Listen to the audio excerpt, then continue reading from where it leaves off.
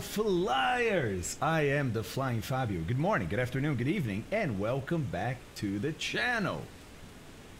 Man, we are the overcoming Fabio this morning. Yeah, Ninja. Yep. well, you should see what it's going to be like when we get to Iceland. Yeah, good morning, everybody. Good afternoon, good evening. Had some issues this morning. I apologize for being almost a full hour late, 50 minutes late. Um, yeah, had a had an interesting time this morning. Um, by the way, here is a time when I appreciate that Microsoft Flight Simulator does its own installation. Steam automatically uninstalled Microsoft Flight Simulator for me. It did me that favor last night. I don't even know if it was last night or this morning because I was using the sim all the way until I shut the computer down yesterday, right? And it was fine. And then I fired it up this morning and actually, the first sign that there was something wrong is I ran Orbx Central, and Orbx Central said, "Hey, we can't find any sims in your in your computer." What? What? Rescan? Nope, can't find anything. Um. Okay. So try to uh, run Flight Simulator, and uh, I have a little desktop icon, right? Double click that, and I get the installation prompt for Microsoft Flight Simulator, the Steam installation prompt. Hey, you want to install Microsoft Flight Simulator? What? So, turns out what happened is, yes, Steam did by itself uninstall Flight Simulator, but it, it only uninstalled the same thing you guys download when you first install it, which is I think 1.6 gigs, maybe some. Uh, it's a small, small-ish thing. The sim itself was evidently still here, right? Um, so I reinstalled, um, reinstalled the Steam sim. Hey, kitty, how's it going? You missed that start by a few minutes, girl.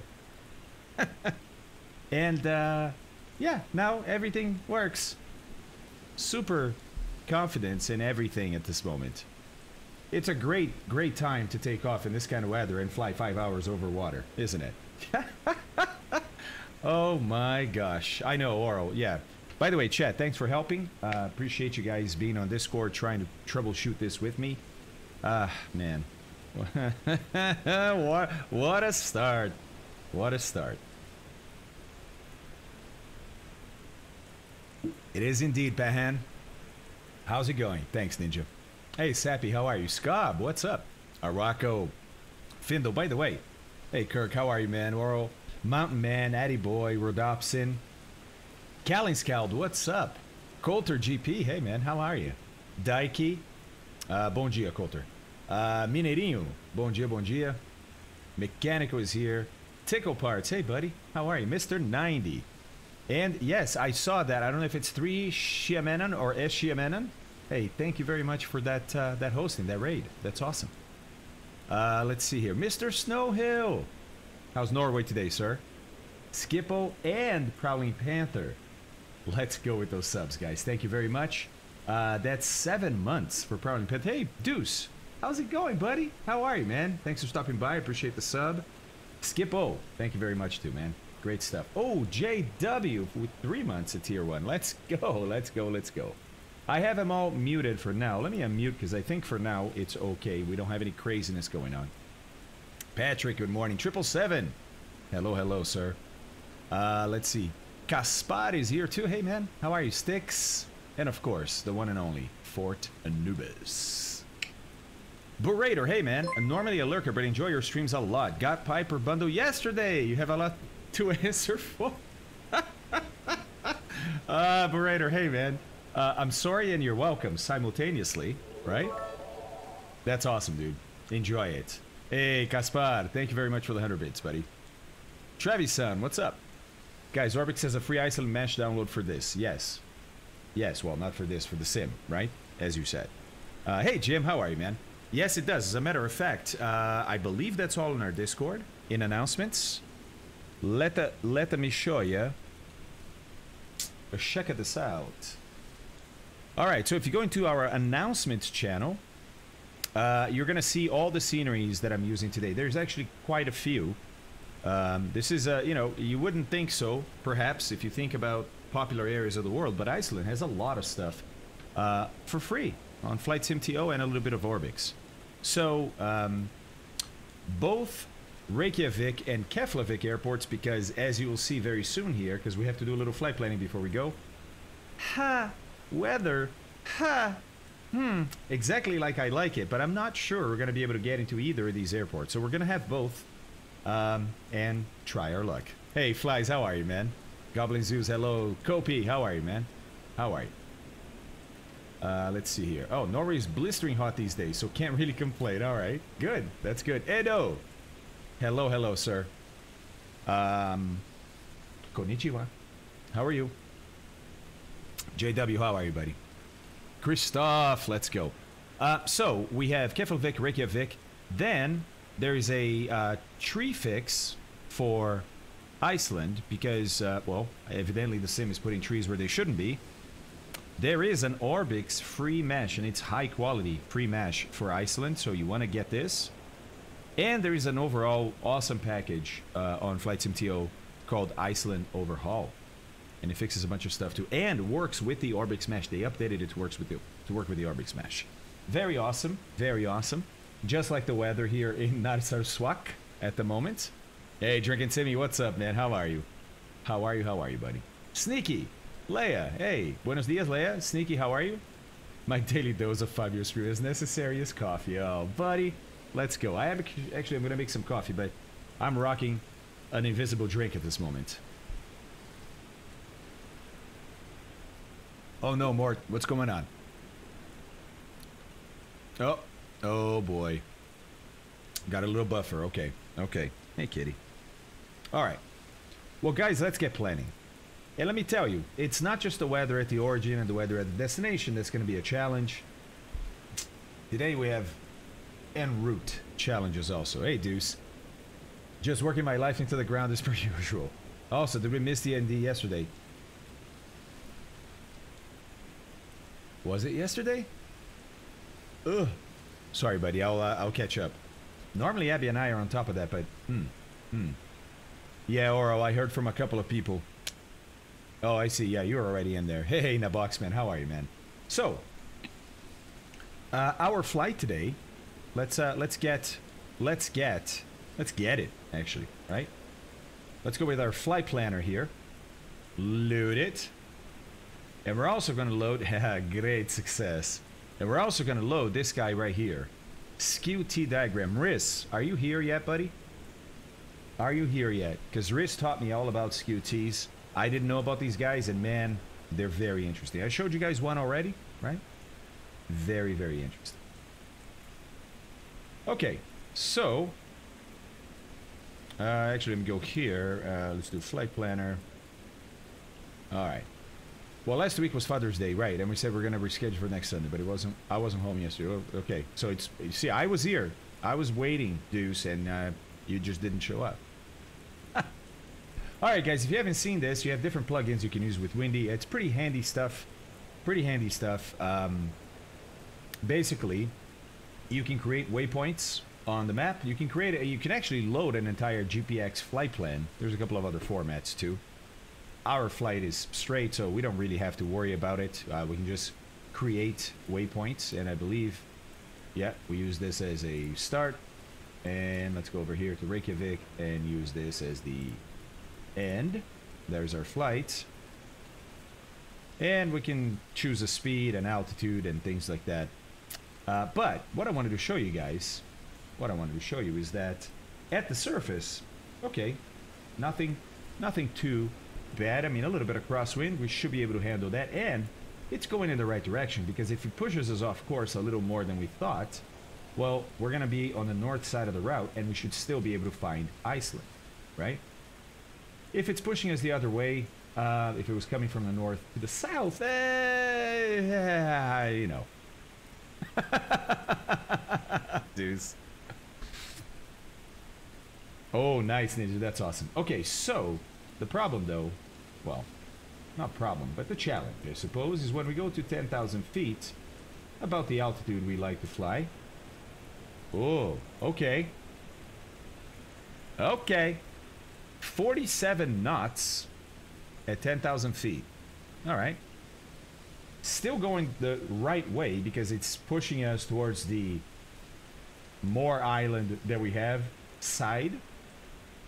Also, though, it's going to be a tailwind, right? There's a tailwind component here that's going to help us on the crossing. So that's good.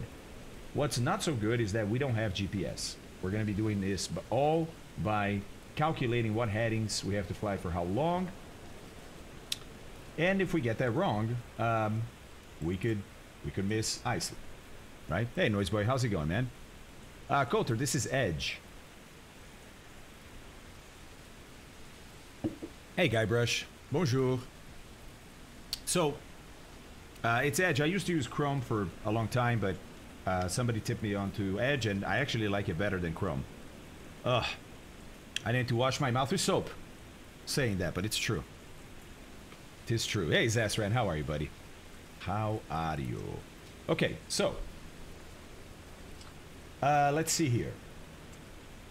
What I also did, what I also did is I created a little flight plan for us to make things go a little faster, right?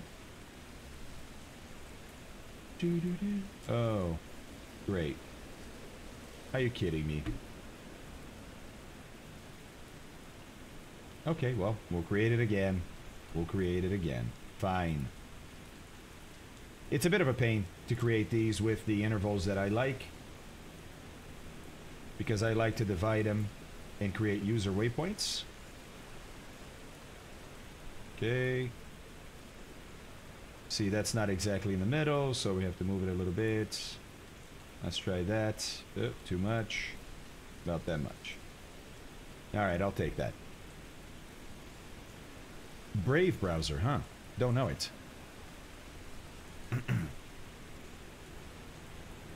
yeah, yeah, it uses the Chrome engine, but it's actually better than Chrome. They added quite a few things um, that Chrome doesn't have, or at least doesn't have yet. And uh, yeah, it's a better experience. It's incredible, actually.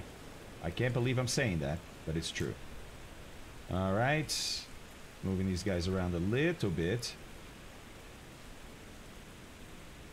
Why? Because I want to have about the same time in between waypoints. It's You can do whatever you want, right? You can put these waypoints anywhere you want. Uh, I like to have close to the same amount of time between these waypoints. So, and by the way, because of the wind, we need a lot of waypoints, right? Because I want to have checks every 40, 50 miles or so. Make sure that we're going where we think we're going. Okay. Right there. 43, 42. That's not bad. That's not bad. So it's just tedious. It's not hard. It's just tedious creating this kind of stuff. Okay. Let's get the middle here. Okay. That, oh, 78 and 78. Not bad. Not bad. All right. Okay. Another one here. Now, one of the bad things about using these waypoints in SkyVector is that you can't name them. They're user waypoints, right? I mean, they're really just latitude and longitude, but you can't give them a name, which is fine over here, I suppose, but it's not fine when you look at the navlog, right? Hey, Mark, how's it going, man? Yeah, Ninja, I know what you mean. I know what you mean. I love the, uh, syncing to my phone, too. Okay, maybe here. Eh, close enough. Close enough. Famous last words, right? 8087, Let's get a little better there. Little better there. All right. Split this guy up in half. Okay. Good enough. Split this guy up in half. A little bit this way, buddy. Okay. And now, and now for our conclusion. And you can already see that Keflavik and Reykjavik, uh, not the best VFR day over there. But the thing that's even better is it's about to get worse. It is about to get worse. All right. And here. It should be 40 there. Yep. Okay. Okay, okay, okay. Leaving for Sao Paulo in a few hours. Oh, triple seven. That's awesome. From where, buddy? From where? And how long are you going to be there? And Do you want recommendations? I'm sure you've been there before. Yeah, Red Box. That's one of the biggest differences that I've noticed is is a much smaller memory profile than Chrome. Chrome is awesome, but it eats RAM up. All right, here's our trip today, boys. Hoo-wee. But, but, well, so first of all, let's start with the origin, right? I think you see it. It's right there. But the weather currently at Narsarsuaq is wind 040 at 4. Okay, cool. So we can use the same runway we landed at to take off. Visibility 8,000 meters, light rain, fuel cloud 600, broken 2900, temperature 9, dew point 8. Okay. Okay, but perhaps not okay. Why? Well, because it's raining, right? Great. What's the problem? Well, the problem is as we climb, it's going to get colder. So eventually, if we're still in the clouds, all this water is going to turn into ice. 41 hour layover. Whoo! Triple seven. First of all, it's a huge flight to begin with. How long is the flight? Triple seven. Is that a uh, hold on?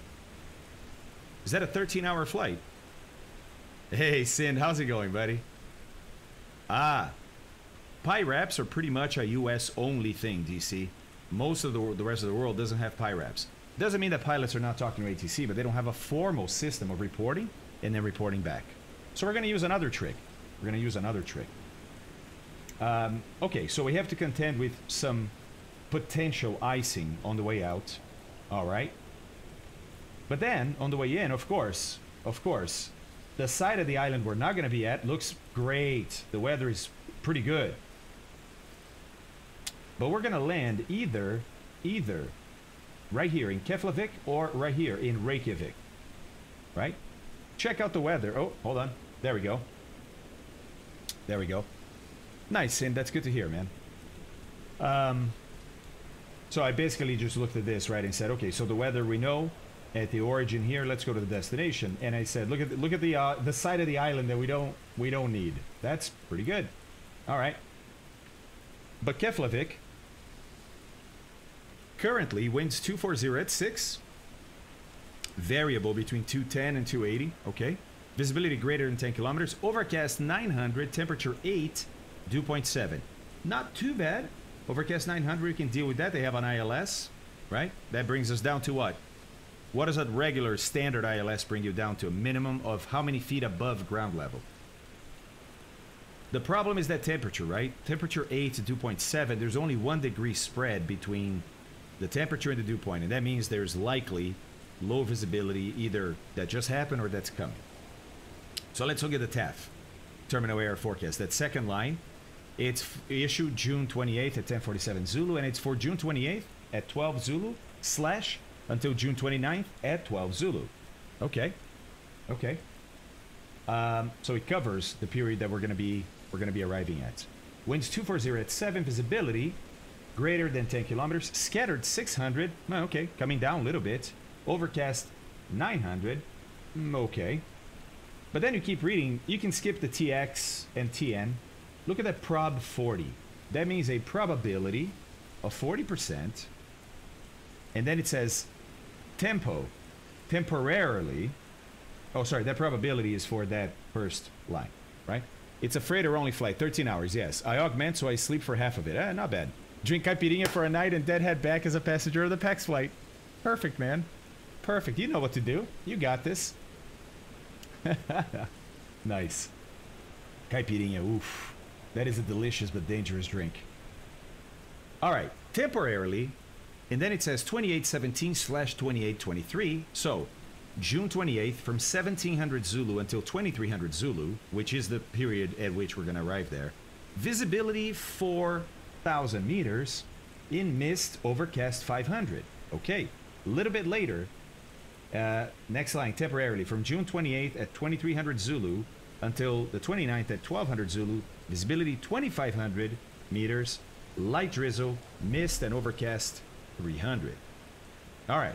So the weather is definitely getting worse, right? And these are forecasts. They can be off. They can get worse beforehand, or maybe later if we're lucky. How about uh, Reykjavik? It's not much better. It's overcast at 1100 right now, so it's 200 feet higher, right? And there's a bit of a bigger split between the temperature and the dew point. There's three degrees here as opposed to one, like you have in Keflavik. But if you look at the TAF, right? Uh, temporarily, I'm skipping in one line here. Temporarily on the 28th, between 1700 Zulu and 2300 Zulu, 4,000 meters of visibility, mist, overcast 700. That matches what Keflavik is doing, and then it gets worse later on. So, so, so, yeah, it's going to be interesting. We think we're going to get in, but if the weather gets worse than expected, mm, could be could be interesting. We're definitely going to carry full fuel, and if we really have to, there are other airports in Iceland that we can try and go to, right? Um, it's just you know, it's it, it's not a comfort comforting feeling to launch like this, but of course we're going to. Kitty, why sub? I know. Why sub for the cats? For the cats, man. yes, yes, DC. Now we're gonna help ourselves here a little bit with our origin. Let's go back to Windy. Oh, and by the way, probably save this flight plan like I thought I did yesterday. Okay. All right, because yeah, okay. So you can put a flight plan in here. Very cool. Okay, got it. But, but, by the way, here's the. Uh, here is how the weather will progress as we move along here.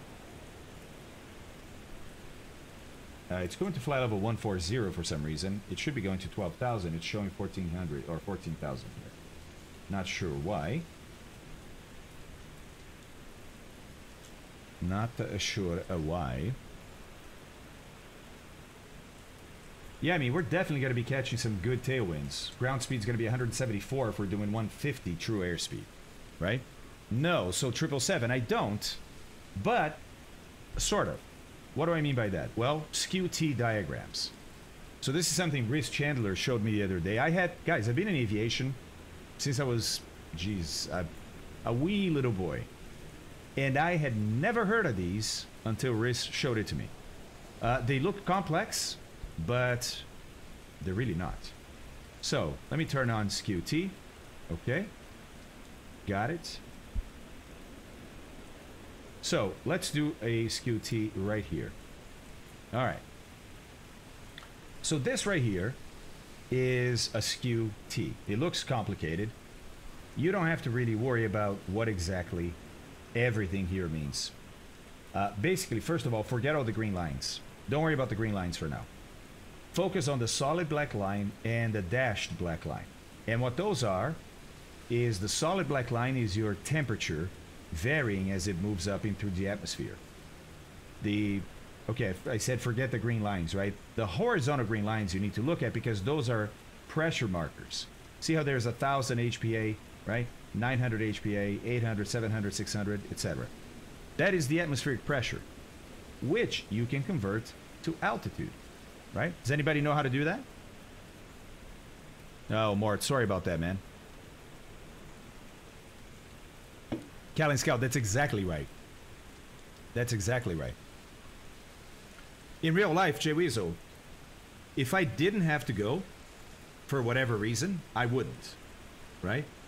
Um, flying five hours over water to an island in the middle of the North Atlantic, where the weather is supposed to be close to minimums, it's really asking for trouble, right?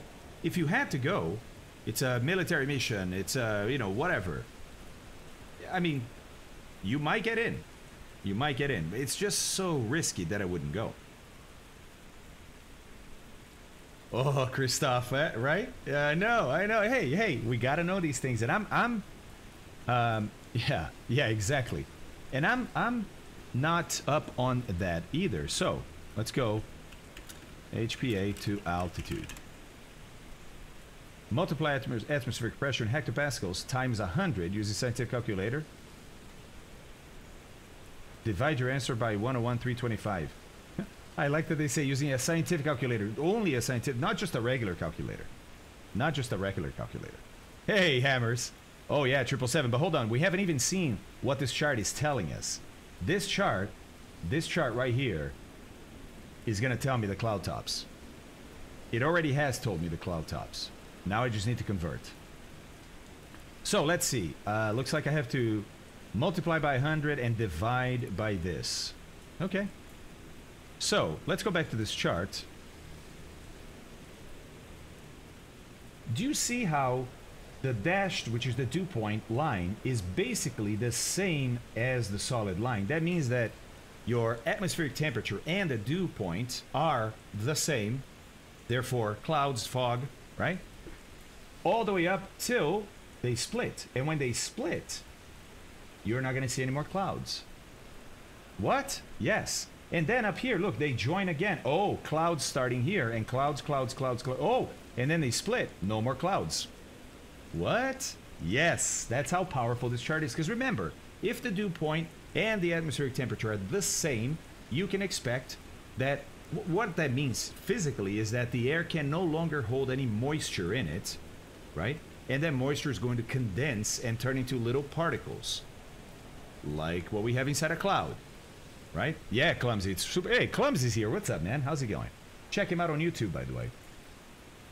Um, so, if they're split, then their condensation cannot form. You have no clouds. So this chart is telling me that from the ground up until 800 HPA, I, I can expect clouds. That's going to help me determine if the freezing level is going to be above the clouds or not. But I can already see that in the chart too. And then, starting at 400 HPA, hey, two cats, how's it going? Don Don, how are you, man? Uh, let's see. Then you can expect clouds from 400 HPA all the way up to about 350, 360 HPA or so. How cool is that? Oh man, really? That's right, Findle. That's exactly right, dude. Plus, look at this blue line. Freezing level, right? Freezing level.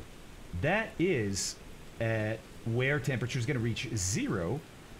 And it looks like, look, it looks like it is reaching zero right above where we have the split between dew point and temperature, which means, which means, right?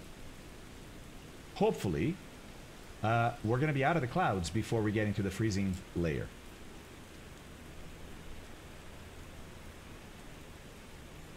This chart is called the skew T. Just like this. Watch.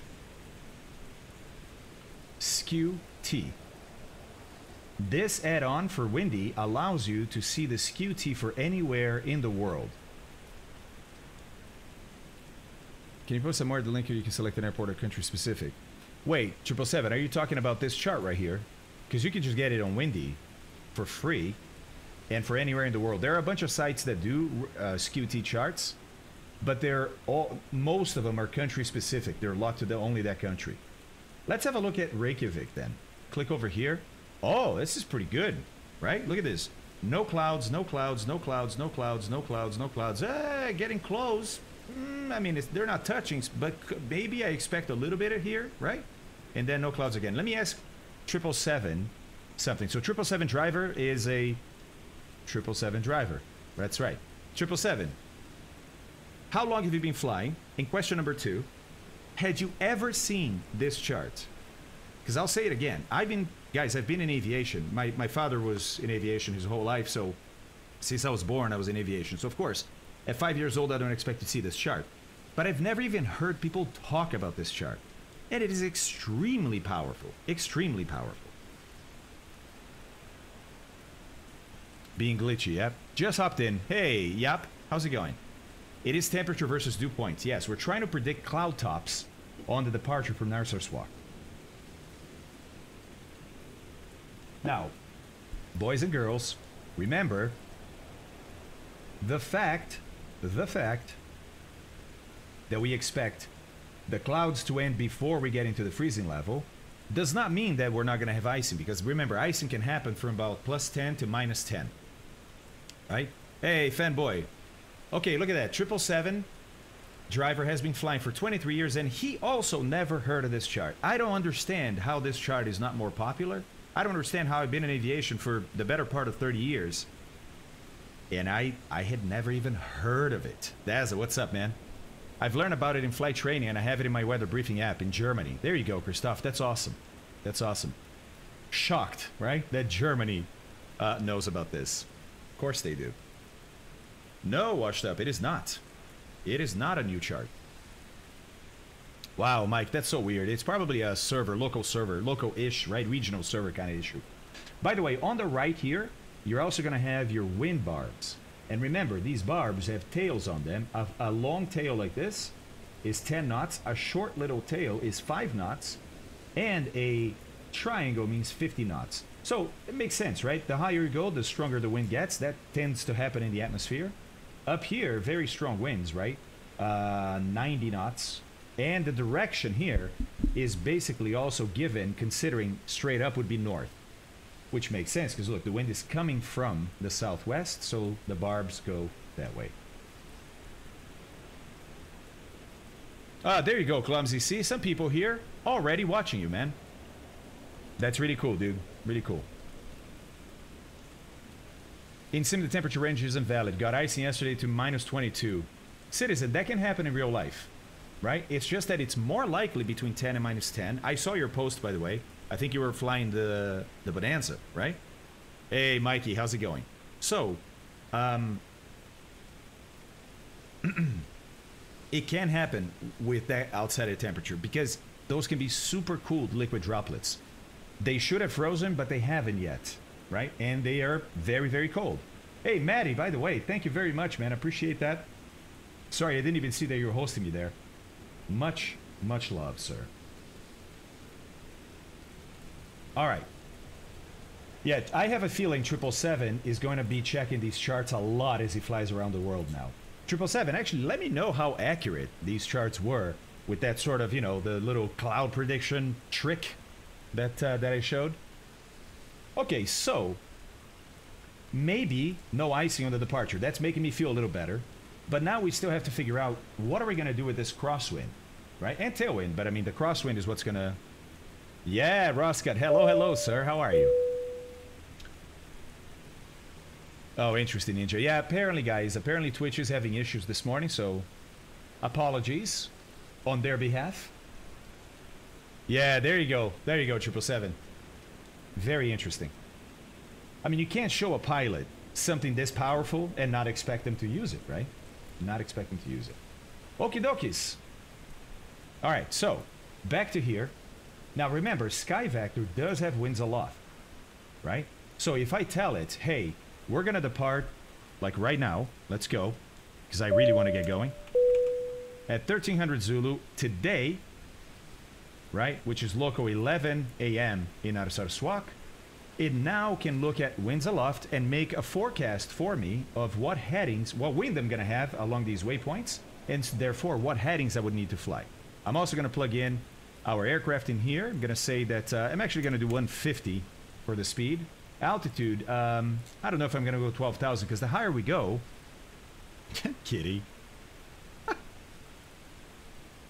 Uh, let's see. Yeah, isn't that amazing, Clumsy? Roscud and his interactive checklist, man. Or highlight checklist, however we call that. It's just unbelievable.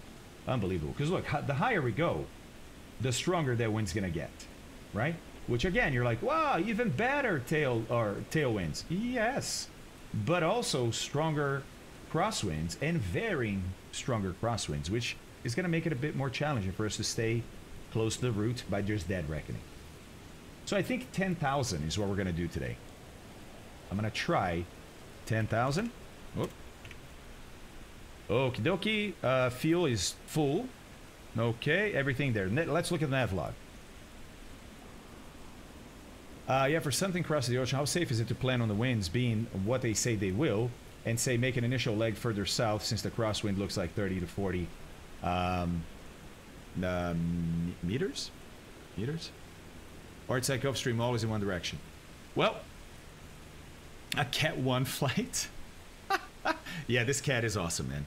Both my cats are awesome. So, um, Findo, it's not very safe. It's not very safe to cross Dead Reckoning, right?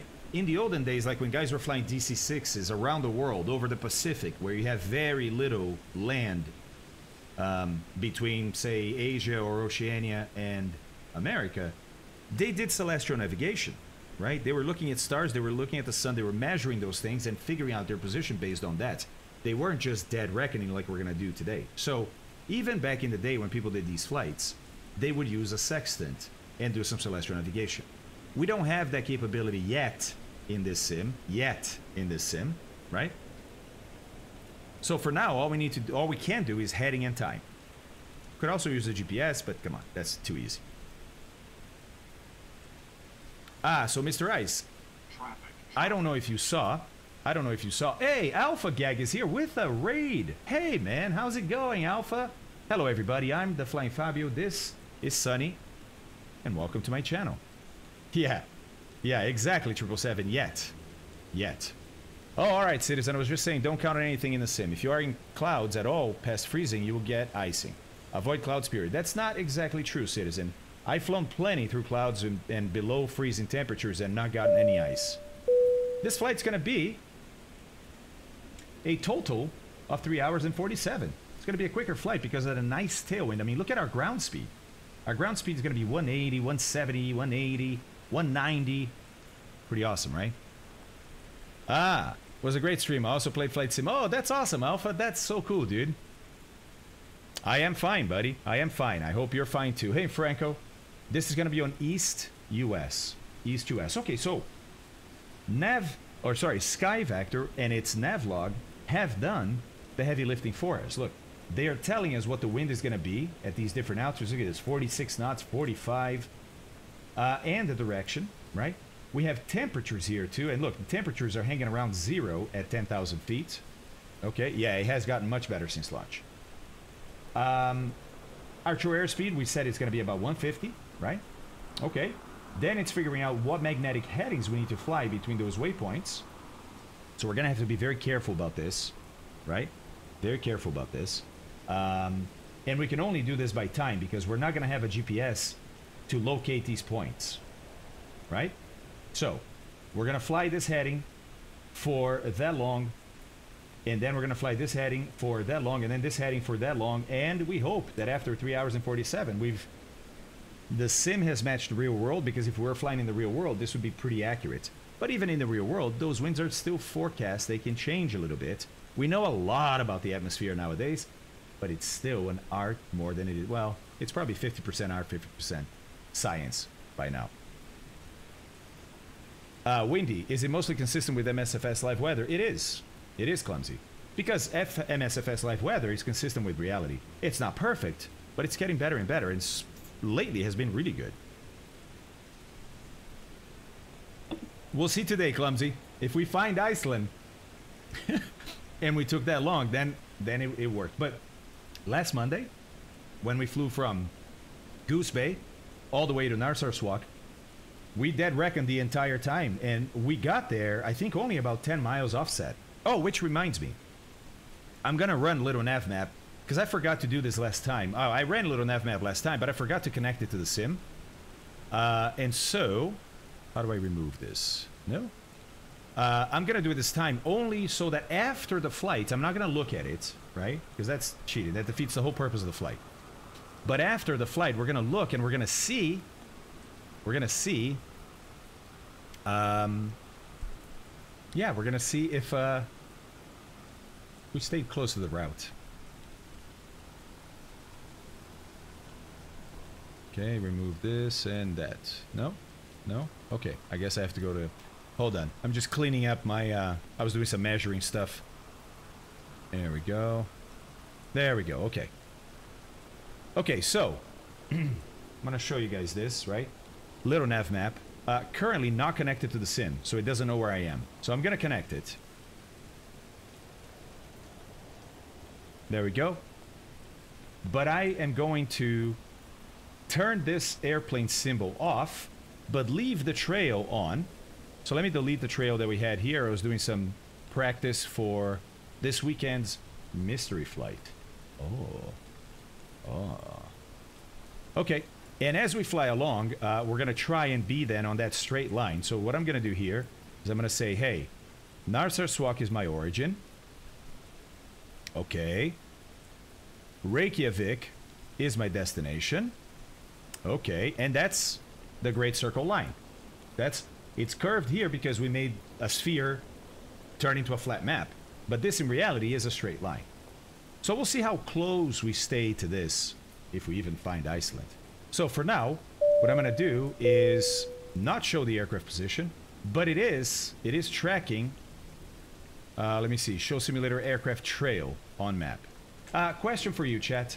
If I, because I don't want to, I don't want to like risk, you know, this window is going to be behind my other windows, but I don't want to risk this coming up and then me seeing the red little track I have for the aircraft. So my question to you is this.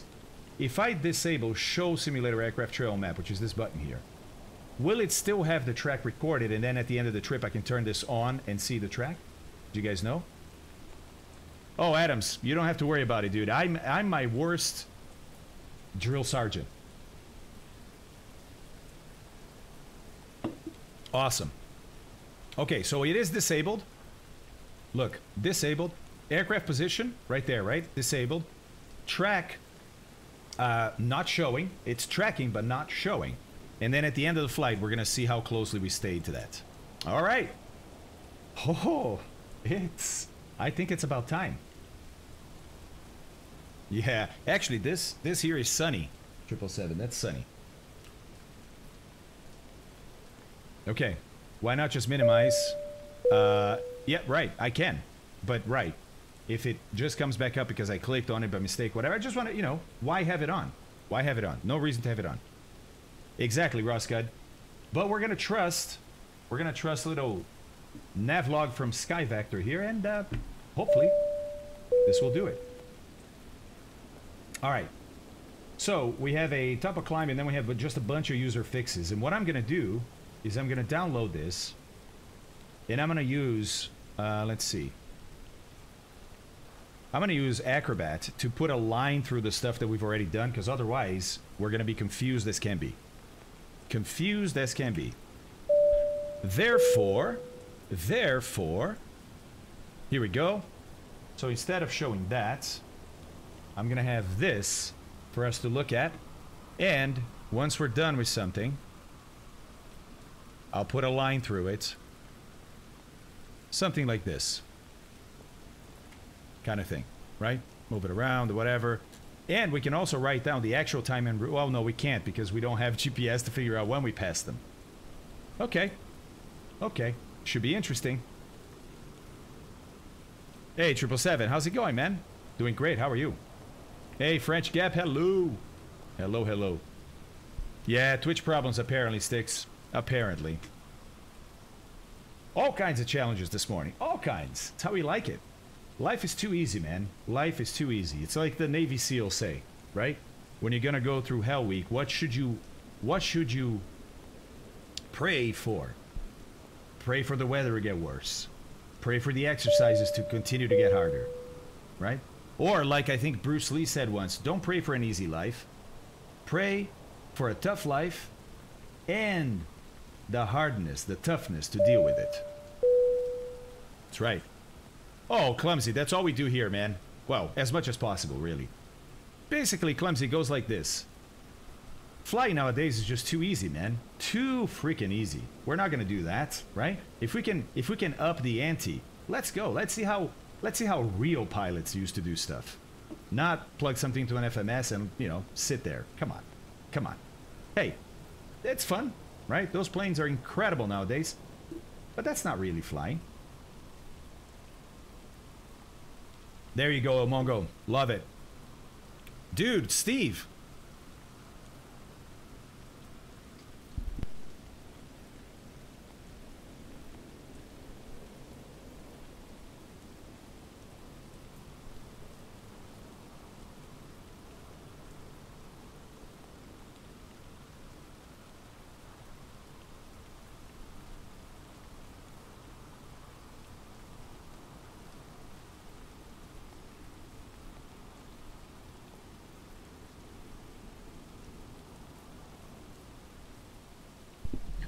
those of you that have known my plight in getting this channel started, uh, I've shown this before, but yeah, Steve, right here, man.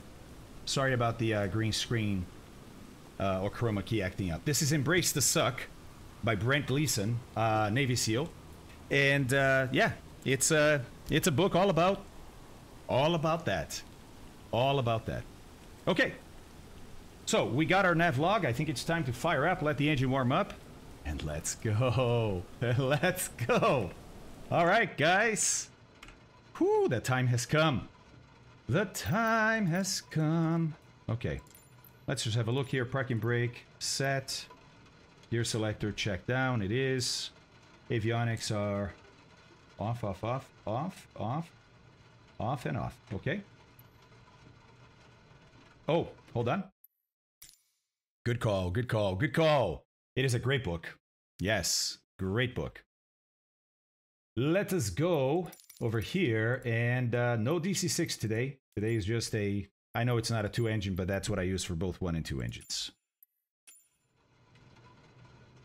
No, it's, it's rain for now. For now. okay, so lean, there we go. Magnetos are off. Battery switch coming on and it's to check fuel and other things. Of course, look look at how much fuel we have left from the last flight. Nah, come on. We're gonna go full up today. Full up. Okay? And there's me.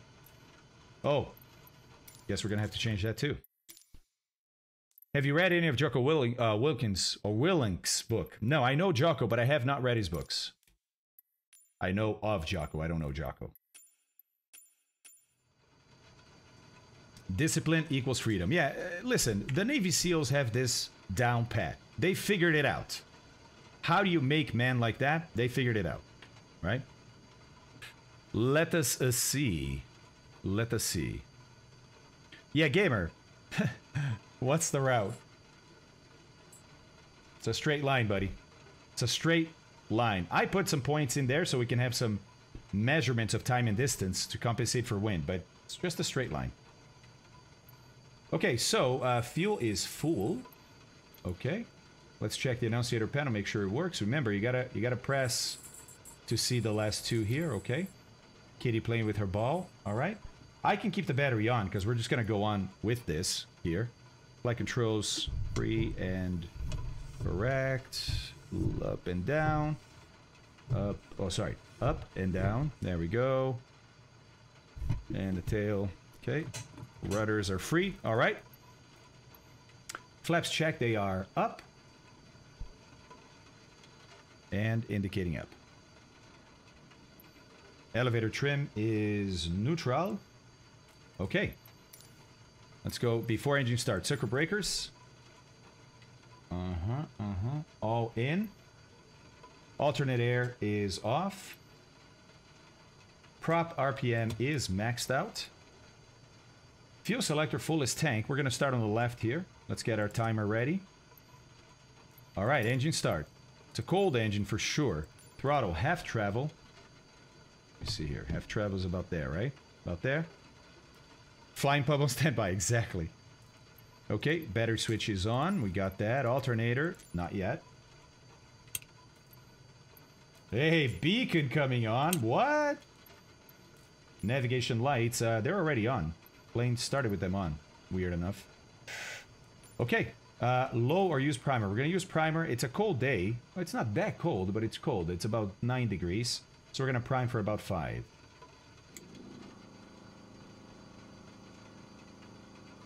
There's our fuel pressure. One, two, three, four, five. Clear prop. Mike 5 send STX just resubscribe Ooh, for on, four Mike. months. Let's go. There we go. She caught up, or she caught on, no problem. A thousand RPMs, and we have, yep, oil pressure. Very good, very good. Hey, Mike, four months, dude. Let's go indeed. Thank you, buddy. Appreciate that. Really appreciate that, and thanks for all the follows, guys. Thank you very, very much. Wow, that was a lot of power, huh? Not a good idea. Not a guy. I thought it was someone else's aircraft next to me, actually. Okay, let's start that uh, clock. There we go. And I will start again on... Actually, no, I'm not going to start it right now. I'm going to start it when we're taking off. Okay? It's a very short taxi to take off, so don't worry about it. Okay, low or use primer ball. We did this. We did this. We did this. Okay, we got it. It is successful. Magnetos are both. 1500 RPMs to warm her up.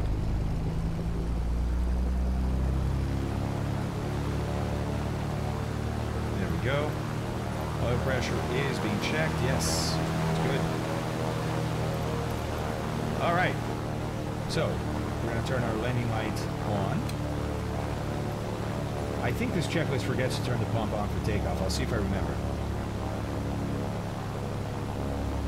Let's see, Fake. Are we really going to start with the beacon?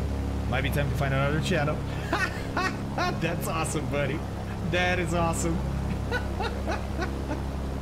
oh, I like that one. I like that one, Fake. Okay. Uh, uh-huh. Yes. Avionics. We're going to need those eventually.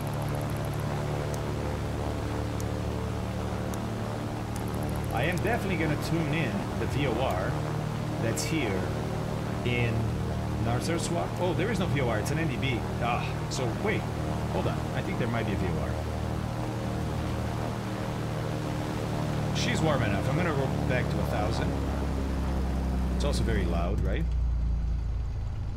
Okay, there's about a 1,000. All right, so... So... Hmm, hmm, hmm, hmm. Mm, all right.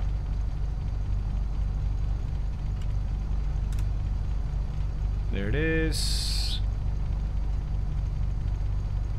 Yeah, we have a DME. Uh, 118 or 11185 is our DME. Okie dokies. Okie dokies. And so basically, guys, it's backtrack. There's no taxiway. It's backtrack to runway 6, wind 040, right? So we're going to take off from runway 6. And uh, there is some rising terrain after this, but uh, we should be fine uh, with our climb gradient. Famous last words. Ah, triple seven. Dan, you can't be a pilot. It's as simple as that. Simple as that. Let me see here, Ninja. Fabio, do you have a profile just for the Arrow? I found that really makes it better. Just having a profile for that plane with the linear sensitivity curves as Jeff recommends. Sorry for repost, but thought you should know. Yeah, Ninja, I haven't done that because I'm still not confident that the profiles work well in the sim. I've had a bunch of different profiles and they they seem to copy over to each other, they disappear, they... Eh. So I, I said, you know what? I'm gonna just kind of stay away from them.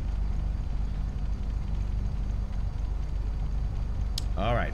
But that reminds me, right? I should probably get rid of my curves.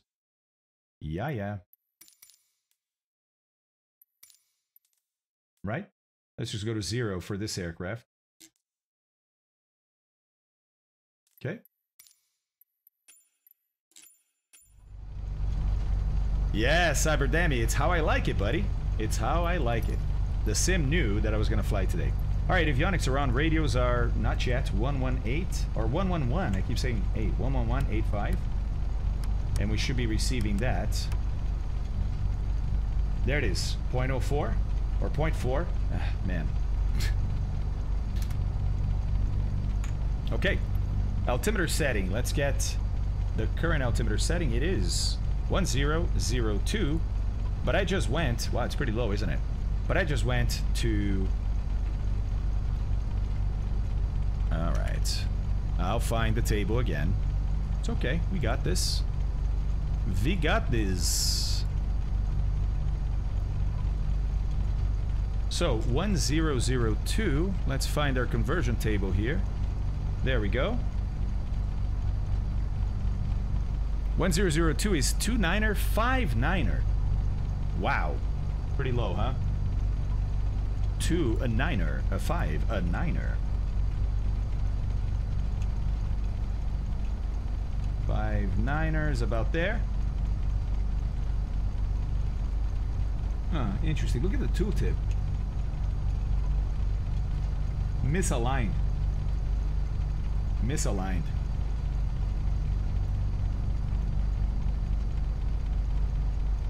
Ori, we're in great latitudes and the weather tends to be a little more aggressive in these latitudes.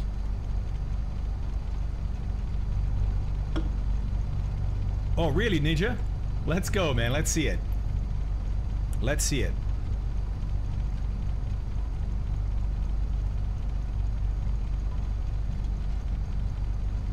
Oh, Ninja is posting about Iceland too. Holy moly.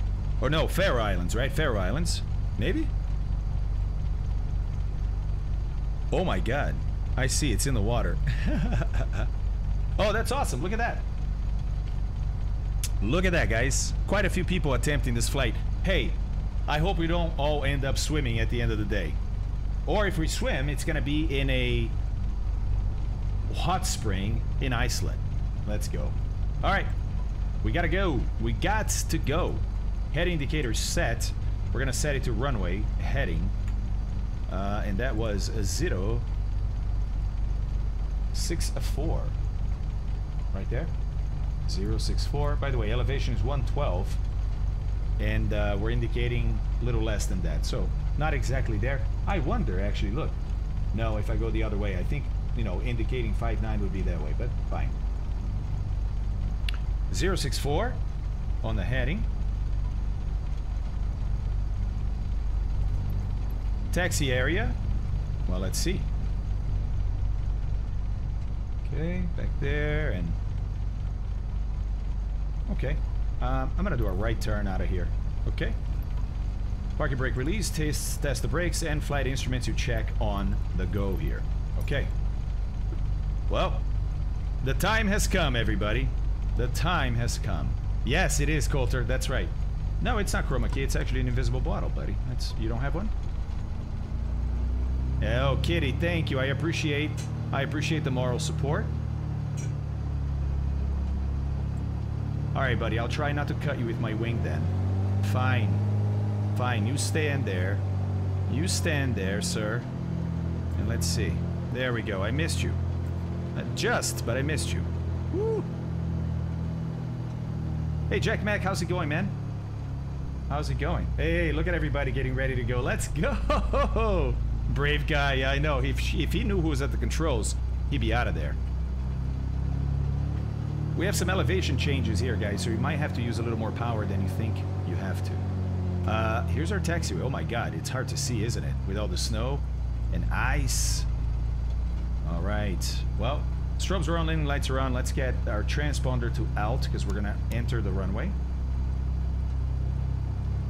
Yeah, Barley, exatamente. Exatamente. All right. Looks like default scenery for this guy. And of course, we would be talking to ATC at this point. No ATC currently. Oh, somebody on the on the runway ready to take off already. Cool.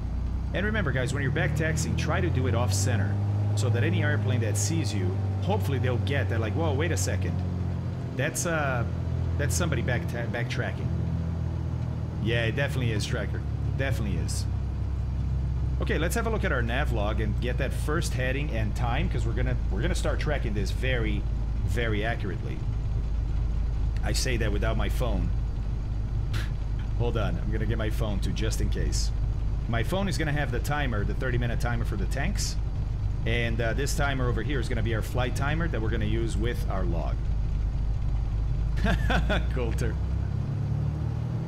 Yes, gamer, exactly. Exactly. Oh, it is, Peter. It's gonna be awesome. We should be above the clouds in no time, actually. Oh, we never calculated the altitude, did we?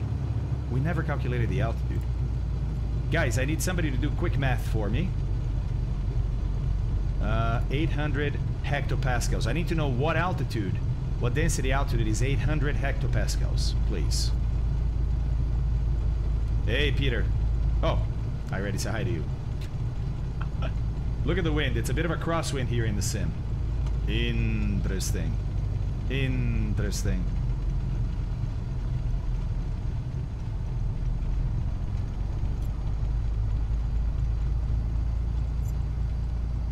Ah, Fabio Weather. Everybody knows it. That's awesome. That is awesome. Hey, Lefty. How are you, buddy?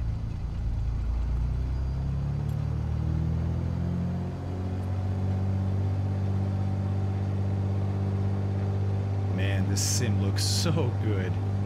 Hello, Odin. How are you, buddy? Sometimes it's safe to hope for the best reg- regarding runway length and just go for it. Oh, hope for the best. I, I don't know about that. I don't know about that. Hold on a second. That's the middle of the runway. What am I doing? Johnny!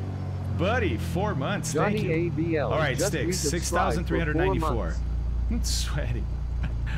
Nice. Uh, okay, so we expect hopefully to be out of the clouds by six thousand. Now, if the temperature currently is about ten degrees, that means we're gonna get to zero, right, in five thousand feet. Oof. Thank you, gamer. Nice job, guys. DC, Mr. 90. Good job, good job, good job. Thank you very much. That means we could get into some icing right at the top of these clouds, right? Not ideal. Not ideal. But what you going to do? Let me go get my phone. We need that for our timer here. And I'll run the first timer is going to be like a 28 minute because we used a little bit of fuel taxing out. Hang on one second.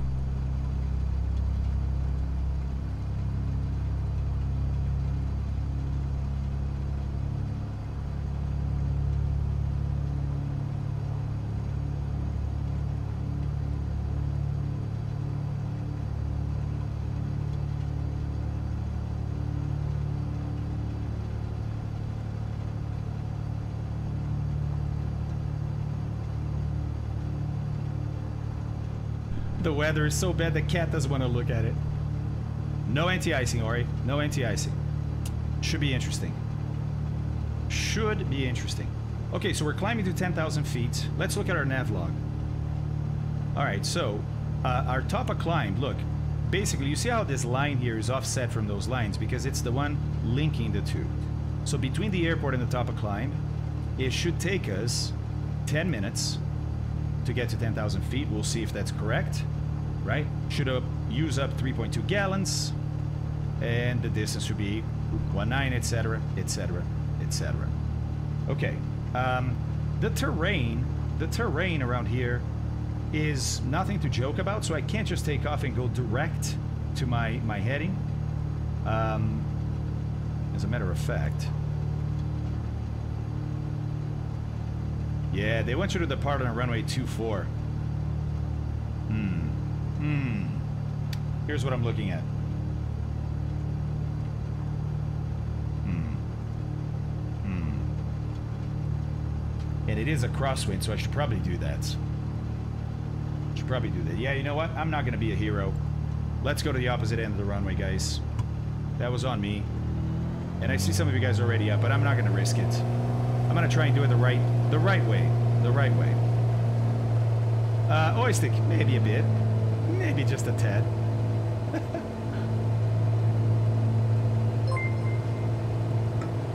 All right, high-speed taxi here. Cap Seppi just resubscribed for two Whoa, months. Hello Captain and good Seppi. morning at the Flying Fabio and the rest of the crew. Hey, man. Good morning to you too, Captain. Good to see you, man. And Johnny, thanks again for that uh, four months at Tier 1. That's awesome, dude. Thank you so much, guys. Stupid question. Never a stupid question. The only stupid question, Salamander, is the one you don't ask. Does rain play any part in affecting the performance? That's a great question. A lot of people actually have that question. I had that question. The answer is no. There's no appreciable change in performance based on water hitting the plane or running over the plane or anything like that. You can see some degradation in performance when you have airfoils that are designed for what's called laminar flow. Laminar flow. But most airfoils in, in aviation are not designed to be laminar flow because as soon as you get them dirty, even with bugs that can splatter the, uh, the leading edge, um, you're gonna lose you're gonna lose a lot of that laminar flow performance. VFR is bad, says James. Yes. Yeah, exactly. DC. It, it's it's that classic, right? Call for pricing. You're like, oh, jeez, oh, jeez, this isn't this is not to be good. LOD settings. Yaris. I'm not sure. I didn't even know you could set LODs in the sim. I thought the sim just did that by itself. Well, DC, a jet engine, a jet engine, and even then, all you need is ignition on, right? Have you guys seen? Actually, hold on. We need to make a list of the things we're gonna watch on this flight because there's quite a bit. There's quite a bit. All right. Alrighty. There we go, doing the safe thing, taking off runway 24 because I'm an idiot and didn't look, uh, you know, ahead of time. What a weather, I know, right? Hey, Shaq is back. Back again. All right, so it's not going to be 064 on the heading. It will be 244. And notice that what they ask you to do on the departure, well, ask you, they tell you this is how you do it, right? Is departing. The visual here has you go straight to that point, right? Um, well, we are not visual, but we're going to try and take off and intercept the 277 from the Narsarsuaq NDB NA, which we need to tune in. 359.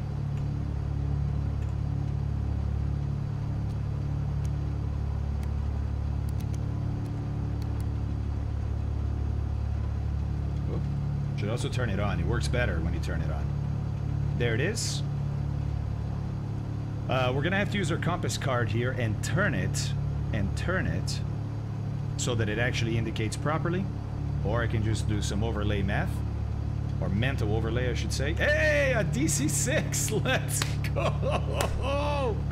That's awesome. That is awesome. Okay. Let's see here. Intercept to 277 on the way out. Okay, climb visually to 1200, intercept to 277, very good. Okay. And climb to minimum safe altitude 7100. So, we are we are going to be off from the navlog a little bit, aren't we? Because the navlog has us go straight to a magnetic heading of 84. Yeah, all right. That's not great, but we can't account for that right just yet. Oh, nice flies. I will as soon as uh, as soon as I have some time. That is awesome. That is a beautiful, beautiful bird. Chile. Okay. Uh, the sim doesn't load proper skins, Ninja. It kind of just seems to pick whatever skin you want, or it wants, and it just loads that up, right? Okay, so uh, let me see here. 244, 277. Okay, got it. And we're just gonna climb to 10,000. Got it. I'm gonna. Hmm. I'm gonna. Hmm, hmm. I'm not gonna climb on the 277 all the way to 7,100 feet. I should, but that's gonna really throw me off on my navlog. Dang it. Alright, let's run that timer for 25 minutes. Okay, you know, I'm gonna do it the right way. Check this out. I don't want to be an idiot, guys. This is too important of a flight to be an idiot. Here's what we're gonna do.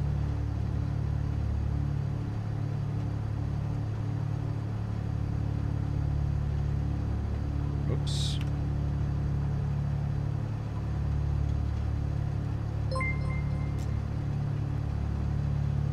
Vexfreeze just resubscribed for six months. Hello, hello.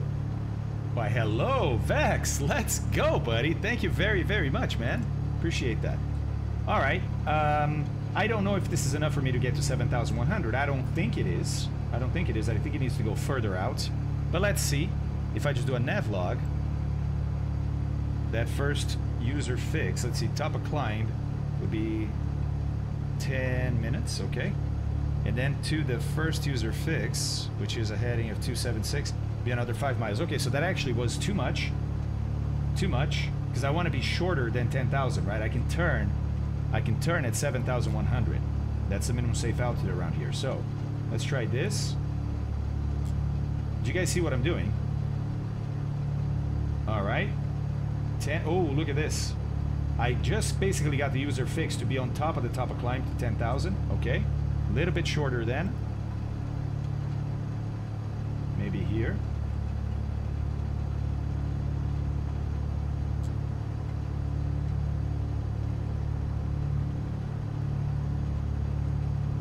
There we go. Uh, what is our altitude?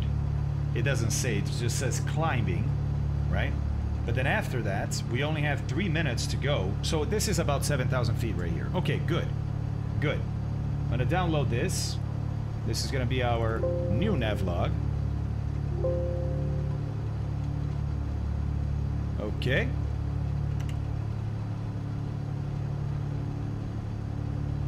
All right. We got it in there. Perfect. Okay. Let me start my tamer. So it's going to be a 25 minute timer. There we go. All right, you guys ready? Hey, Kilo, how's it going, man? Oh, almost, buddy. Almost. Almost. Okay, so I'm expecting uh, about seven minutes to get to that first user fix, 7,100 feet, and then we're going to turn. Timer's running. We're going to turn uh, right to a heading of 9.5 in another three minutes, which should be at 10,000 feet. Let's go. Holding her on the brakes. And let's go 2,000 RPMs, actually. Okay, good oil pressure, good, okay. Start the timer, and let's go. Watching for that 42 inches, there we go. Little over boost, correcting. Airspeed is alive. Engine gauge is okay. Whoa, she really wants the weather vane. 60, 60, whoa, man, 65, 70. Wow. You know what? I've been flying the DC-6 now for quite a while quite a few hours, and man, the rudder input is so much better on that than this. So much better. You're up.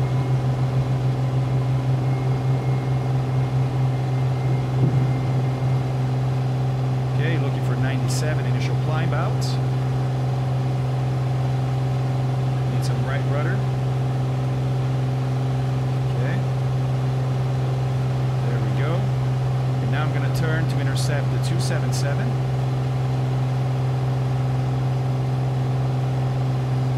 Let's go back on power two. Or sorry, on the uh, prop. Okay, need to turn a little bit more. Boys. IMC like this, you gotta focus a little bit more. Gotta focus a little bit more. I'm gonna go to a heading of maybe 2900. Okay. Let's put this up here, and I'm gonna turn my autopilot on in heading. That helps me focus.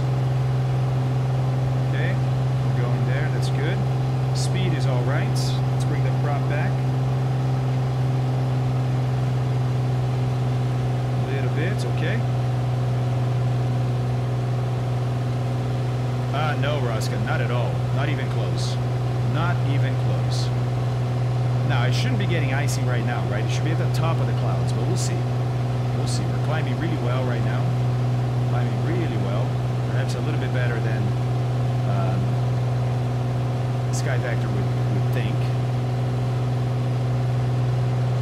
Man, that water down there is all ice right now. That looks so cool with the water streaming by. They did such a good job with this, didn't they? Wow.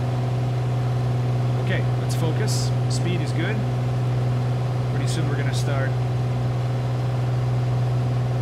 There we go. Yeah, she's varying.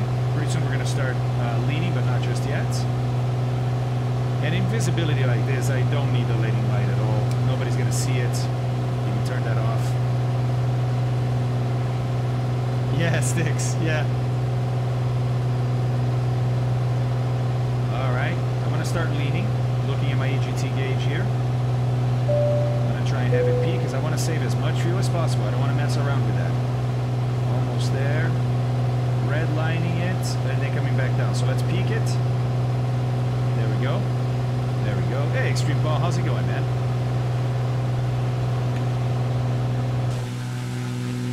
Whoa, let's go, guys. Let's go. Iceland, here we come. Should have been called Iceland, shouldn't it? All right, so at 7,100 feet, we're going to start our turn, okay? Oh, thank you. I see it. I see it. Thanks, 777. I had forgotten about it. And what I'm going to do now is when I get to a 277 heading, I'm going to turn this card and help me on that 277 heading and see if indeed I am on the 277.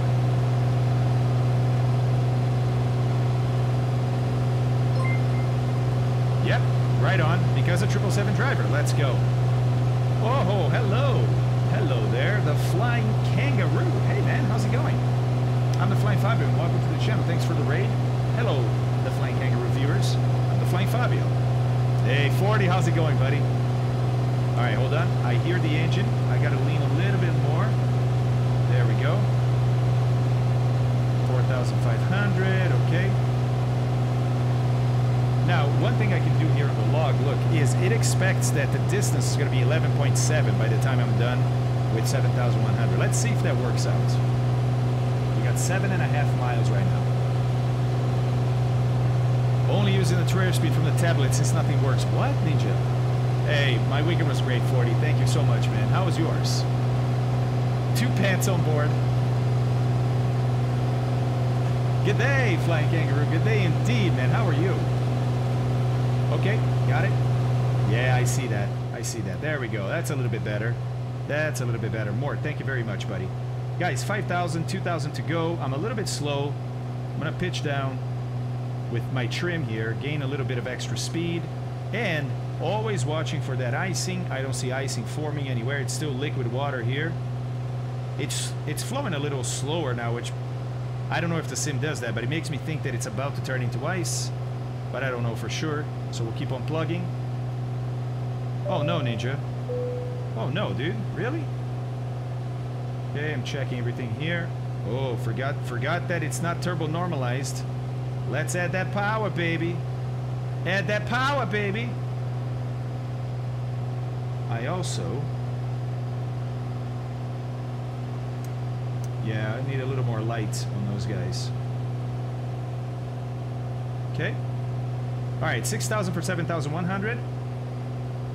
Stay on top of that leaning. Okay, we're peak. Whoa, whoa, getting slow, getting slow. We're getting some up and down drafts, which is normal. Normal, we're in the clouds, right? All right. Look, 10.2. Oh, I think that's going to work just fine. So far, I think that log is going to work just fine. Oh no, Fort. Oh, come on. oh, great. Considering we're counting on those winds to work so that we can find Iceland. Okay, well, attempt number one, boys. Next Monday, maybe we'll find Iceland. All right, hold on. 7,000. Oh, look at this. We should have been 11.7 at 7,100. Very, very close. Okay, I'm totally good with that. Right turn. And I'll tell you what heading we're going to go to by showing you the log. All right, so it's a right turn to a heading of 9.5 now. We flew this, and then it's a heading of 9.5. And I'll put a line through this.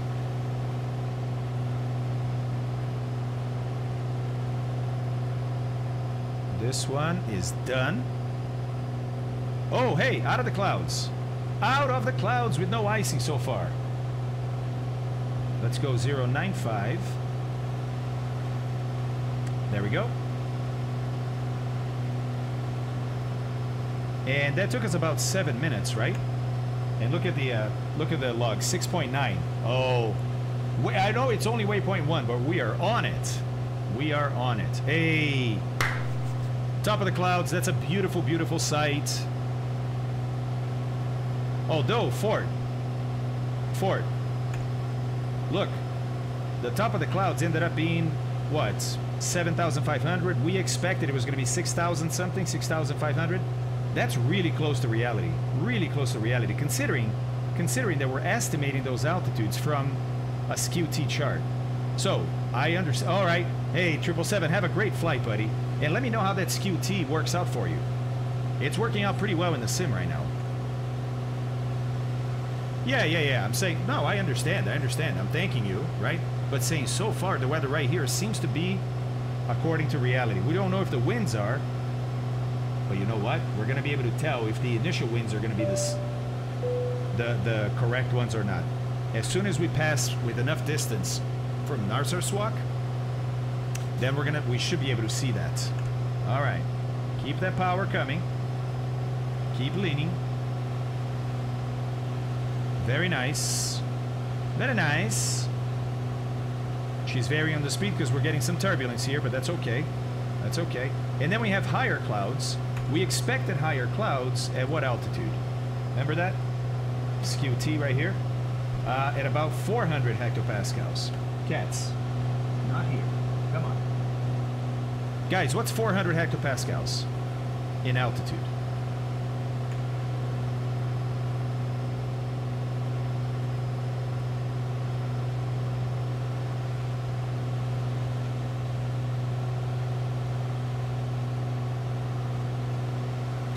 All right, all right, all right. Hey, we're about to level at 10. About to level at 10.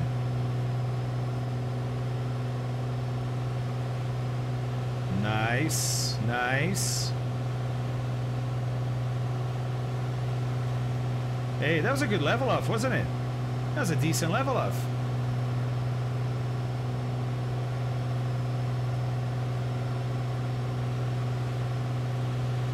Smooth. 23.5, okay.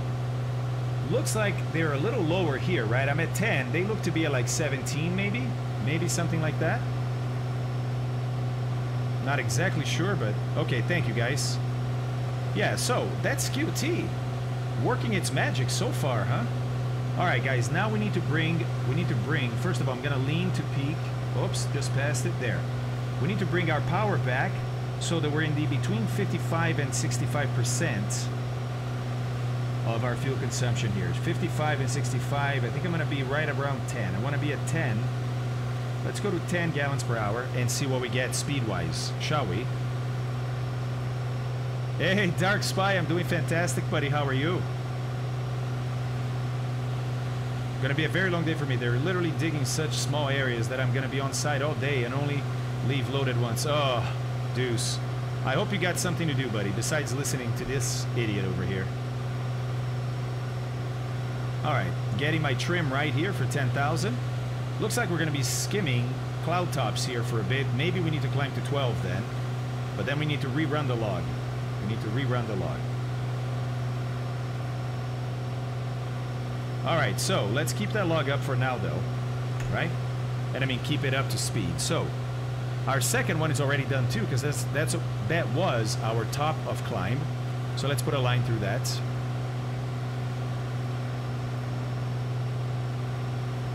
And I didn't exactly get the time for top of climb. I don't worry as much about that, right? Now, over here at 10,000 feet, whoa, watch that trim, watch that trim. Uh, should be heading up 094 after top of climb. Okay, we'll do that. And we're going to fly that until 27 minutes. You see this 16 is how many minutes from the previous waypoint to this. 27 is the cumulative time. So, we're going to fly until this says 27.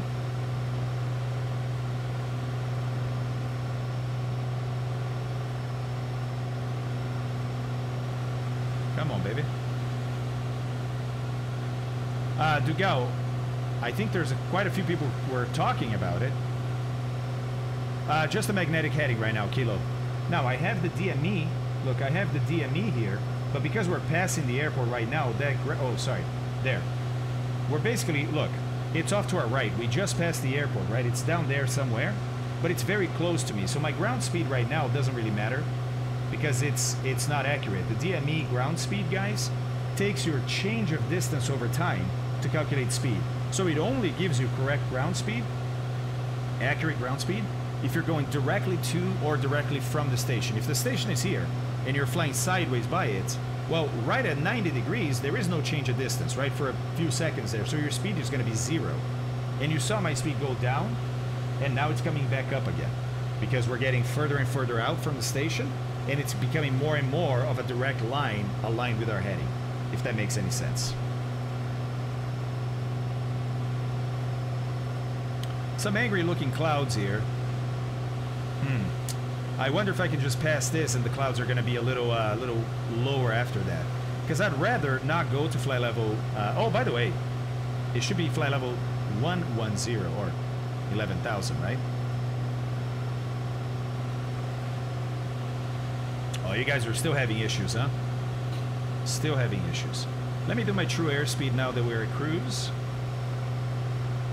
And actually, I'm going to bring my prop back to 24 also. There, that's a little better.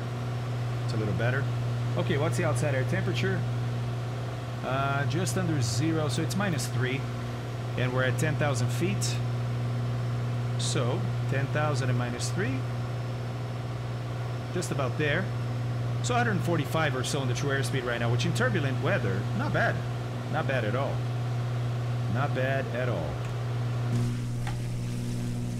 Fluffy clouds. Yeah, BR. But we did not get any icing leaving uh, Narsarsuaq, which was great. Hey, a little hole there. Look, you can see the ground a little bit. I see lots of you guys spread around. That's cool. Rodolphson. Cesare, this is the... Oh, you can do exclamation mark plane. There you go. It's the Just Flight uh, Piper Arrow Turbo. My trim is not great just yet. I haven't found a good trim for level flight. Stand by. Sonita Bridge, what's up, man? Yeah, always think. That's why I said flight level before, and then I corrected because I said 11,000 feet. But it is a flight level. Oh, Dugao, it's amazing, man. This plane is amazing. And look, it looks like we're going to just stay out of the clouds at this altitude, which I'm super happy about. Super happy about. Okay, Ninja, fingers crossed. Oh, DC.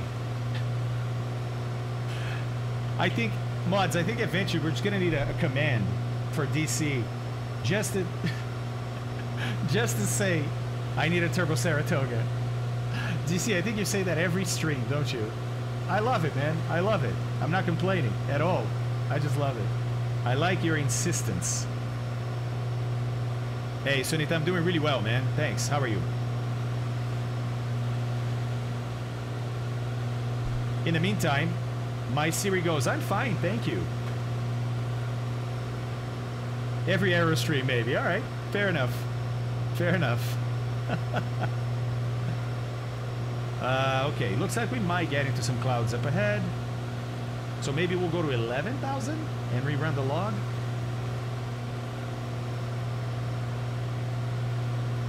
Hmm. Hmm.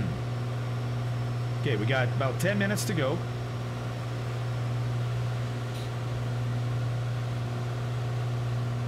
And what we're what I'm gonna do when we get to there, I should still be getting the DME, right? So I will then I will then be able to get both a distance reading and also a ground speed reading. The ground speed is getting closer and closer to what we should be doing, 164, 165. And if you look at the log, we should be doing 173. 173. So it's a, it's a little slower right now. The winds are not as strong right now, but it doesn't mean anything. Not yet.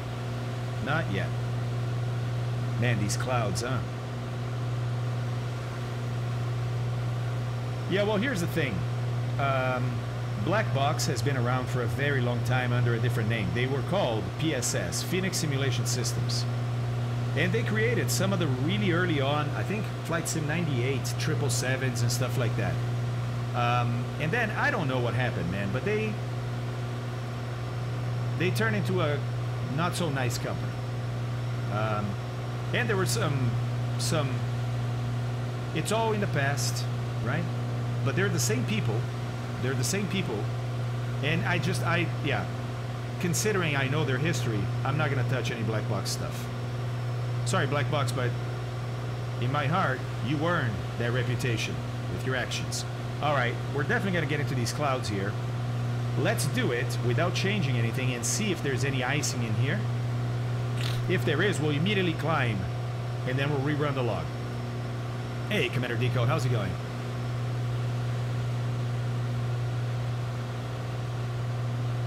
Seems like Twin Otter from Aerosoft will fill the same role. I am wanting uh, on the twatter. Oh, waiting on the twatter. Due out next month. Ooh, next month. Nice. Yeah, I think so, Ori. But, like I said, I'm going to stay in here just to see, because I want to test it. Right? Just kind of dip my wings in and see if we're going to get some icing right here. Hey, that's getting better. That's getting better.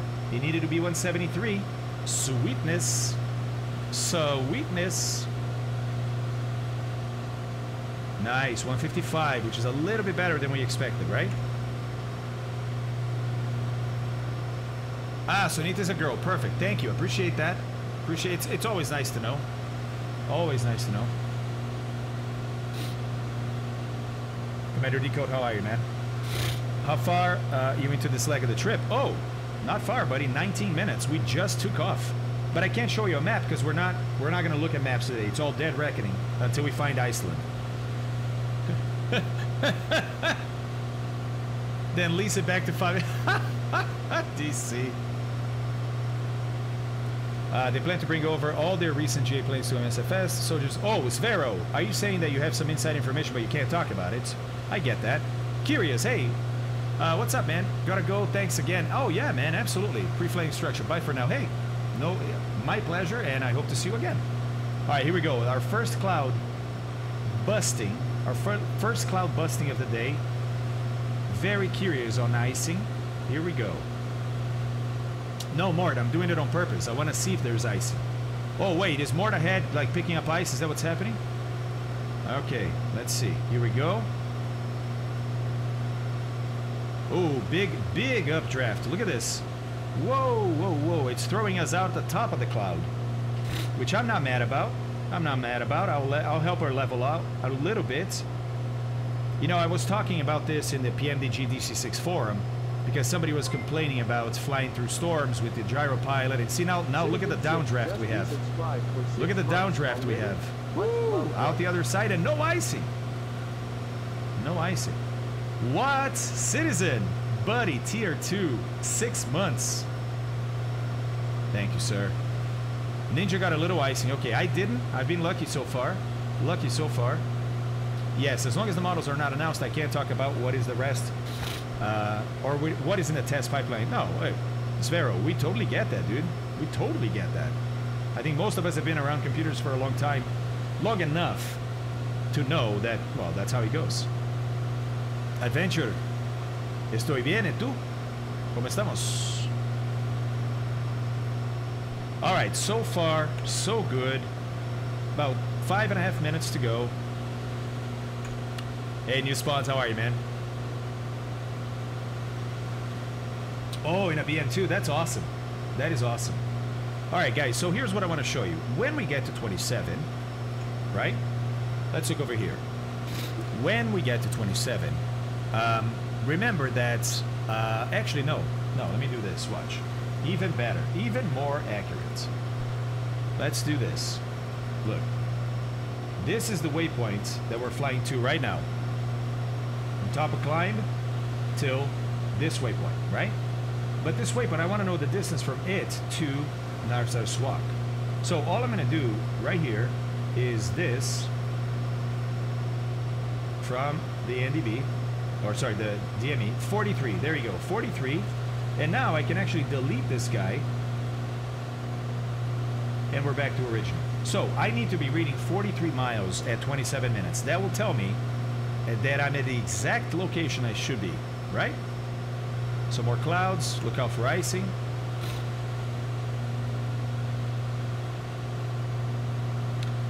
Ah, interesting, Ford. Interesting. I, I didn't know they had confirmed the 146 professional. I think they told me on an email that I was talking to them about, but I and I mentioned it on stream, but I don't know. I didn't know they had announced it. Spas, what's up, man? So, so far so good. How is our fuel consumption? Right on the money, 10 gallons per hour. Engine is looking good. Amps are good. We're about to swap tanks, so for now we're using left. We got the prop down to 24. Let's see if we're perfectly lean here. Yep, that was the peak right there. So let's mark that peak. Let's mark that peak right there.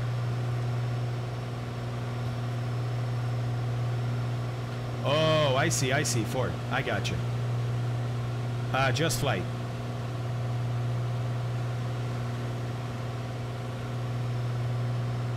Man, I'll tell you what, the weather couldn't have been cooler, huh? Oh, look at this big break. Is that more clouds? Yes. Or it could be the ground. Because it's Greenland, it's covered in ice right now.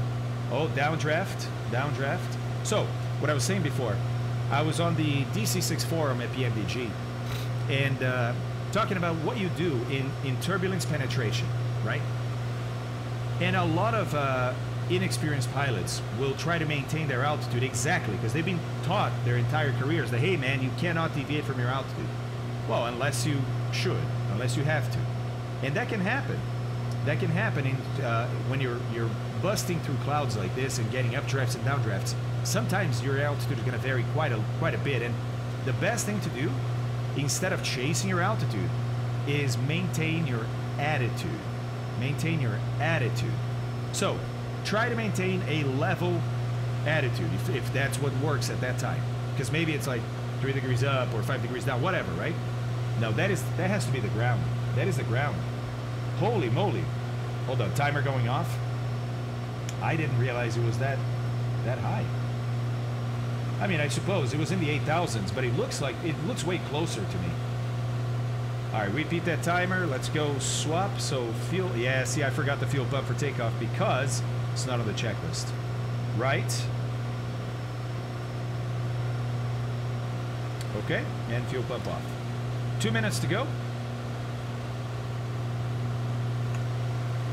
I was looking at the 146 Rex plane. Looks like a fantastic plane. I'm usually interested in the smaller GA, but that is one that looks like it could be really good. I agree, Commander Decode. It looks like a fun airplane. I'm so looking forward to A2A releasing their Comanche and Aerostar. Oh, Leah, me too, man. The Aerostar would be amazing. Amazing. Man, Greenland. So green. Because it's so white, it's very hard to have depth perception, to judge how high you are above those mountains. See, look, once you get a little detail, it's a little easier, right?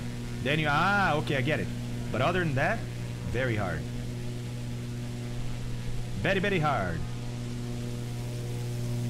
Yeah, Ford, I know, right? No, look, nobody's turning down MSFS. Nobody. Well, nobody that wants their company to survive, let's be honest. I saw the livery version for the uh, Soon Twin Otter. Yes, yes, Guybrush. It looks amazing, doesn't it? Looks amazing, and it's gonna be, it's gonna be awesome, right? It's an Aerosoft product, so we know, and they've already said that it's not gonna be like as detailed as the DC6 with all the systems and everything simulated, but it would definitely be fun enough to fly around. It would be maybe like a Carenado aircraft, right? Where like, yeah, most of the systems, at least on the surface, they work. You can do checklists and things like that, but they're not actually modeling a hydraulic system. They're not actually modeling the draw of every circuit breaker in the electric. You know what I mean? Uh, Captain Monty, uh, I have live weather and then I have clouds in ultra. All right, hold, on, hold on. Oh, caught it just in time. Oh, we just lost it. That's okay, because we lost it at 40 nautical miles. That is a terminal VOR. Um, so, yeah, I, I would say we're pretty good. 27. There we go. We need a new heading. Heading now, uh, let's put a line through this, and the heading is going to be 090. And our next check is at 40 minutes. 090 on the heading. You guys with me so far? Do you have questions there? I'm hoping your icing is better than mine yesterday. I was cruising at level 200 though, so maybe that was part of it? No, citizen. The, the altitude has nothing to do with it.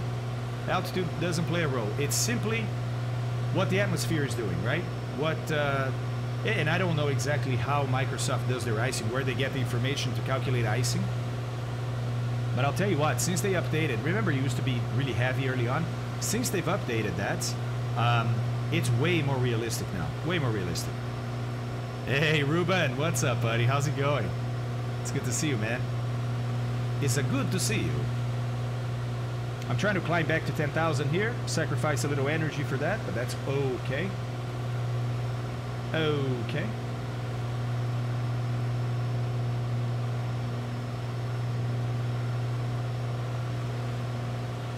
Yeah, there's got to be a lot of crossover. Wait, who is saying that, Fort? There's actually companies out there saying that? Yes. Scuzzle, Scuzzlebutt, there is. Uh, I just saw some screenshots of it in our Discord. Lucas, good question. Good question. Shall we look at that poll? Fort, do you have that link handy? Otherwise, I can go find it. Otherwise, I can go find it. Now, I'll show you one thing while we talk. So we passed our first user waypoint here after a little departure, right? We're now flying towards this one. And look, this one, if by chance, by chance, we get a break in the clouds, this should be very easy to find. Very easy to find, right? Because we can look down, we can see the features of the ground here, and then with our timing, we can once again sort of adjust the navlog and say, are we exactly on time? Are we fast? Are we slower? Or are we off course? If olive oil is made out of olives, what is baby oil made out of? So, gamer, you might be too young for this. You might be too young for this. Ah, nice, Fort. Zell am See. There we go, guys. That is our final destination. Our, our owner just called us before the departure from Narsarsuaq and said, hey, I figured out where you need to deliver the plane to. Zell am See. Okay, that's where we're going. That's where we're going.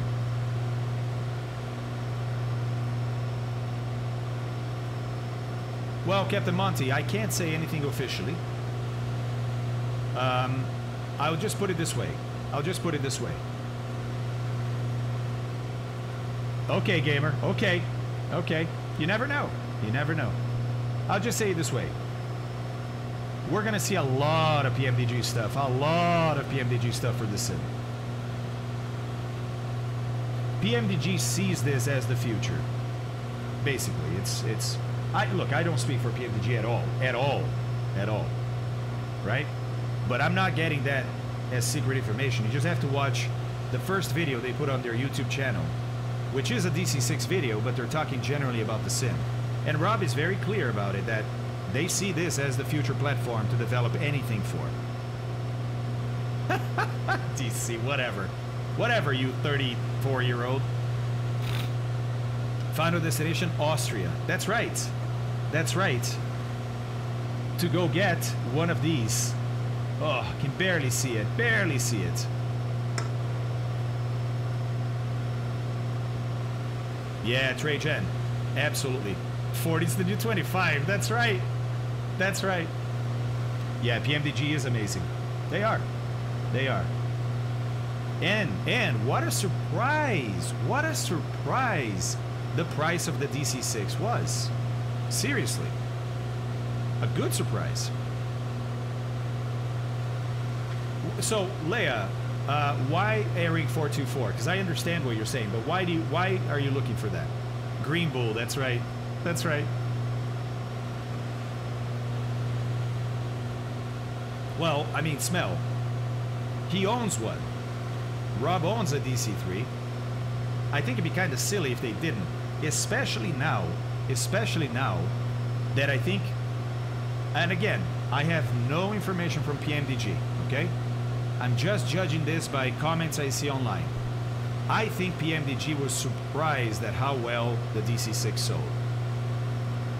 Meaning there is a there is a bigger market than they thought, not just in flight sim, but for that type of aircraft. Right? Yeah, not really, Mort. Not really. He's not really selling it.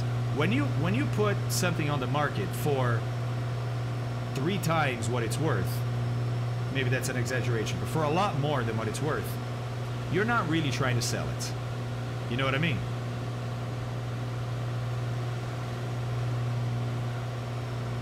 Yeah, Ford. I mean, look, it still takes a long time, and maybe they've already done all this, but the surveying of an aircraft, just the pictures, takes about two weeks for them to do. It's more than pictures, right? It's more than pictures. They're measuring a lot of stuff in the cockpit with all kinds of laser measurement and stuff.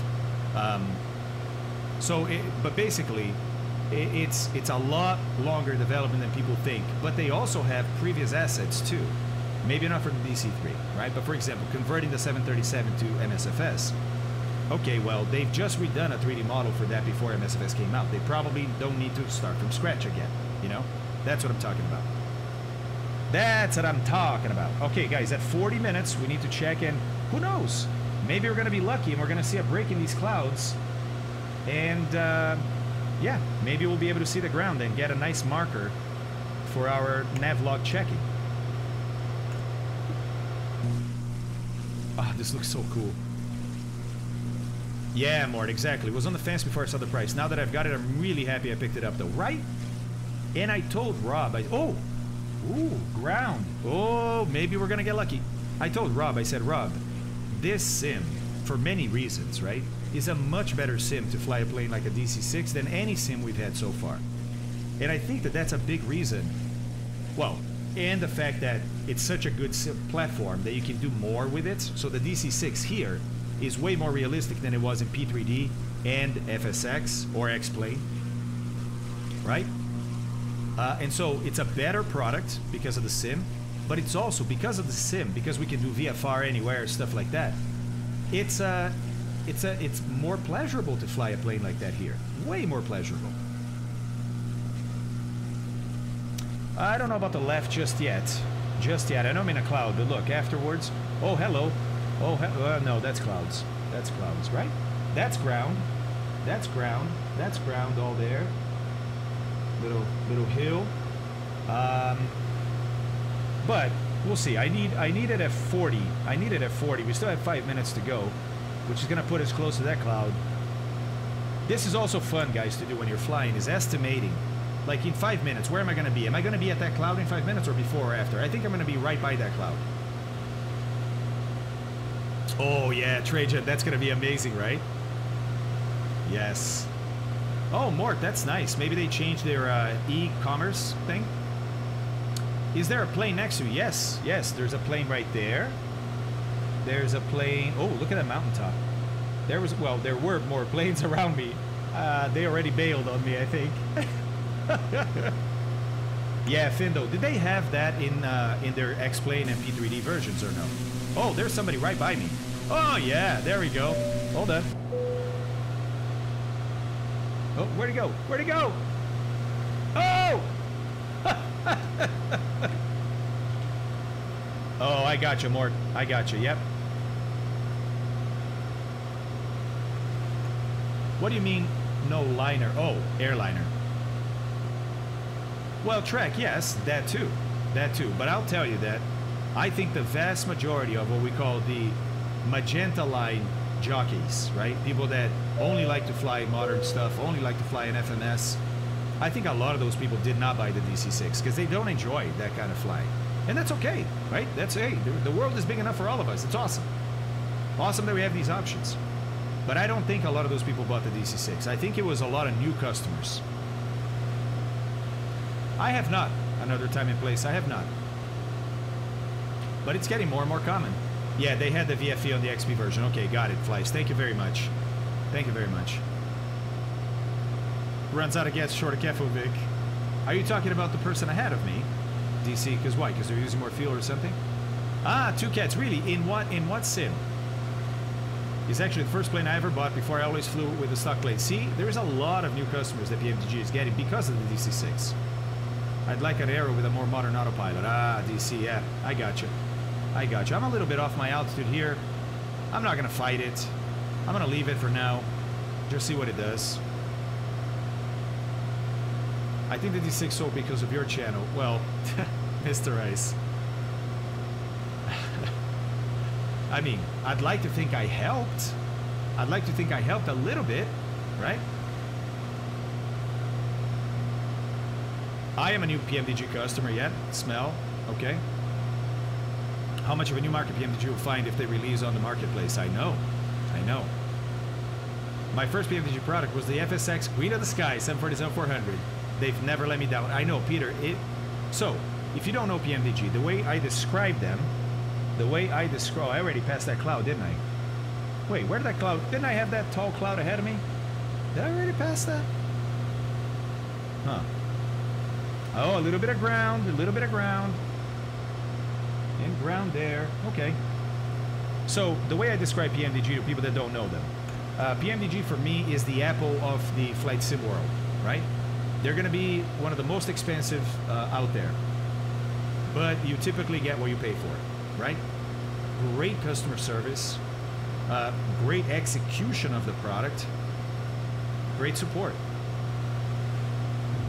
Whoa, Whoa! Did you see that hit we just took? Whoo! Findo70, new customer here. Never thought I'd ever buy something from them. There you go. There you go. It looks like I'm going to be behind. Look, in a minute and 15, I'm not going to be over the water yet. So the winds, winds are a little different perhaps than what we expected. Let's see. Let's see. Let's keep on going. and we'll get a new marker if we can see that little bay over the water. What am I talking about? I'm talking about our second waypoint. Look, it's going to be right over this little inlet. And, and it was going to be at 40 minutes after departure, which is in about 45 seconds. Okay, so some uh, less tailwinds or, oh, but you know what? I just realized that channel of water, guys, that could be, that could be iced over. That could be iced over. Okay, let's try and read the terrain. Look, smaller hill over there, because maybe it's this, right? Maybe not, but maybe so. And then a bigger hill on the north side of that.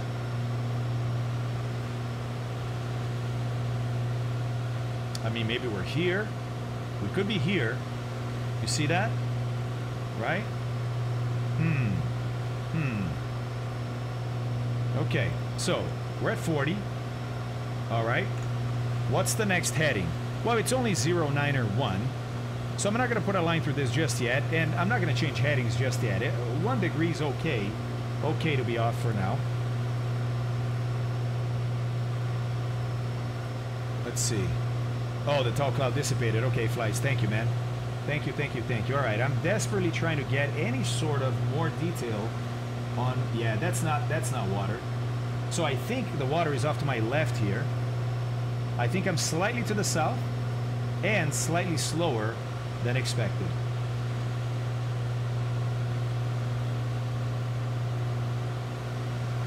That's awesome. Twitch flag pleb there, Daiki, but I approved it. I give myself the DC6, loving every minute in it. See, Daiki, that's awesome, man. That's awesome.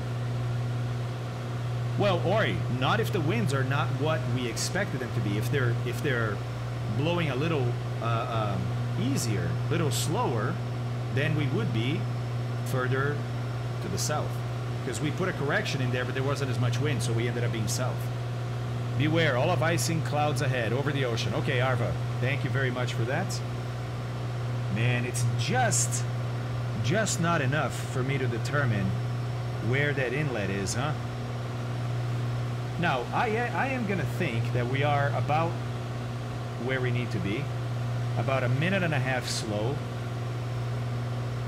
That's going to be my guess.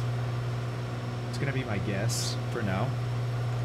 Uh, all of us can actually see your accurate location on the Twitch page. Aha! Hope nobody will show it to you. That's awesome, Mondrogo. That's right, I forget. I always forget that I run that. What's that called?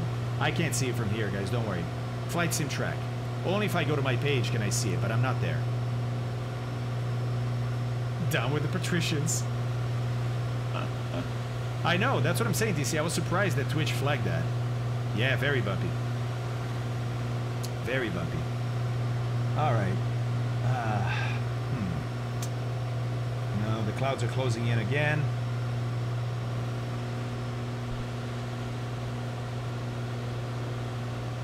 Nothing that I saw looks like water or ice-covered water for that inlet. I mean, I'm definitely still over Greenland, right? And I should be on my way out of it. Well, no, I should fly a little bit longer still. And then have another inlet. Hmm, okay. Let's keep on flying.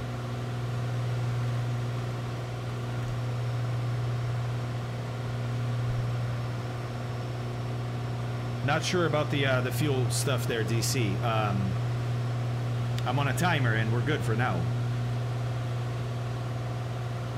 Well, no, Mort. I, until you get a decent fix of where you might be, leave it as is. Leave it as is. Because you actually may be interpreting things wrongly. You know what I mean? You may actually be where you think you are, so don't adjust just yet. This is a long flight. We have some time, right? Let's wait. Let's wait. Hey, old school, what's up? Oh, Kozaki. What? Okay. Yeah, I don't know. Someone mentioned it was uh, tank switch time. Oh, I see. No, not yet. We got uh, six minutes. Sick as the minutes. Yeah, that's true. Twitch is heavy. No navaids on the coast? Negatory. Look. Nothing. Nothing. There's uh, a NDB down here. That's not going to help us. It's too far away to get bearings and, and do anything with them. So, nope. Nope. Just good old dead reckoning. And I love it. And I love it. Yeah, clouds are totally closed up again. They do look higher up ahead. That could be a problem.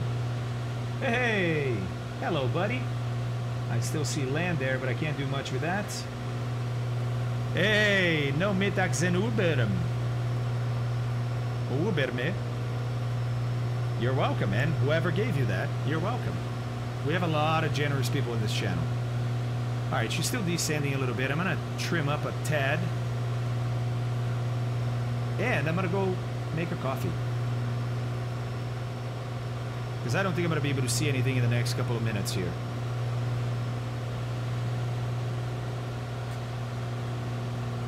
Okay, so before I go, here's what we're going to do.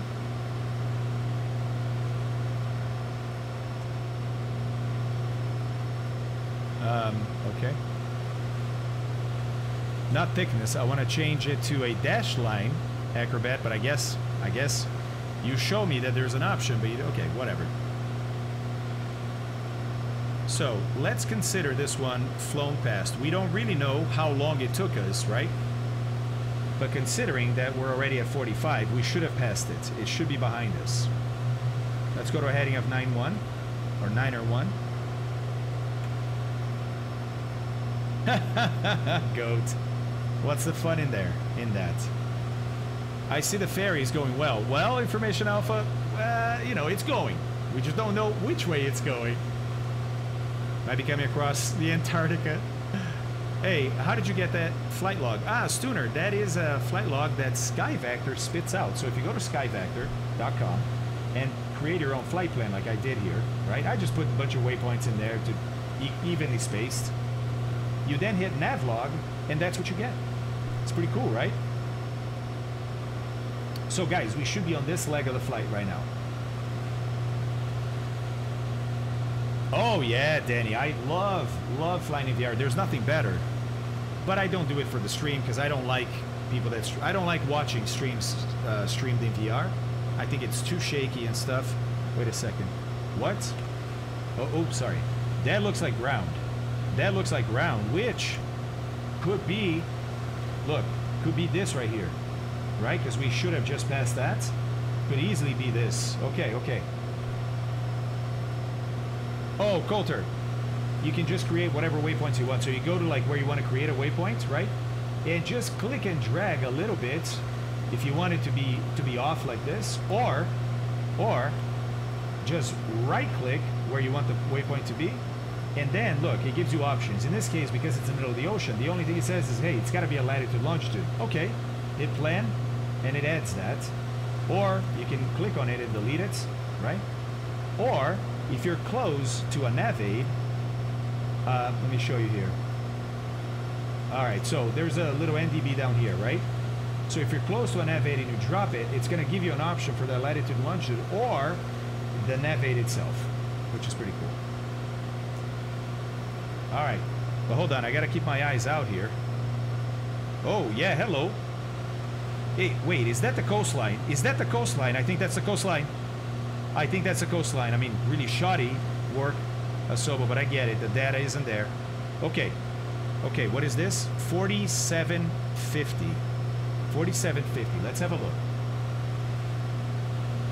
That could be this coastline right here, because I thought I may be south a little bit, or it could be this. But it makes sense, right? If we're at 40 here, 47 something would put us around here. Because look, the next one would be at 55. So we have 15 minutes, 15 minutes between this point and that point. Seven, eight minutes, whatever, we should be around here. Hey, hey, I think we're doing all right. I think we're doing all right. Viper, I am already stressing, not stressing out, but I'm already intensifying this trip, man because we're not being able to pick up the only sort of points that we're going to have good speed checks at. So, yeah. Feet wet, that's right. Here, there be monsters. Ah, thank you, DC. I appreciate you answering that. Yeah, so I, I chose all those points, right? I basically created a flight.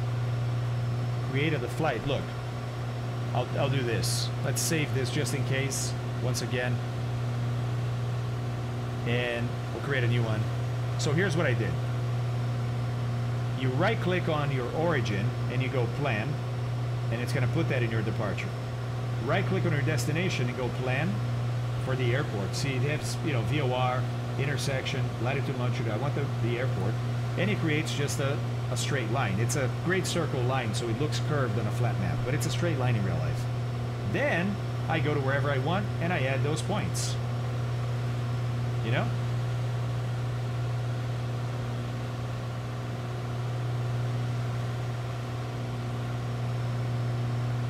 What am I... How did it... Why is it down here? That's so strange.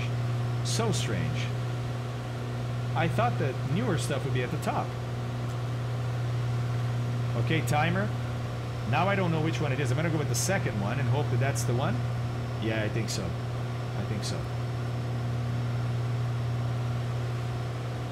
30, 40, 40. Yeah, yeah, this is it. Oh, look at that P40. And let's swap tanks. Okay, repeat. Pump. Check the fuel. Yeah, it's decently even. Decently even. All right, we're coming up on 55, at which point we're going to have a big heading change of 4 degrees, which is big for Dead Reckoning. Okay, engine is still running. Pump off. Fuel flow is still about 10, which is great. We'll have more than enough fuel to get there. And, oh, look at those angry, angry clouds up there. Hey, that's not looking super great, is it? Let's do a skew T. Let's do a skew T for our route, shall we? You guys remember that? Okay, so we're somewhere here before this waypoint here. So just off the coast, let's go a little further in and get a, a skew T for that. So about here, maybe. skew T. Hey! Oh, not good. We're definitely going to be in the clouds here for a while, boys. That is not good. Okay, what about something down here? Oops. Ah, all the way up. This is not good news at all. Not good news at all. Oh my gosh. We have a weather system that's just dropping these things. Oh man. So this is 6,000 feet. Here at 6,000 feet, we could be out of the clouds. What about here? 6,000 feet technically out of the clouds. Here, eh, not so much. Oh man. Okay, tough decision here. I think I'm gonna have to descend and get a new nav log. I think. Alright, coming up on 55. Yeah, Ori, that's what I'm thinking. I just am concerned about icing. Obviously, who cares flying through clouds, right? As long as it's not a thunderstorm. But it's looking really dark. And I'm at the right temperature to have icing.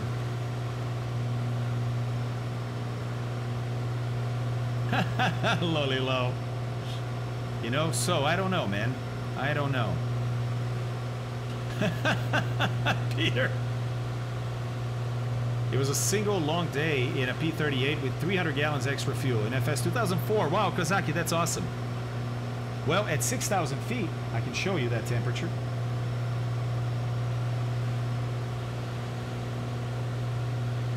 Six thousand feet is about eight, 800 HPA, right? Temperature is about eight degrees. About eight degrees.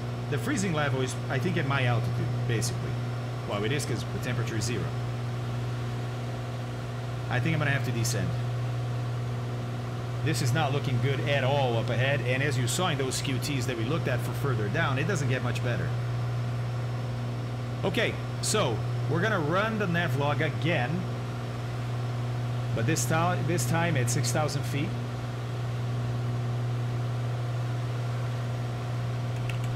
And then how do we do this, right? How do we do this? Because now we have a new navlog. Okay, with different times and things. Still got 25 gallons of fuel at arrival. Made the trip about 20 minutes longer, 15 minutes longer. But I know which waypoint I'm going to be at because I've been keeping track of this one, right? And then I know that at 55, which is about now, in one minute, I should be at this waypoint right here, uh, which is my second user fix. Sorry, this one. This one. My second user fix after the top of climb. So I can just start the other navlog from there. Okay. All right, so I'm going to start descending to 6,000.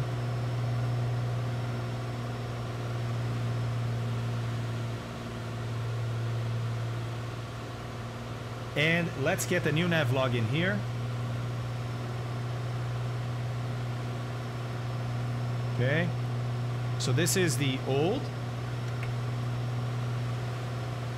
This is the new. All right. All right. And should be done with the first two, right? First two, I'm flying from the second to the third. This is where I say that, you know, it'd be great to have, it'd be great to have, hold on, second to the third. Yeah, 58 on this one, okay.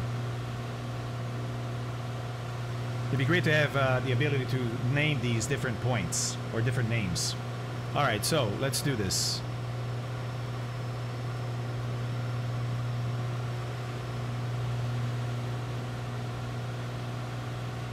So we've done this, and now we need a heading of 0, 9, or 4. We've done this. Let me do a heading before I forget. We're going down. 0, 9, or 4. Okay.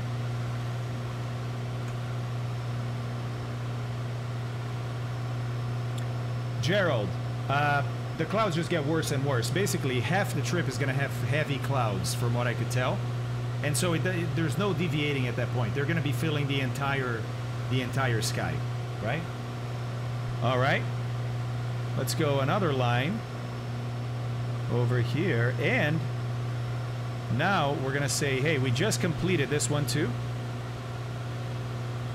When we got to 55. So now it's from this one to this one, right? Just checking to be sure. Actually, no. Okay, so we just did this. So we got to go one more. That's right. We just completed this. Okay, now we're looking for an hour and 12. Well, except I was at 55. So I got to add, I got to subtract 3 from this. Okay. I'm always going to have to subtract 3 from these now, okay, from here on out. Okay, so really 1 hour and 9 until we go to the next waypoint. Look at look at the updraft. Look at the updraft we just got. Well, Kozaki, that's exactly what I'm trying to avoid. If I stay at that altitude, I will ice up. I'm going down so that I don't ice up. Nah, but Information Alpha, that's, uh, I feel that's a little too easy. Too easy with ForeFlight. Exactly, Leia. Exactly. Now, I am using some information, right? I'm using that windy information. I'm using skew Ts, right? But it's stuff that I could have looked up before the flight. Before the flight. All right, 7,000 for 6,000. Whoa, downdraft. Uh, not for MSFS, Coulter. It's an add-on that comes with Windy. It's a free plug-in. I use two of them. There's a Flight Planner one. All right, hold on. I need to add some power back now. And we're going to lean again. There we go. Let's find our new our new peak, which is right there. Perfect. And uh, 10 gallons per hour. Okay, I think we got this. I think we got this. Let her settle down. Ah, Gerald, yeah, I got it. So, it could be no icing. It could be no icing. But I don't want to risk it. And if I were... So, why did I test those clouds on the way out from Narsarsuaq, but I'm not willing to do it here? Because here, I'm far enough out that I rather not turn back to Narsarsuaq. If I iced up really heavy back there, I could just go back to Narsarsuaq, right? Here, I'm more committed to the crossing. So at this point, I say I don't even want to pick up any bit of icing because if I do, I may or may not be able to melt it. If I don't melt it, now my aircraft is not as efficient. I'm using more fuel. I'm heavier. I'm not as aerodynamic. I don't want to cross the Atlantic that way.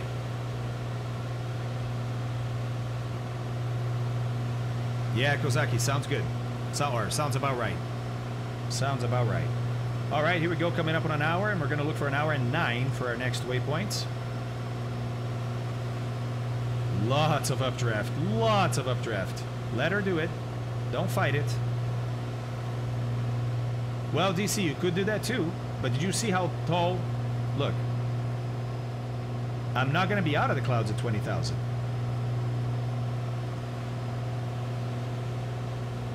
Look, these clouds stay, buddy, all the way to the top of the atmosphere.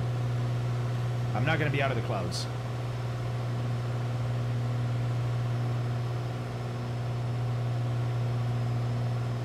Oh yeah, Adams. Any any aircraft does. Any aircraft for flight sim does. Great things about Iceland with the Orbx Smash. Yeah, Viper. I can't wait to see it. I cannot wait to see it. Now, we may not be able to see it well today. We may not be able to see it well today because the weather sucks right now in Reykjavik and Keflavik, and we expect to arrive there and have to shoot the ILS two minimums. Did anybody answer me what a standard ILS minimum above the ground was? I don't think you guys did. I'm trimming her because she's still climbing. Yes, Kilo, exactly. 200 feet. And we expect that it's going to be overcast 300 feet when we get there. So, interesting, interesting. That's right. Hey, Orange Collar, thank you very much. SAS 909 and Airlock Doc. Thank you guys. Appreciate all those follows.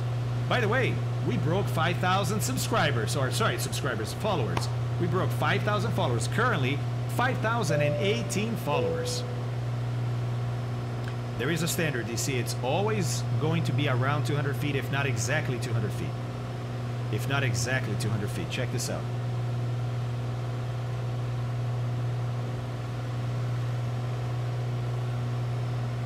Here's Keflavik. Let's look at the charts. Approach. Uh, ILS Zulu, runway 01. Look at the minimum. 335, but in parentheses, 200 feet because it's 200 feet height.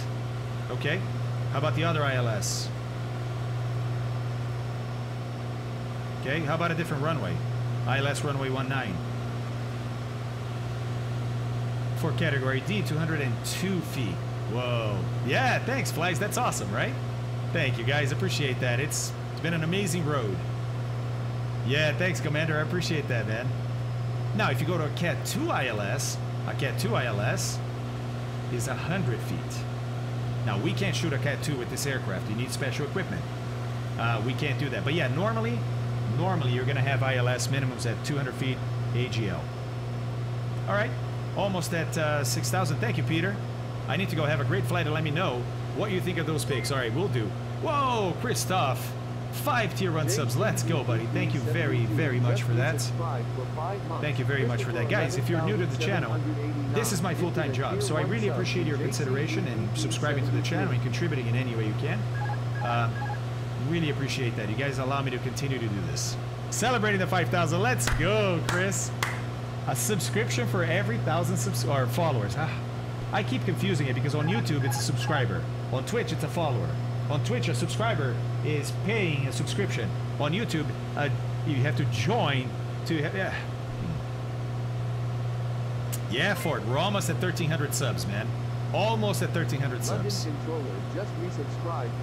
Let's go, Jamie. Let's go, Jamie. What's going on, buddy? Thank you very much for that. Okay, trimming up. Not an easy task. Loving how much we learned with you, Fabio. Ah, Sonita, thank you very much. I love to teach, and it seems like some people like to learn. So let's go.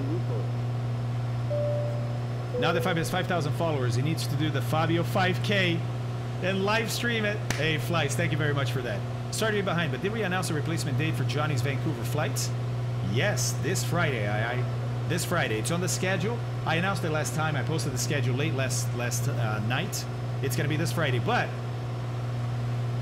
it starts at 1700 Zulu. It's an hour earlier than we started last uh, last Friday. Uh, what you do, Fabio, is a unique experience on Twitch. Enjoyable being here. Oh, Commander, thank you very much for that, man. I appreciate that. Thank you very, very much. Makes me happy to hear that. You're welcome, I. You are welcome, sir. Okay, so good news. Good news. No icing. Temperature should be, yeah, about four, five degrees. About five. Um, that's that's nice.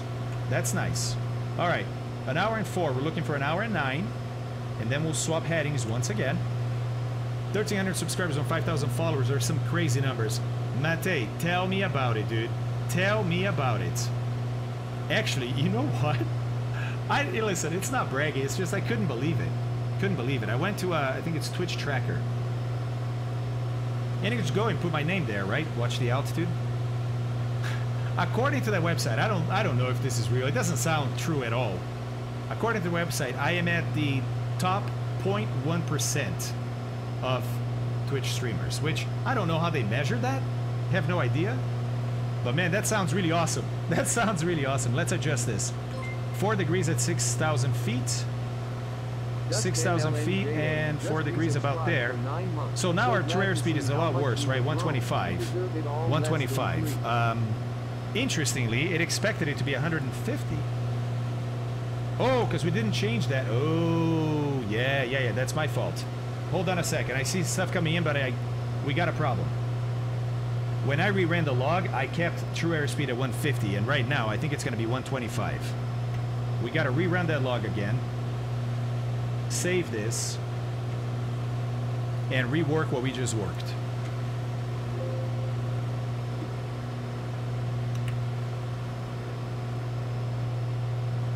All right. Stand by, guys. Stand by. Stand by. Done. Done. Oh my god, stuff coming in. Hold on, hold on, hold on. I'm concerned now. Concerned that I put the wrong airspeed in there and uh, I need to catch this before it becomes a problem. Before it becomes a problem. And I think one more. I think we did one more. Just resubscribed for two months. Citizen Oh my god. gifted a tier Oh my god, stuff coming in. Hold on, hold on. Ah. Okay, so this right here, yeah, it was 55. Became an hour and seven because of the slower airspeed, but we did that, right? And we, we did, we crossed it at 55. So now we have 12 minutes, 12 minutes on this. So uh, minus 12 is 113, 113. Okay, okay. Okay. And at 113, we're going to go to heading of 09 or 5. Oh man, it's changed the headings on me already because I was already on a 09 or 4. Uh huh. Oh no, I'm going to go to 09 or 8. Never mind. Okay, okay. No, we're good. We're good. We're good. Oof, I recovered. I recovered. Ho ho. Okay, what's happening here? Well, hello. Citizen giving out five tier one subs. Oh my god, 100 above is here. Rating with 37 or 44 people, whatever Twitch decides. Hey, thank you very much, 100 above. I really appreciate that. And hello, 100 above followers and viewers. I'm the Flying Fabio, and welcome to my channel as we cross from Greenland to Iceland via Dead Reckoning. Time and heading. Time and heading. All right, what else here? Oh, Dust Ninja, nine months, dude. Let's go. So glad to see how much you have grown. You deserve it all. Thank you, sir. Appreciate that. Fly787 with 500 bits. Oh, I think I had that already, right, Flies? Thank you, buddy. Unbelievable. Thank you, everybody. I just broke 5,000 uh, followers, followers, followers. And the trend continues. Thank you. I've been a pilot for almost 47 years, and I learned something from you just about every stream. What? Proves that you learn something every day if you stay open-minded. Wow, Flies, that's amazing, dude. That is amazing. Thank you for saying that. And I'm glad you're learning, man. We are all learning. All learning. Oh, 100 above is doing the same tomorrow in the DC-6. That's awesome, dude. I'm flying the DC-6 tomorrow, too. But tomorrow, I'm flying Swissair, I think 104. An old flight from the 50s that took the DC-6 all the way to Rio de Janeiro in Brazil. So we're going to fly the last leg. It's one of my first legs in my home country of Brazil in the stream. We're going to fly the DC-6 from Recife all the way to Rio, and it's along the coast of Brazil. It should be a mwah, flight. A good pilot always learns new stuff. That's right. That's right, German. I know, 100. It is the best aircraft, man. Ah, it's incredible. Incredible. Incredible. Oh my god, it's a level 4 hype train? I didn't even see that. What? Hey, I'll say a good time to consider supporting the channel. I do this for a living. It's my full-time job, so I really appreciate your consideration. Wow, Flies, I'm still stunned by your statement that they've been flying for 47 years and they still learn on this channel. Unbelievable, man. Unbelievable. An anonymous cheerer, cheer 200 bits. Thank you, man. I appreciate that. That's awesome. That is awesome. I'm out on a road trip to Austin. Safe flights, everyone. Oh, citizen, take care, buddy. I was flying out of Austin with the DC-6 yesterday. That's awesome. How did Fabio fix whatever the issue was from last Friday? Uh, I, I, I, I'm not sure I did because I had a really scary time this morning, man. Really scary. Hey, Yaris! Thank you very much for that tier 1 sub. Really appreciate it. Kozaki with 100 bits. Let's go. Look at the hype train. It's going to turn. We're going to complete a level 4. You got one minute. Can we do it? Aye, aye, this morning. Ran the sim. I always run the sim with, you know, whatever, 40 minutes up to an hour before the stream starts. And uh, instead of the sim running, I got the Steam pop-up that says, hey, do you want to install Microsoft Flight Simulator? Sorry? So I run Orbx Central. Orbx Central says, hey, we can't see any sim installed in your computer. So Steam and apparently Fort and some other people in chat found that this is an issue. I have Microsoft Flight Sim through Steam, and through Steam, um, Steam will sometimes just uninstall apps for you, just because it feels like it, right? So it uninstalled Microsoft Flight Sim for me, but thankfully, it's only basically the launcher that it uninstalls, right? Because once the launcher runs, the sim itself does the installation, the updates and stuff. It's not through Steam. So luckily, I just re-downloaded that, reinstalled the launcher, and uh, the sim was still on my computer, and it was fine. 500 bits from Citizen. Look at this. Look at this. We completed that hype train. Level 4 hype train in the house. Thank you, Citizen. I appreciate that. Uh, yeah, Ford, how do we report it? I'm sure it's on Steam itself, right? Ah, Baganario is having this problem with the Assetto Corsa. Yeah. Yeah. It was a mess. So I started the stream a bit late. Uh, II is on the west coast, so when I started this early, I think he doesn't catch the beginning, which I wouldn't either, man. Sleep. But, uh, oh, man, it never, never ends. Well, DC, I'm not sure that Austin tried to steal our soccer team as much as the owner of the soccer team tried to twist Columbus's arm. Right? Right? Right? Whoa! Arva continuing the gifted sub he got from Christoph. That's amazing. That's amazing. Thank you, buddy. I really appreciate that. Every little bit helps, guys. Thank you so, so much. All right. Lately, my Steam has not been shutting uh, Flight Sim down when I exit the game. And I have to kill Steam and test... Oh, my God. But don't worry, guys. Don't worry. Let's make planes completely fly-by-wire. Completely fly-by-wire. And just let the software decide what needs to do. What it needs to do. Yeah. Software works every time. And it's getting better. Because, you know, it gets more complex. Well, DC, here's the thing. I have very little trust in Microsoft. Very little. So, and I had and I had great experiences with Steam. Like, never had an issue with Steam. So, next time I'm late, I'll ask such questions in Discord. No, I, I, not at all, buddy. Not at all. Not at all. Ask it here. Ask it here. Oh, DC, yeah. Did you see that, right? Oh my God. Oh my God. Flies, let's go, buddy. Thank you. Thank you for those 500 bits, man. My God, we may even complete a level 500. What? Yeah, right. So Fort, that's the thing, right? Is between Steam and Microsoft Store, which, by the way, I had used for my kids' my uh, Minecraft, and I had a horrible experience with the Microsoft Store, um, which I wasn't shocked for about, right? And I, I gotta say, without any details, the sim came out, right? I became a streamer, and uh, some things happened in the background that once again showed to me that the Microsoft Store was no good. Steam was an easy choice. Easy choice for me. Bill, thank you very much for the 100 bits, buddy. Appreciate that. With the Shamrock, too. Let's go. Are you flying AP or manual right now? So I'm in autopilot, uh, Falcon, but my autopilot is only lateral mode. It's only doing heading for now. Oh, by the way, 113. Hello. 12 minutes. Yeah, it's it's now. It's now. Okay, heading. Now. Almost screwed this one up, huh? Almost screwed this one up. heading now. We're completed that. It needs to be 09 or 8. Okay, 09 or 8. There we go. And our next check, minus 13 minutes, is going to be at uh, 28. 1 hour and 28, so tw- uh, 14 minutes from now. How are we doing on... Oh, one minute to go to swap, swap fuel tanks. Yeah, Kaspar, I just, I have zero trust in Microsoft. So who knows, maybe with Windows 11 things are going to get better. Yeah, sure. Sure. Paparazzi. I love that name, man. With 100 bits. Thank you, Paparazzi. Appreciate that. Can you show us uh, that apps for Windy you mentioned before? Yeah, Leia, for sure. For sure. Yeah, basically, look, I I've been using Windows since Windows was. I'm old, guys. I've been using Windows for a long, long time, right? Um, but I, I don't like it one bit. I think it's not good software. It's not well written. Um, yeah, it's just just isn't.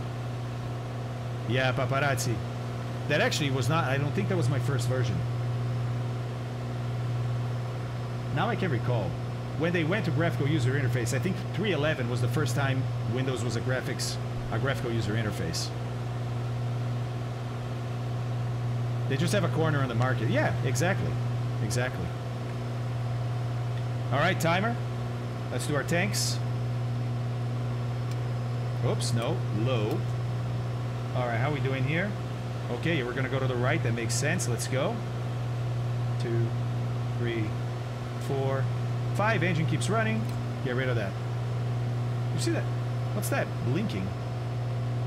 Hmm. Hot train success! Thank you. Thank you, guys. Awesome. Awesome, awesome, awesome, guys. Whoa! 10 months, J-Lab. Dude, you just missed it. You just missed it. It could have probably a level 5 hype train. oh, man, that's amazing. 10 months. Let's go, buddy. Thank you, thank you, thank you. Yeah, no, no worries. I figured. I figured. Yeah, exactly. Choo choo indeed. All right, so, so the request was, can we go look at Windy? Yes, we can. Yes, we can. I'm going to write down that 13 minutes because I feel like I'm going to forget that I have to subtract 13 minutes. Uh-oh. Now, here it is.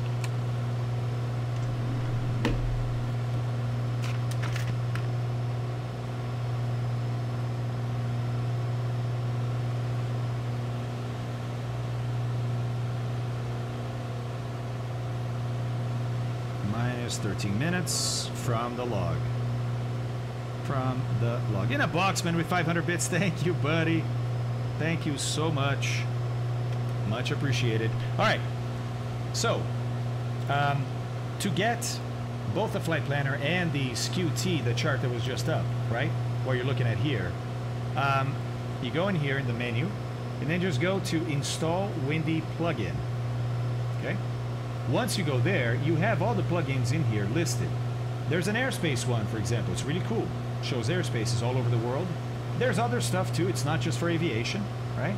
But Flight Planner is one that I'm using now to draw the uh, the line and things like that. Um, and then I also use this here, the skew T diagram. Oh, that's awesome in a box, man. Boas tardes, Pilot Go Around. How are you, man? Thank you. Appreciate that appreciate that very much. Very much.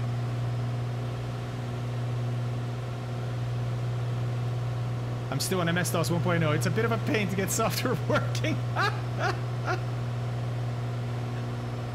well, to me, it goes like this. Windows is what happens when you have a monopoly on the market. You don't have to be great, right? You just have to do the job. And you can do the job pretty sloppily, but people don't have a choice. You're like, well, they can use, uh, you know, they can use a Mac. Yeah, come on. It's pretty limited compared to what you can do with Windows, right? So, that's what happens. Oh yeah, Leia, for sure. I've learned about so many cool things from here. Oh, Falcon, that's awesome, buddy. That's so good to hear, man. What do you think about X-Plane 11? I recently found out about it. I'm not a fan, Falcon. I've talked about it before. Um, I think for the size of team that they are at Laminar Research, it's an amazing bit of software. but I don't like their flight model. I don't think it feels realistic at all to fly in that sim. Uh, it's very subjective, right? I think there are lo- loads of experienced pilots that love to fly model in X-Plane. I don't like it. So, I've never really used it. I've used it, but never really for any long periods of time because it doesn't it doesn't satisfy me. Ah, through the radio, which broke in an F2 coupling. They're fixing it, uh, but put up a hot fix in the meantime. That's awesome.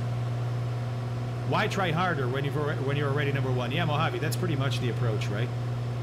Arch Linux one time, and he was great, but so yeah, I mean, look, I've I've used uh, Ubuntu, I've used Red Hat. Uh, Linux is just not user friendly. It just isn't. Even Ubuntu isn't that user friendly. When you're coming, when you're coming, sorry, it's not user friendly when you're coming from Windows or Mac OS, right? It's the unlawful acquisition or maintenance of monopoly power which is illegal. That's right. Thanks, II, for that. Yeah, I don't think so, YSub. But that's subjective. It depends on how you use it. Depends on your luck too, because maybe you have better luck than the guy next door to you, and the guy next door to you is going to have one thing that leads to another, leads to another, and it's going to leave a sour taste in his mouth, right? Ah, uh, Evox. Just scroll down. I have the specs listed on the Twitch page, or, or I think we still have the command in here, right, guys? Right? Yeah. So Fort likes Windows 2. There we go. Thanks, Fort.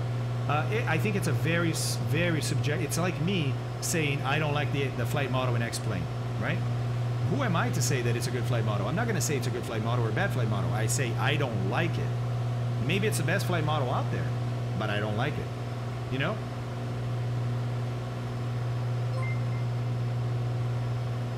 Nissy just Nice seek. for nine months. Nine months. Man, those nine months coming in. Let's go, man. That's awesome. That is awesome.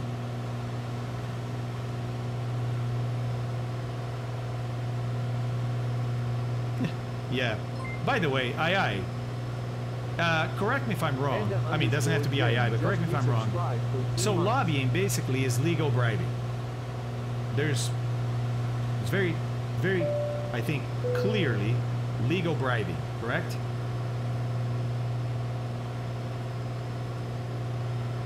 Ah, but Ford, so that's what I'm saying, right? You're starting to compare Windows to what's available, which is a way to do it.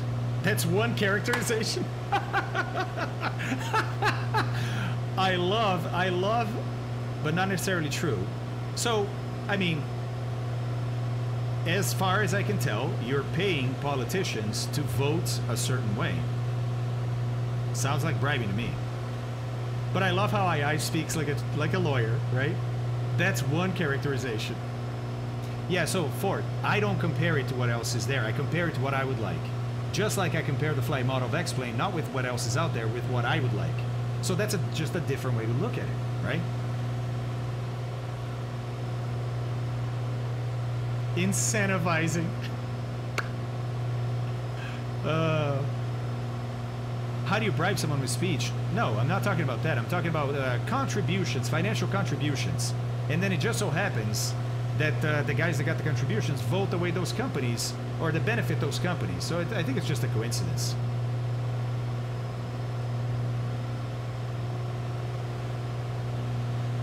Yeah, I don't, I don't know that it was set up originally. Commercial speech is still protected uh, by the First Amendment. So, uh, I think perhaps it wasn't originally set up as bribing. Maybe it was. Maybe it was. Uh, but maybe not, right? I think 128 is what we're looking for. Maybe not. Um, it just became so over time, perhaps. I think there's a lot of legislation that starts off with good intentions and then ends up not being so good. Bom dia, Márcio. Beleza, mano?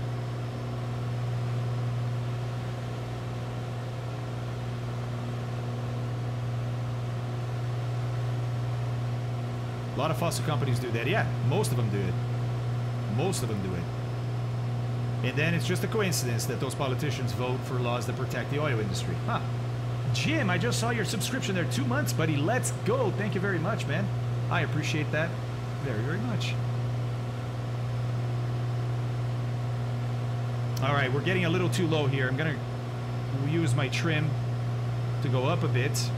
How is the temperature changing? Is it changing? No, it's about the same. About the same. It's about 6 degrees. So I suppose it's 2 degrees warmer, isn't it? Oh, just watch your video on NDB viewers. As a fresh, oh, commercial pilot who has just passed the instrument rating exam, your ability to explain those concepts is insanely good. Oh, Mini Webs, thank you for saying that, buddy. Thank you for saying that. I really appreciate that. Wow. And congratulations on your commercial pilot's license. That's awesome. That's awesome, buddy. It's the best I've ever seen anyone explain NDBs. Whoa. Whoa. Whoa, whoa, whoa, whoa, whoa, whoa. Thank you. Thank you. Thank you very much. Hi, Fabio. Hi, guys. So I missed the half leg again. The half leg. I don't know what that means. Too old for this. But I do know that you're never too old for this. Never too old for this. How's that fuel consumption? Are we knocked? Uh, yeah, we're locked. Not knocked. We're locked on that 10.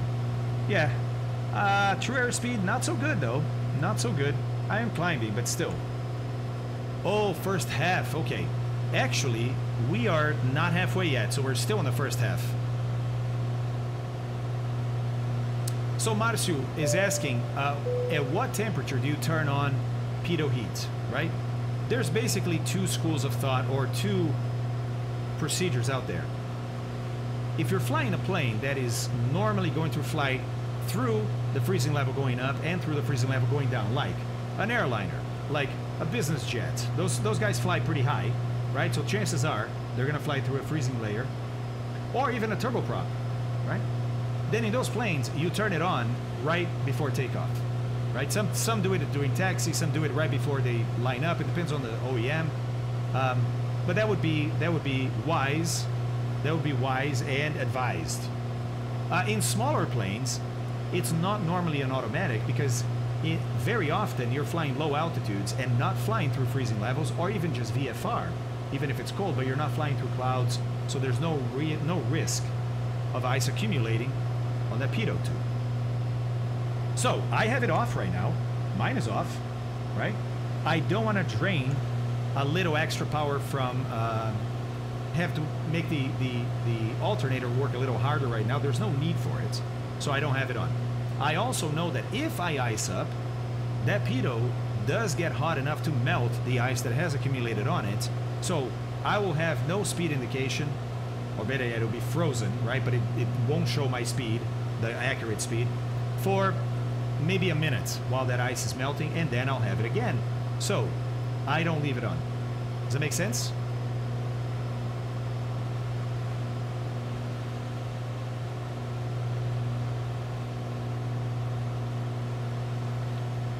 Let's see, let's see.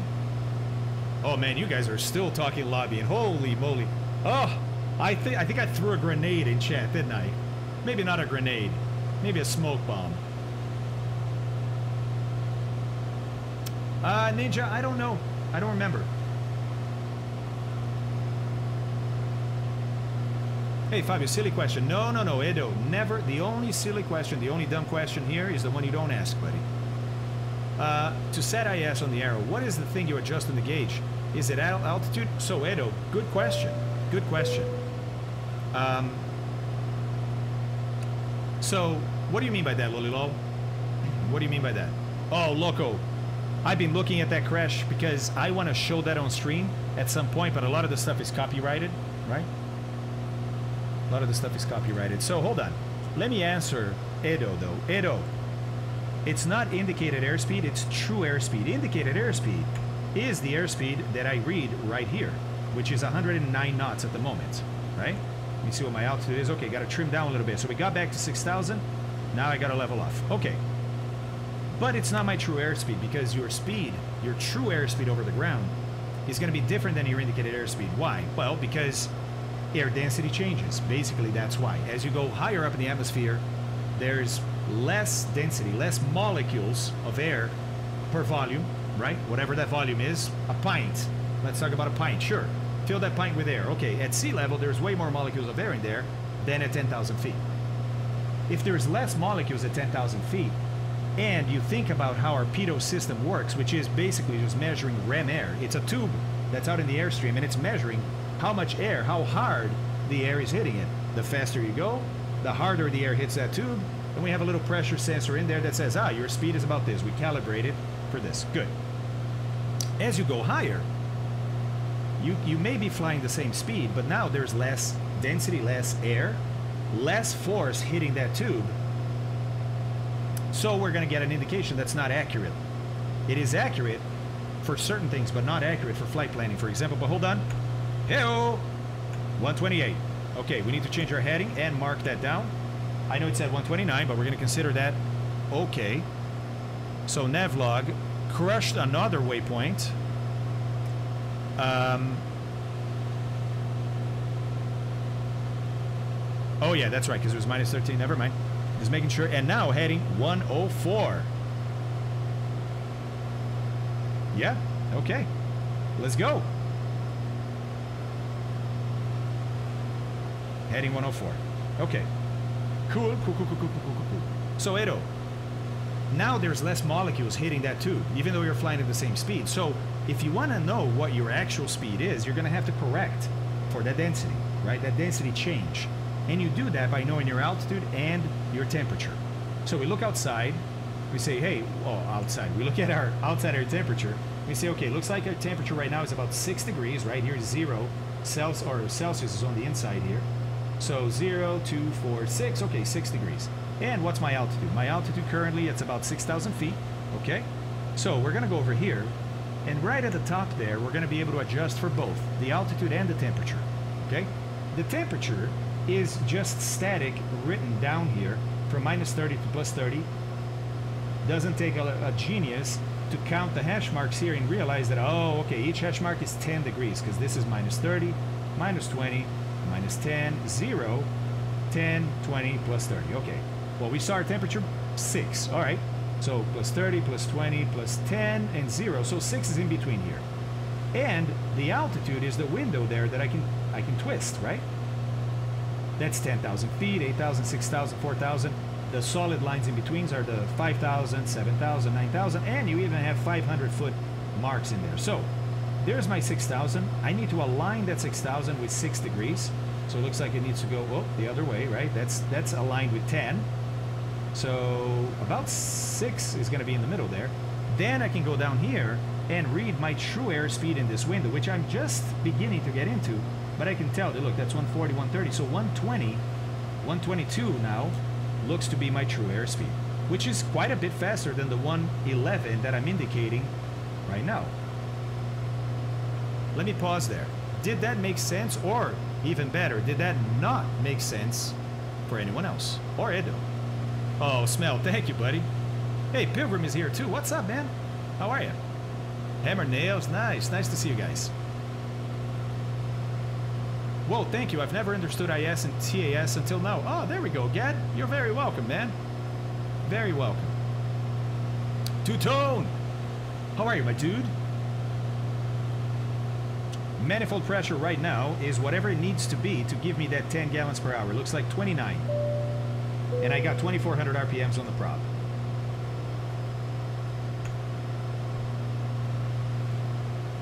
Super clear, the explanation. All right, Max. That's awesome, man. Yeah, makes sense now. Thanks, Fabio. Okay, Edo. And thank you for that question, man. That was a great question. Great question. Now, I think someone else asked something after that. Hey, Bill, by the way. Hello, Bill Ackman. How are you, sir? Let's see. Um, oh, yeah, Lolly Law was talking about inner dynamics, and then Loco was talking about Air France 447, right? Mm-hmm. Oh, I think, Loco, you said unavoidable tragedy. No, it was the opposite. I think you meant the opposite. It was very avoidable. Very avoidable. Absolutely not, Evo. You're never too old, man. Never too old. Now, listen. You're going to have to turn your ego down sometimes because if you go to the airlines, for example, you may you're going to start from the bottom, right? So you may be a first officer to somebody that's half your age. That's okay. I don't mind that. If you can deal with that, absolutely, buddy. All right, Marcio. Good, man. Uh, I mean that when you are in a CB, you get all the huge upwards and downwards uh, winds and rain and stuff. You do, you get that here, Lolilo. We get that here. We've been having up downs or updrafts and downdrafts since we got into the clouds. Even even on top of some clouds, you can get that in the sim. Two Tone, did somebody just say a pint? hey, Two Tone, Are you, uh, by chance, from Ireland? By the way, one thing I didn't calculate is look, the next one is 1 hour 57 minus the 13 off 13 minutes offset we have, right? 143 is our next check-in. 143 is our next check-in. Okay, nine minutes to go. See, I like to have these waypoints close enough that you just keep, you're always doing something, right? Tattoo in four months, man, let's go. Thank you. Thank you, thank you, thank you. But I'm surprised this is automatically corrected by the pressure barometer. Ooh, oh, oh, I see. I see.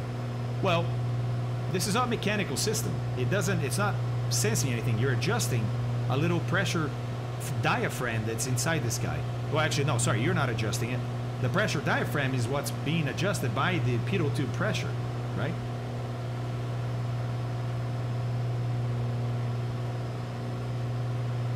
Oh yeah, so true airspeed is also only going to be your ground speed if you're in zero wind. If there's any kind of wind, your ground speed is going to be different than your true airspeed. As a matter of fact, look, it definitely is in this case, right? Our true airspeed is 125. We told the sim, or we told SkyVector, our true airspeed is 125. So it just copies that down. But then it uses the wind to calculate your ground speed, and we have a little bit of a tailwind, remember that? So ground speed right now is 144, or should be. And that is all from windy, remember that? Look, look. We should be somewhere around here, and yeah, there should be, although we're down to 6,000 feet.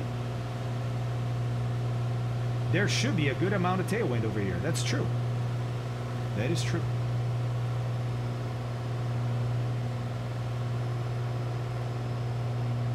No, ground speed from the GPS Two Tone has nothing to do with the atmosphere. You could be in space and get ground speed, and, and you do, right? GPS is simply measuring your speed by looking at the difference, the change in latitude and longitude, and calculating distance, and then the time that it took. So it's kind of like a DME giving you ground speed. Hey, JM Knights, what's up, man? How are you? Hey, Mr. Fabi, good to see you. Here's a deft question for you. Guys, the only deft, silly, bad, stupid question is the one you don't ask. Stop saying that. The fuel gauge on the plane shows US gallons. Would this get converted if a plane is exported to somewhere that doesn't use US gallons? Or does the user need to become a uh, au fait with US gallons, liters, whatever you need to measure? So, Pilgrim, first of all, in aviation, we're used to converting stuff all the time. You need to be good at that. And you have a lot of charts that help you, little computers that help you, right? Um, that depends on the OEM. Some OEMs will have that as an option when you buy the aircraft if you're buying it new, right? Some don't. Some are like, hey, listen, we make it in the United States, it's gallons, baby. That's it.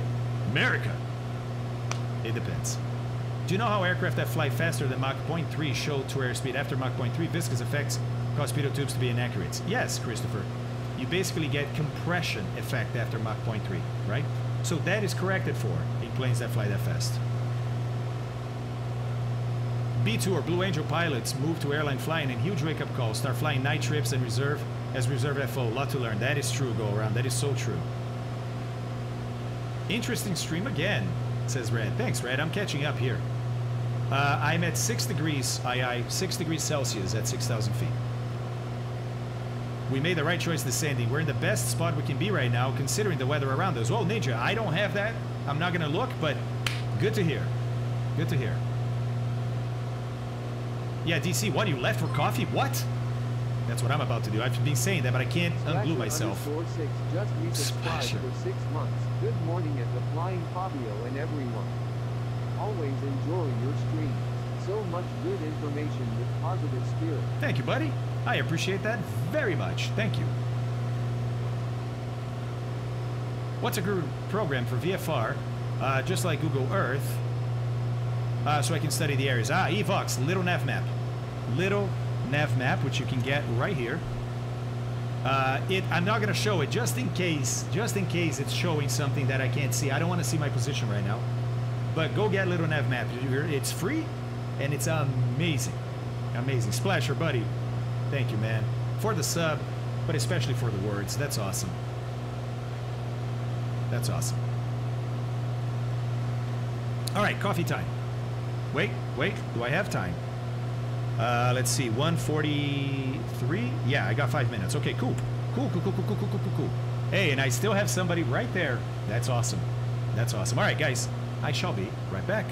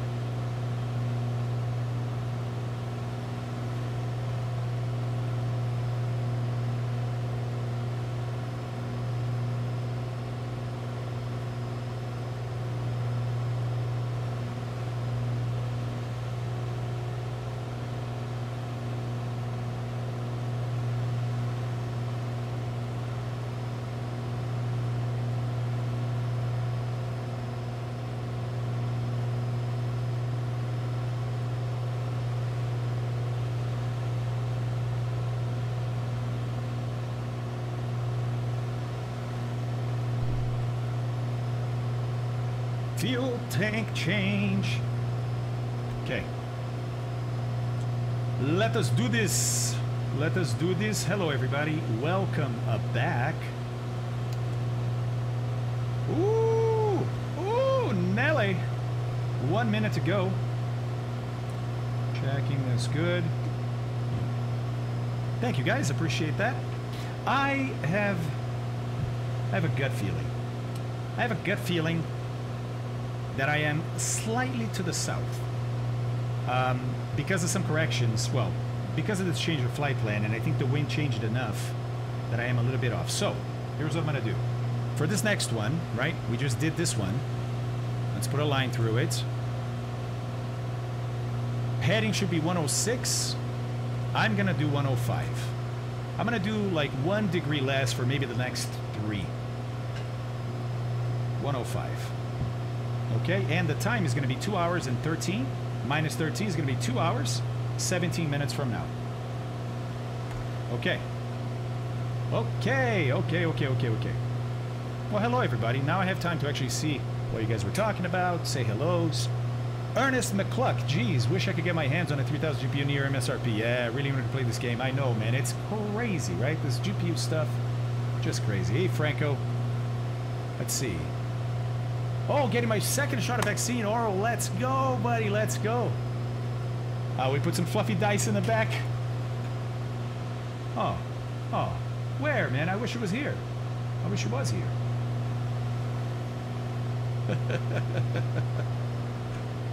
oh, boy. Oh, boy. The invisible pilot is in charge. By the way, for you Formula One fans. Interesting race. Interesting race yesterday. Did not expect it was going to be. Wait. Is anybody here that doesn't want to know the, re the results yet? That can't know the results? Attention. Attention, shoppers. Attention, shoppers. We're about to discuss Formula One. If you don't want to know the results, mute your stream now.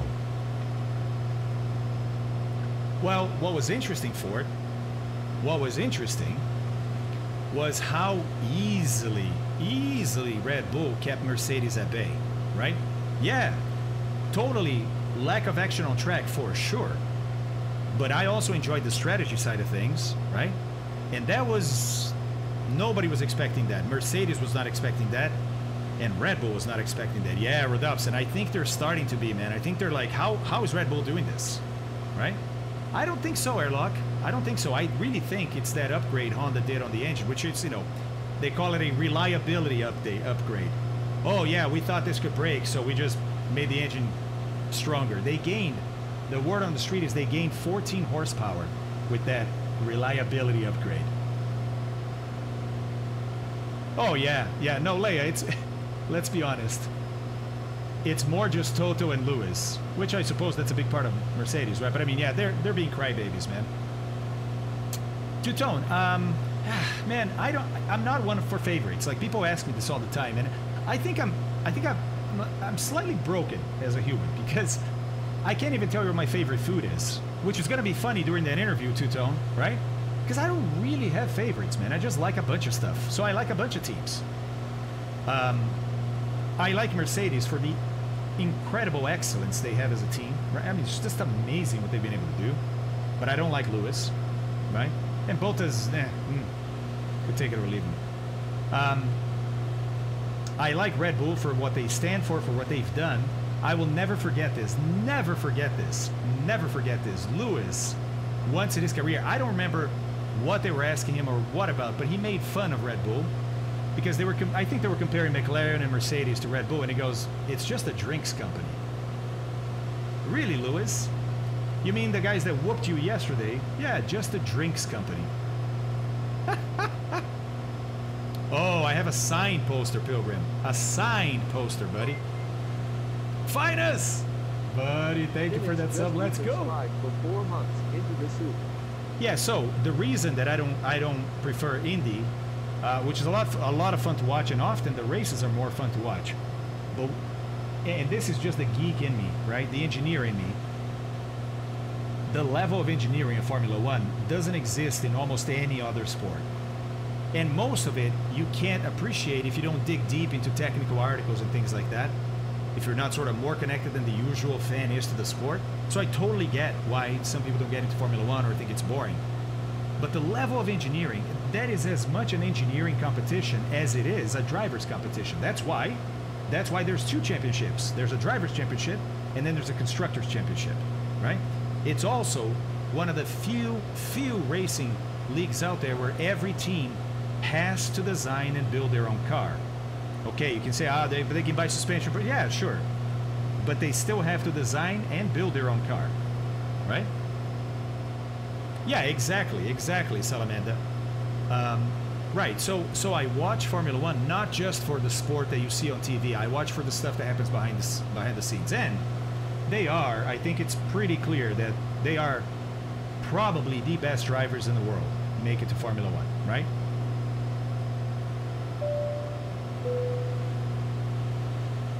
Aye, aye, that reminds me. I used to have a boss at Flight Safety. He did it as a joke, but he would introduce himself at parties as, uh, you know, hi, I'm so and so, arrested 15 times, never convicted.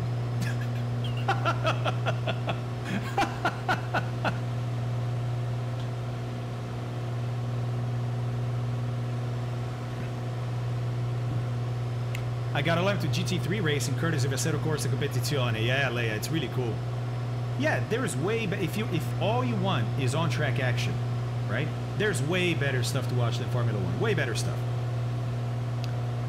But like I said, that's not the only reason I watch it, right? Hey, give you bits because you don't like Lewis. I, I, I have a serious problem with Lewis, man. Serious problem. I dislike him in a in a big way. I also recognize the talent. The guy's incredibly talented. We got 11 minutes to go. The guy's incredibly talented. One of the best ever. There is no question about that. But you can respect the talent and not like the person. It's like, remember Brothers in Arms? Remember they had that sergeant no one liked because he was a, a limp, you know what?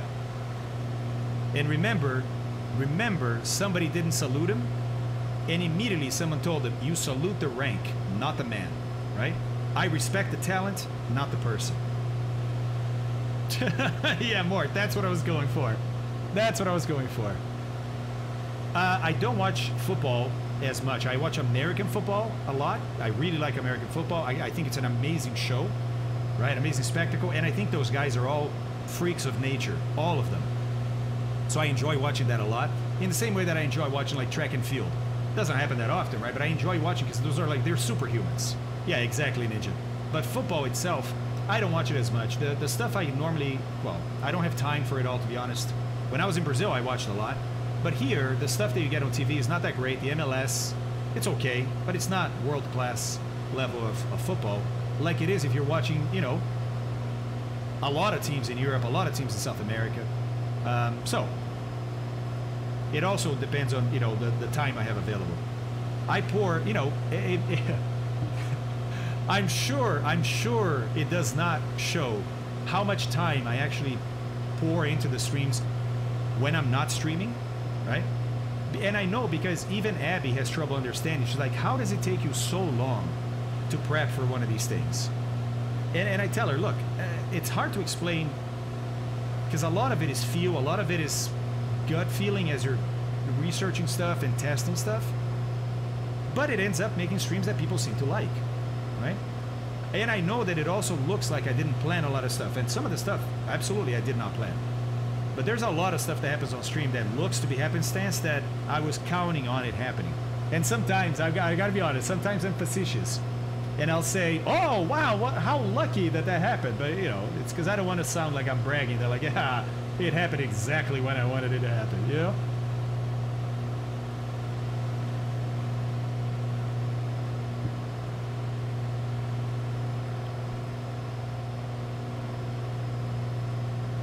Yeah, so for example, baseball, I can't watch baseball. But I think, but I think it's the same reason why a lot of Americans can't watch soccer, right? Let's call it soccer just so we don't get confused. I didn't grow up watching baseball.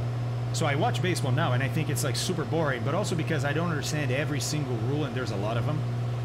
And I think it's kind of the same thing with people that didn't grow up watching soccer, right? Because if you compare it to some other sports, you can say, oh man, it's, there's not as much action, or at least as much scoring. Sure, you could say that. But if you grew up watching it, I think there's a certain nostalgia, there's a certain connection that you made with the sport that you don't get as an adult. I mean, DC, if you talk about baseball in Brazil, most people in Brazil haven't even heard of baseball. Okay, there's the internet. They have heard of baseball. You know what I mean. All right. Six and a half minutes to go. Yeah, so Dugal, for example, golf, right? I think golf is an amazing skill based game. Amazing, right? It's obvious that it's all skill and experience. There's very little that the equipment is going to make a difference in. But it's it's boring to me. So I respect those guys. I think they're incredible at what they do. I, but it's not for me to watch. Yeah, Franco, exactly. His strategy they have. So that's exactly like Formula One, right? Strategies that if you if if all you do is tune in and just watch the race, you you might not get some of the strategy at all. You might not even understand what the strategy is for the race. You know? Yeah, Mojave, tennis is really simple to understand, isn't it? Even then, I'll still get the score wrong sometimes. Wait, it's 30 or 40, 45, 35. Oh, huge. That's right, huge. I don't think there's a Brazilian alive, even now, even kids that haven't heard of Tom Jobim. He is idolized in Brazil. Yeah, no, Fort. What I'm saying is this. What I'm saying is this. Equipment makes a huge difference in Formula One, too. But if you look at the top Formula One teams, they're all, all of them, lapping within, after a minute and 20 seconds, they're all lapping within half a second of each other. Building completely different cars, completely isolated from each other, right? And they'll lap within a half a second of each other. That's what I'm saying is I'm sure equipment makes a difference in golf, but those top guys are all using the best equipment. They all have their preferences, right? And it's not like one of those guys is going to switch to another club and lose 100 yards on a drive. That doesn't happen. You see what I'm saying?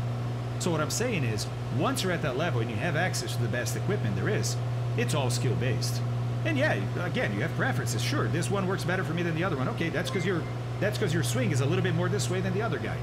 You know what I mean? Hey, Tomcats tier months. two, four hey. months, buddy. Whoa, whoa, whoa! Hello. What's that? No. Mm-mm. You're up. Hello, baby. Had a crazy morning. Yeah. Um, I mean, I'm still on. People are listening to me, but uh, Abby's here, guys. Yeah, went to run the sim this morning. It's like, no, the sim's not installed. You don't have the sim in your computer. So it's been a crazy scramble. Yes, me too. We got it going. We got it going. Yeah, look at those Abby emotes. How are you? Yeah? Work stuff? Mean people suck. Come here.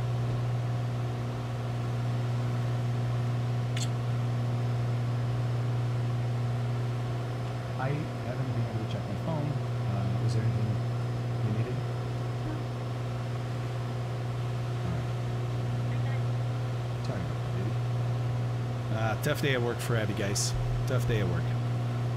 That happens when you have uh, crappy people.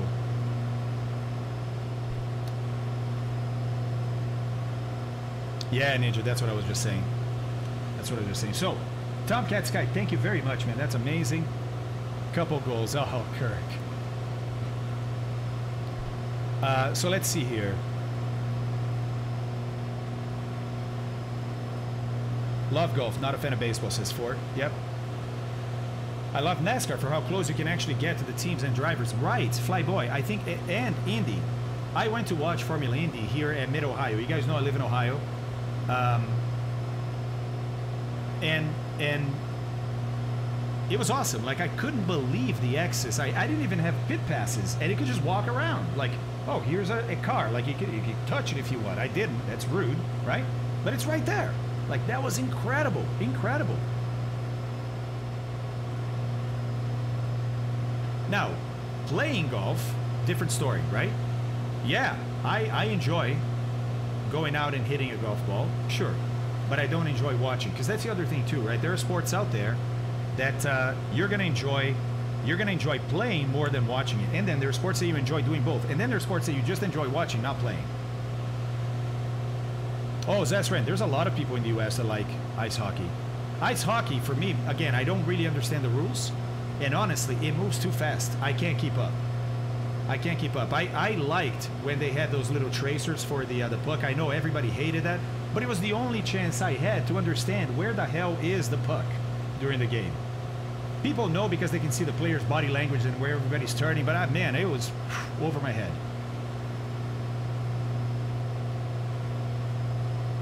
Right. So, I, I, just a quick primer here since we're talking about it again. I, I was commenting, man, you're not exactly at 6,000. That's sloppy. It is very sloppy. But we're also into some moderate turbulence. So what's happening here is the plane is hitting updrafts and downdrafts, maybe a little less now than it was before, right? So I'm trying to correct it a bit. But when that gets to be intense, you stop chasing altitude because you're gonna you can end up overstressing the aircraft when you get like a really high updraft that's gonna take you up 2,000 feet per minute, which can easily happen, easily happen. Major thunderstorms have updrafts of 20,000 feet per minute. Okay, so you hit 2,000 feet per minute, and you you know you ah, you put the nose down because you don't want to climb, you want to stay on that altitude, and now you hit 2,000 feet down, and ah, you you know, not very good for the aircraft, not very good for passengers. So instead, you maintain your attitude. Hey man, maintain level flight. Let that plane climb, let it go down. If it's getting extreme, you're getting like more than three, 400 feet, let ATC know. And they'll make sure nobody's around you, right? But don't fight it. Don't fight it. Man, that Red Bull is working. And now this coffee is only going to turbinize it. So that's a rookie move I need to break. Aye, aye, it's a, it's a judgment field, right? If, if you're getting small variations, absolutely. Go ahead and fight those and keep your altitude. But if it's getting pretty, pretty, by the way, right now it's not extreme anymore. That's why I'm going back. It Look, it's shaking, right? But this isn't crazy. This isn't crazy. So I'm going back to it. Before, I was getting 2,000 feet per minute up, 2,000 feet per minute down. Or at least that's what I could read. You know? Hockey players are extremely fast when you see them in person. Oh, I believe it. They're they're super athletes, man. And they're also brawlers, which makes it even like, yeah, I'm not gonna mess with that guy. He's already missing three teeth. By choice, he could have wore a guard. He didn't. Yeah, I'm not gonna mess with that guy. right, Don Miguel. Exactly. Exactly. All right, guys. What's our time? Hey, That's it. That's it. We need a new heading. So let's look. Remember, we're 13 minutes behind this time here. Okay? So we just have to offset 13 minutes, so that makes two hours, which is what we have right now. Okay? So that means we just passed that waypoint, and now, or this waypoint, now we're going to fly to the other one. So let's put a line through it to mark that, hey, we've completed this. By the way, we're almost halfway. Almost halfway. Oh, oh, boy. This is awesome. All right, now we need a heading of 104. But remember, remember I was going to do one degree less. So it's going to be 103. There we go. 103. And let's look. Our next check-in is 13 minutes less than this. So uh, 216, 2 hours and 16 minutes. We should be passing our other fix. So rookie season. hey Merlin, how are you, buddy? How are you? Ambitiona, what's up? Uh, would it have been okay to take up this flight with this aircraft and weather condition in real life? it would have been okay, but it would have been too risky. Okay in the sense that, I mean, if you're lucky, right, you could do it. It's not going to break the plane. There's no icing happening. We got this. But the weather at arrival sucks. We're expecting it to be at very close to minimums, if not at minimums, right? Uh, the weather here during the crossing sucks too. And because, remember, if I don't have GPS, I could be using a sextant for celestial navigation. Well, can't do that when you're in the clouds, right? Oh, and by the way, rain too. Uh, what about a drift meter? Remember we learned about drift meter? Well, you got to look down and see the water. Uh, can't see that either. So I'm truly only going by heading and time, which is not a good idea on a five-hour flight over the water. I would do this flight if the weather was nice. With this weather, we're doing it in the sim because we like to see what happens when we make good decisions, but as well as bad decisions, right? But I would not do this in real life, no. Oh, one out of command trade on a DC-6. Let me see if I can see her lights. Oh, there's somebody down there. Nice, nice. Oh, that could be you, Merlin. That could be you, buddy. And you know why I think it's you is because right now there's an issue with the lights on the DC6. They don't all show from a distance. And so maybe that's you. Should I have lower RPM at cruise and uh, craft as a rule of thumb and higher RPM at climbs descent? Yes, Mojave, yes. Uh, actually, not for descent, but for climb. Basically, it goes like this. It's not about the phase of flight. It's about the power you're delivering to that prop, right? So the higher the manifold pressure, the higher you want the RPM to be.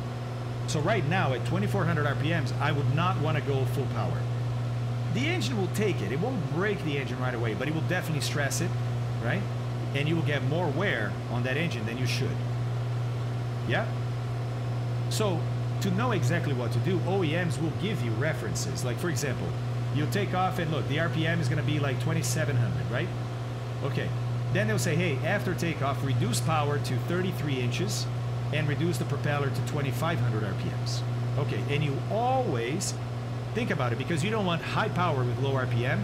You always reduce the power first and then the RPM. Think about it, right? Otherwise, if you reduce the RPM first, you still have full power. Oh, not good. Always reduce the power first, then the RPM. And when you're going the opposite way, it's the opposite. You don't want to add power with low RPM. So we increase the RPM and then increase the power. Does that make sense? Hey, Dominator, what's up, man?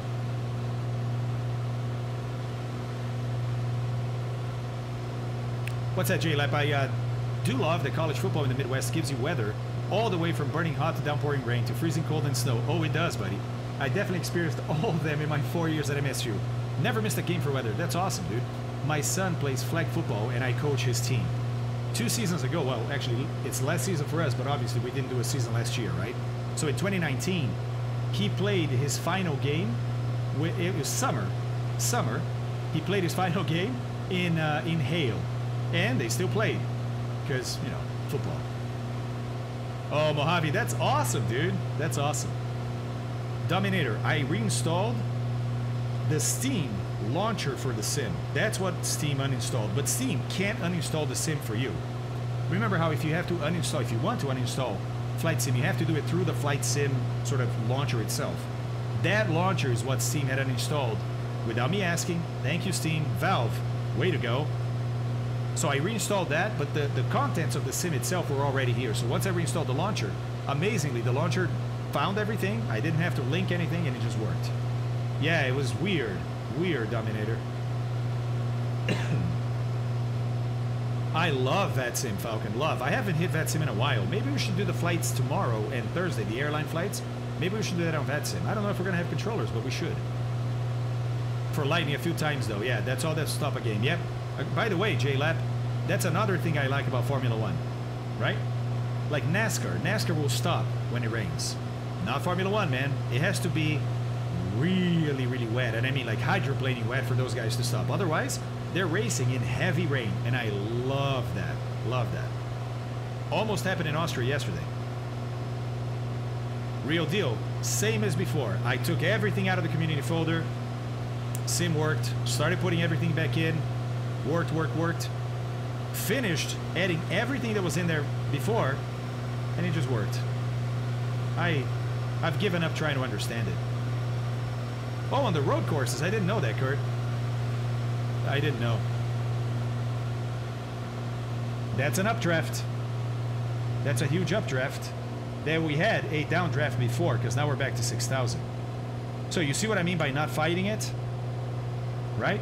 And now, instead of letting her go down, look, I can I can just maintain my attitude, right? I'm going to maintain sort of level flight attitude using the attitude indicator here. No, not a microburst JLab. That's normal inside inside convective clouds. That's normal.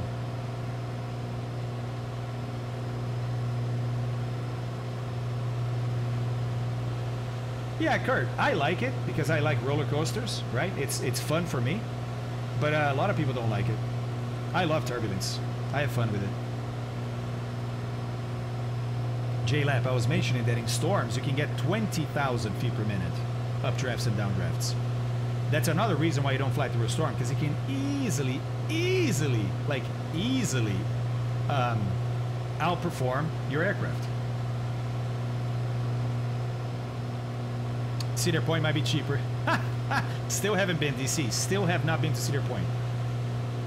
I know. I know, dude. I know. Well, honestly, priorities, dude. That's what, that, because that's just for fun. You know what I mean? Priorities in life. I will get there. Timer, let's do our tanks. Okay, yeah, we're going to go to the right. That makes sense. Looking good on fuel consumption so far. Looking good. Looking good. And we have eight minutes to go. No, six minutes to go. It's 12, to 13. Is it? 216, sorry, 216, eight minutes to go. Off topic, but aviation related. And by the way, look, now she kind of leveled off again. We're out of those updrafts and downdrafts. So let's see here. Off topic, but aviation related. Hey, Johnny. Pratt & Whitney is building a new, hold on, keep scrolling, a new manufacturing facility outside of Asheville to produce high-tech airfoils for jet engines. Production will begin in 2022. The plant will employ 800 workers. Ooh, jobs. Let's go. Where is Asheville? I don't know. Honeywell has a engine testing facility here in Ohio, south of Columbus. Um, and it's awesome because it's in the middle of nowhere because they make a lot of noise testing engines and they don't want to bother people. But it's a really cool facility. Hey, Putty, what's up? Afternoon. I was thinking today's younger generation has a great benefit of having excellent streamers like you teaching them these stuff. Oh, thanks, buddy. Excellent streamer. Thank you. I had to learn everything I know since the 90s, mostly myself. Keep up the good work. We're never too old to learn new things. Thanks, man. I appreciate that, Putty. Thanks, buddy. Thanks, buddy putty. Whoa. Oh, hi. And then she reaches up to the chair and like touches my arm like, oh, hi, you were there. I didn't know. Oh, hello. Quick look, quick look. As soon as you get a break in the clouds like this, you want to look around, see if you see anything of interest. Down there, nothing? No, Kitty, you can't. Kitty, that's the microphone. They're gonna hear you doing that. Don't rub against it. And back in the clouds. Okay. And look at the updraft. Or uh, first a downdraft, now an updraft. Ah, North Carolina. Got it, Johnny. Thank you, man. Was flying from Toronto to Calgary and uh, felt the plane drop like 20 to 50 feet. Uh, they have been an air pocket or whatever they're called. Yeah, our singleton. Uh, people call it air pockets. They're not, right? There's not a, a, hole with no air or less air. That's not how it works, man. But people call it that, right? Which is fine. Uh, it's a downdraft. It's basically a column of air that's descending. Because think about it this way. How do clouds, convective clouds, form? They form, Kitty, hold on a second. I'm trying to level off here. Then I'll pet you. Convective clouds form when there's a thermal, when there's air hot enough that it wants to climb, right?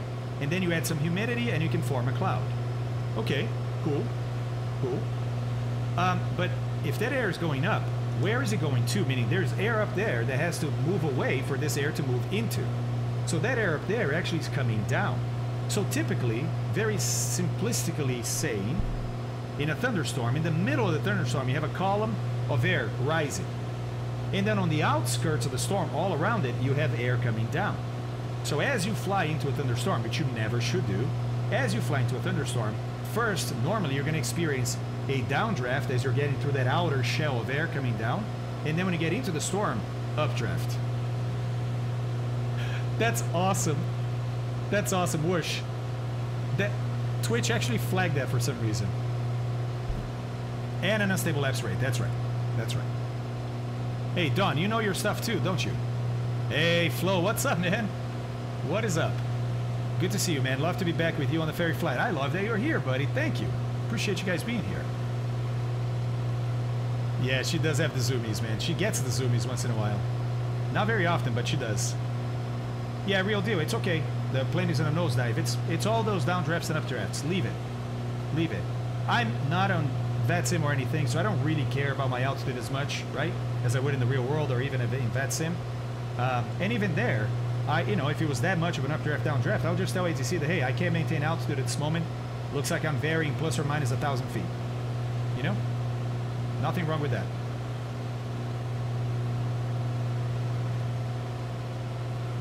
What is the correct technique to perform a DME arc with just a VOR DME, not FMS? Can you explain us that in another stream, please? Yeah, Rocco, absolutely I can. I would love to do that. Love to do that. As a matter of a fact. Let's see. Perhaps we're lucky, and perhaps there is one where we're going.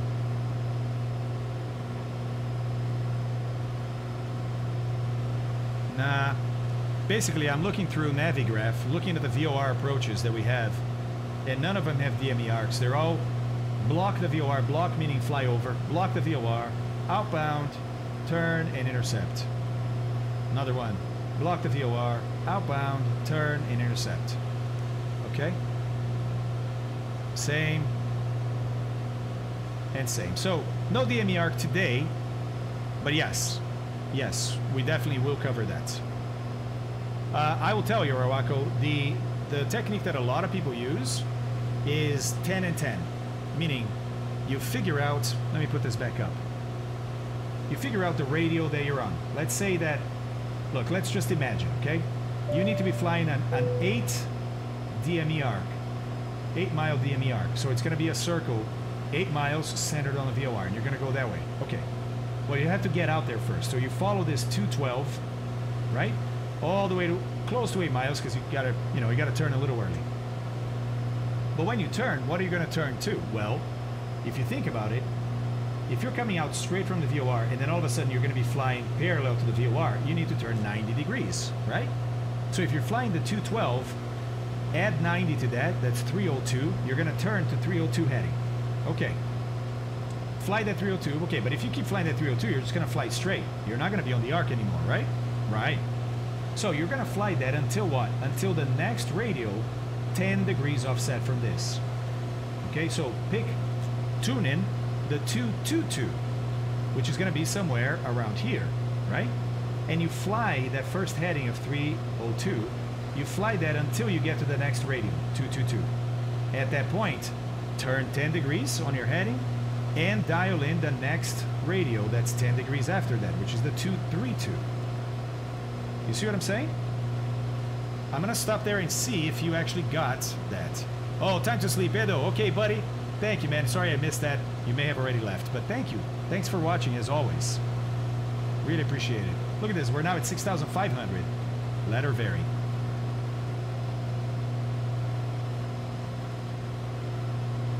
That makes total sense. Okay, I think we need to see it done, Fabio. Yeah, Oystick. Definitely, I, and I will do it.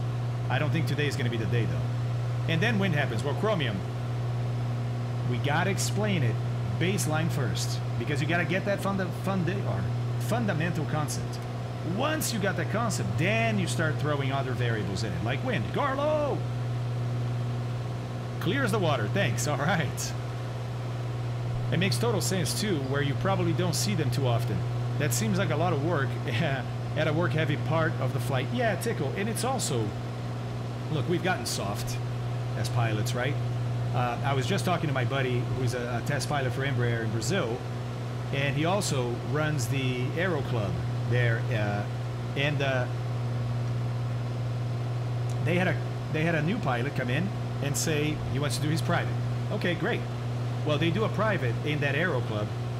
They do it in a little tail drag. It's like a Piper Cub. And uh, he's like, "Nah, I want to do it in the Cessna 172, which they don't normally train in the Cessna 172. Flying in Brazil is very expensive." So whereas we use 172s here for private pilots, in Brazil, because it's a more expensive aircraft, we typically save that for instrument training, right? He said, no, I want to do it in the Cessna. Why? Because it has the Garmin G1000. And I, you know, I feel more comfortable flying that. It's like, dude, you're doing your private. You barely have to look at the instruments, buddy. Like, eh, you know, but that's the generation that's coming up is they're used to this. They're used to having a lot of aid especially electric aid or electronic aid, to do things like flying, right? Um, time? I love you, baby. Did you get a nap in? Oh, you did. Nice. Good. Okay. I'll see you tonight, and I'll give you a big hug. Okay? All right. See you. Love you too. All right.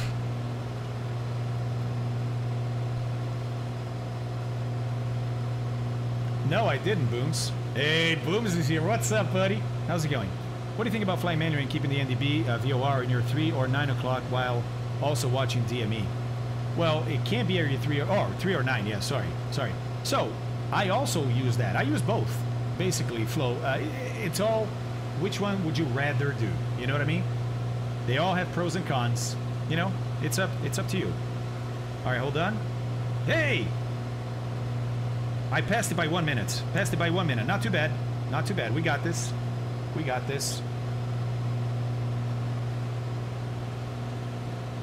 I am concerned about navigation today, so I'm trying to stay on top of it. All right. Heading stays the same. Good. And next one is going to be 32. 2 hours and 32. Oh, she's climbing a little too much now. 7,000 is a little too much. Let's work our way down. Biggest thing I did wrong on my Discovery flight was use the EFIS too much. Yeah, yeah. Listen, you go fly a Piper Cub. You look at original Piper Cubs, they had no instruments. They had an engine instrument, and that's it. They had an RPM, and that was it. Why? Because you don't even need to know your airspeed, guys. You can feel your airspeed flying the plane. Yes, yes, you can. Um, but those piloting skills are going away because people are getting trained in planes that do everything for them, right? And then you get the Air France 447 crash, where three, three airline pilots stalled the plane at cruise and kept it in the stall all the way from cruise until they hit the Atlantic Ocean and killed everyone on board, including themselves. They crashed that aircraft. That aircraft was in fine working condition. It had some ice in the pitot tube. That was it. That was it. I don't remember how many minutes it was, but it was like over five minutes of being in a deep stall, and not only being in a deep stall, they kept they kept the yoke back. It's a stick right in the, in the Airbus. They kept it back all the way to guarantee that the plane is not going to get out of a stall. Sorry, but that is what we call children of the magenta. Children of the magenta are the generation of pilots that started when when planes were already sophisticated enough that you didn't have to have these basic flying skills anymore, right? Yeah, exactly, Vex. And now the airline industry is like, oh, whoa, whoa, these guys didn't recognize a stall. How did this happen? Oh my God, yeah, right, right. How about the uh, Asiana 777 crashing in San Francisco on approach, right? Again, basic flying skills, basic flying skills, and I mean something a private pilot knows. Basic flying skills. No, they crashed. Sorry, it's a, uh, it's a, yeah, same with Colgan. It's a very sensitive topic to me because all of this is completely, completely avoidable. But we, as a society, wow, wow, that's 7,000, huh? All right, let's go back down. We as a society accept that. As an aviation industry, we accept that those are, uh, those are the prices you pay. Uh. Nobody is changing regulations or anything to say, you know what, man? We can't be doing this anymore. We got to throw people in a plane with no instruments. And they learn to fly that way, and then we introduce stuff. But no, we think the price is acceptable. Yeah, Oystick, same thing. Same thing. Oh, guys, we're going to start... We're going to start... Did you see that we have a case flight for the first time on stream this week? That's an accident review. Is the pump on? Oh, I left it on. My gosh. I just saw the little yellow light. Whoa, whoa, whoa, whoa, whoa, whoa, whoa, that dive. Whew. Whew. So we're going to start reviewing accidents on stream. We're doing the first one on Wednesday. And man, you're going to see you're going to see stuff that you're like, "How? How how would somebody do this?" But they do every day. Every day. Yeah, so Oystick, I'm hoping I'm hoping to have a good series here too. Um, and in many cases, I think we're going to recreate the flight ourselves and see if we could have done something differently. That's right. That's right, P-Ball. And it looks like it's going to be this way all the way to Iceland, buddy. All the way to Iceland. Ah, thanks, S-Ren. Hello, Leo. Oh yeah, Vex, I'm a huge fan of automation. Huge fan. But you can't start people that way. Ever. Ever. Ever. Period. You have to start them with as manual and as basic as possible. Then you start introducing, oh, now guess what? Now the plane's going to do this one for you. Oh, that's easy. Oh, now it's going to do this for you. Oh, that's even better. Nice. And then when those things fail, the guy goes, oh, it's okay. I still know how to do those things. Yeah, Oystick, I hope so, man. I hope so. Yeah, halter, yeah. Yeah. That's right, Chromium. So, after that Asiana crash, the 777, which again, basic flying skills, right? Emirates did something really interesting. Emirates added a, a whole new sim session, which is an extra day uh, for recurrent training for their pilots. And the entire sim session, this never ever happened in the industry before. The entire sim session from origin to destination, flying a 777, was hand flying. No autopilot, no auto throttles, nothing, buddy, nothing. You're gonna fly the entire flight with your hands. You and the plane, you and the flight controls, that's it. But imagine how much that costs, right? For a company that has literally tens of thousands of pilots and they have to train every six months. Add an extra day that those guys are not available to fly, and you're talking probably billions of dollars. But it's, you know, what's the price of safety?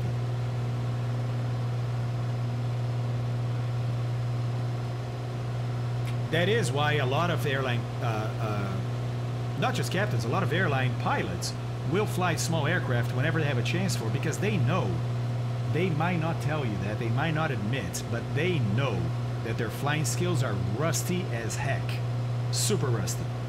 Think about it. An airline pilot typically only flies the plane manually for takeoff and then it's autopilot on at 400 feet, right? And if they're shooting a lot of ILSs, typically it's autopilot off at whatever, 1,000 feet, 500 feet, depends on the company, depends on the pilot.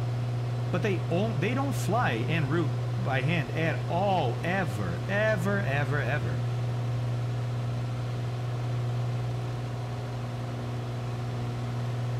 That's the Airbus is amazing until the system degrades. Yeah, and then you're forced to fly the thing in a way you only do in sim sessions. Exactly. Exactly.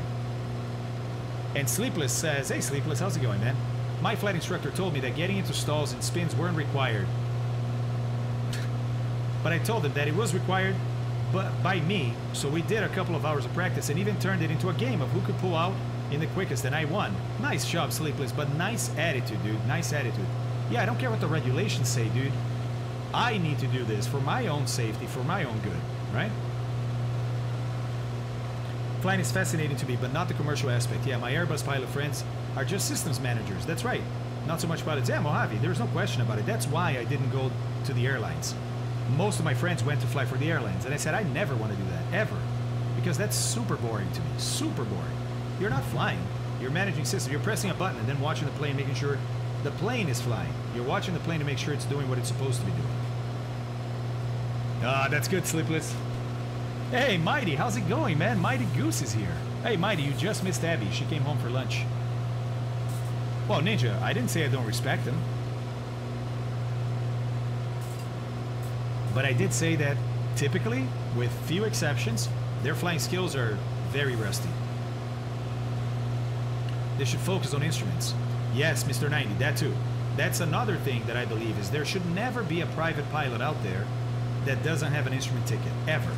I don't care if you say, I'll never, ever want to fly with the weather. It doesn't matter because you don't control that, right? Because we've been doing aviation long enough to know, long enough to know that VFR only pilots get into IMC conditions, not because they wanted to. Most of the times it's just bad luck.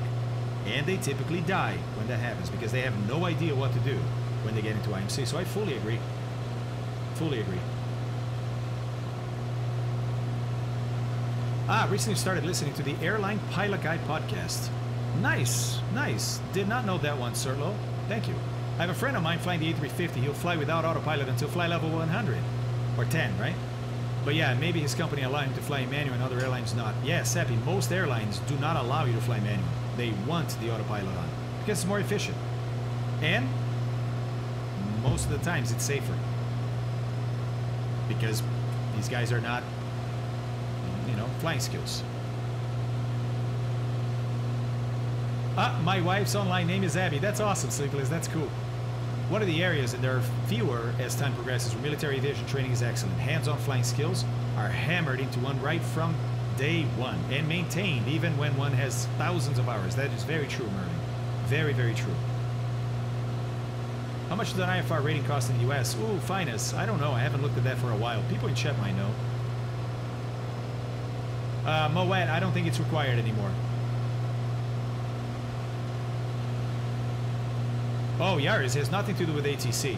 Typically, when a when a VFR only pilot gets into a cloud like this, it will be a matter of seconds before they're upside down. And I mean seconds. We're talking 10 to 15 seconds, and they will be upside down. And from there, it's a certain crash. They have no idea what the instruments are telling them. They've never trained. They've never, most of them never had the curiosity to find out, which shocks me, but you know. VFR pilots frequently die when they get into it. Ah, let me see. We fly MC in the sim all the time. Yeah, Oistic, but you probably have a decent understanding of what this means, connected to this and that, right? Most private pilots, and I've been, I've flown with a lot of them, they just don't. They just don't. Here in the sim, you're forced to know these things because it's not the same as flying with an instructor in the real world when you're learning, when you can look outside and see things a bit better. Yeah, JFK Jr., right. Same thing. It wasn't even IMC II. That was a loss of horizon due to nighttime. Right? So it was nighttime. He couldn't see the horizon. Hey, he had a perfectly working attitude indicator, perfectly working attitude indicator in the aircraft. Still, rolled upside down, crashed. Exactly why I got my IFR training, yeah. Yeah, well on you, by the way. Yeah, Yaris, they don't. Most pilots don't. I'm, I'm not assuming. I know this, right? I've been in the teaching aviation industry for decades. So here's a question from the Mighty Goose. Why would they get themselves into situations where they haven't had the training or are otherwise unqualified? Because, Goose, Mother Nature throws curveballs. Because it looks like you're going to fly under that cloud, and then all of a sudden that cloud just, the bottom of the cloud just gets lower and lower. And, and, and, and here's the other thing. It's a combination of things that can happen really fast and things that happen slowly. You know how you can fry a frog, right? Put him in a cold pan and slowly heat up that pan and that frog will never jump out kind of thing. Don't know if that's really true, but that's the saying. Same thing. They progressively get closer and closer to the edge as they gain more experience, as the flight flies along, and it does looks like they can make it between those clouds. Then all of a sudden they can't. It, I know it's uh, I'm oversimplifying it, but it can happen way easier than they think. Way easier, which is why so many of them die every year. Every year. Oh, Wojtek, there's no way, no way to tell what way you are because you can pull 1G. You can pull 1G upside down and think you're completely straight. Right? I can have a glass of water and be upside down in my aircraft, and as long as I'm pulling 1G, that glass of water tells me that, hey, I'm level flight. You cannot trust your, your, your inner ear at all. As soon as you go into clouds, that you learn to, to, it will tell you, oh, you're in a turn. No, I'm not. Oh, you're climbing. No, I'm not. It will try to fool you every time. Yeah, people say VFR to IMC is a huge killer. Really hard to overcome what you think your body's telling you. Yeah, and listen to the instruments. That's exact. So I think I, I I I didn't say that, and I should have started with that, right? And why people get into these situations, right, Mighty Goose? Or better, not, not why they get into situations, why they can't get themselves out is because they, they, they listen to their ear, they listen to their body, and their body is lying to them. You are not the way that you, you feel your inner ear uh, telling you is. 8,000 for an IFR ticket, okay.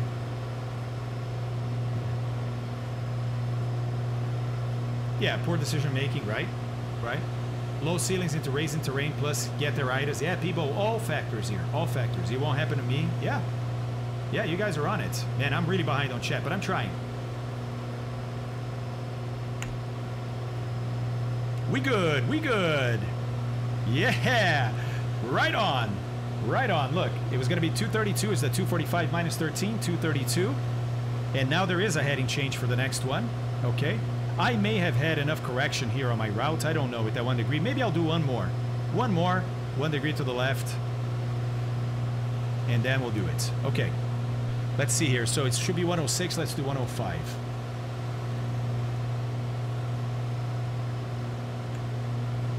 And still in the soup, huh? Hello, friend.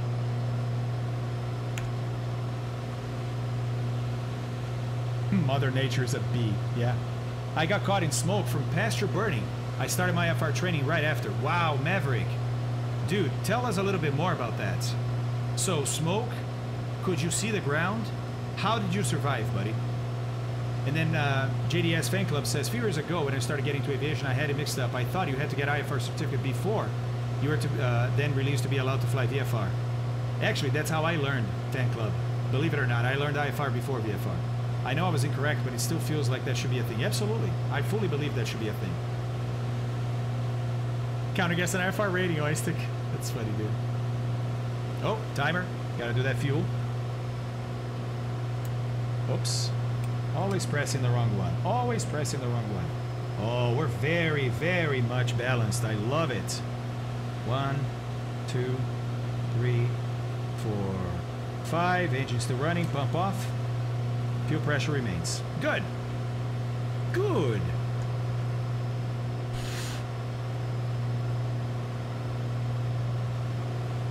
Oh, yeah.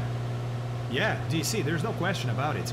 I did my instrument rating in less than two weeks because I had flown so much in the sim, so much in the sim. My first ever approach in my IFR training was an under the hood NDB approach with 25 knots of crosswind, and I nailed it. So much so the instructor got upset because he, he believed that I was lying. He goes, You obviously have flown instrument before. And I said, No, just in the sim. And he wouldn't believe me. Exactly, Captain Sappi on the spin there. Oh man, so much good stuff in chat. I, I can't read it all. No. No. Could not see the ground, says Maverick. Trusted my instruments and made it through. Buddy. And well on you for trusting your instruments. Did your body tell other tell you other things? Uh, Columbus, Ohio, Coulter. Yeah, fake, yeah. I recall one of my instructors fooling me. He made me uh, close my eyes and tell him what was the plane attitude. I said turning left. When I opened my eyes, we were turning right. I understood immediately the term always trust your instruments. Leia, great story. Great story, because it's true. Good instructors will do that. It's so easy to fool you when your eyes are closed. On an exhibition once, I sit in the back uh, or black box, which is moving forward and backward randomly, and I have to say in what direction I'm in moving. After a few seconds, no chance. Exactly too old for this, exactly.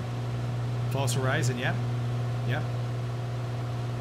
That is my goal, is to fly uh, so much in the sim. Nice, Christopher, nice, man. I hope you do. I really do. Also, when I was sitting in it, uh, I blew my mind, says Dominator. The whole inner ear thing made no sense to me until I watched people sit in the uh, the Barany chair. Is that what how you pronounce it? Yupper, says Maverick. Yeah, your body was telling you other things, but you trusted the instruments, and therefore you survived. Good job, sir. Good job.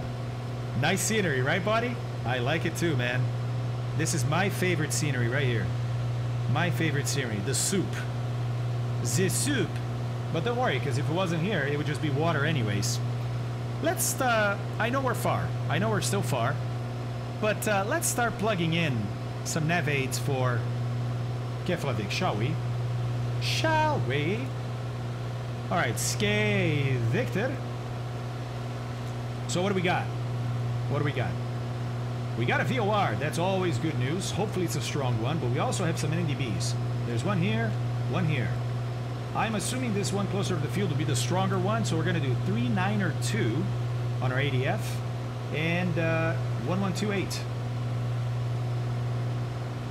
3902 and 1128. Okay? And 1128. All right. Don't expect I'm going to be picking anything up, and I'm not. But I expect it's going to be somewhere close to the nose, so let's turn this and just kind of get it ready. And hope that we got our navigation right enough that we're going to be able to pick up that VOR. Oh, here comes a good story, I think, from Spectre Meltdown. During my long cross country for my private pilot, KISP to KGFL for what it's worth. On the return, while flying over the Hudson, I began picking up clear air icing. Ooh. Almost pooped myself as the windshield was getting crusty. Knew I was near the vicinity of PLU, which means, by the way, you start to not be able to see outside anymore. Called tower and landed. Called my instructor, waited a bit for the weather to clear up, and finally made it back to KISP.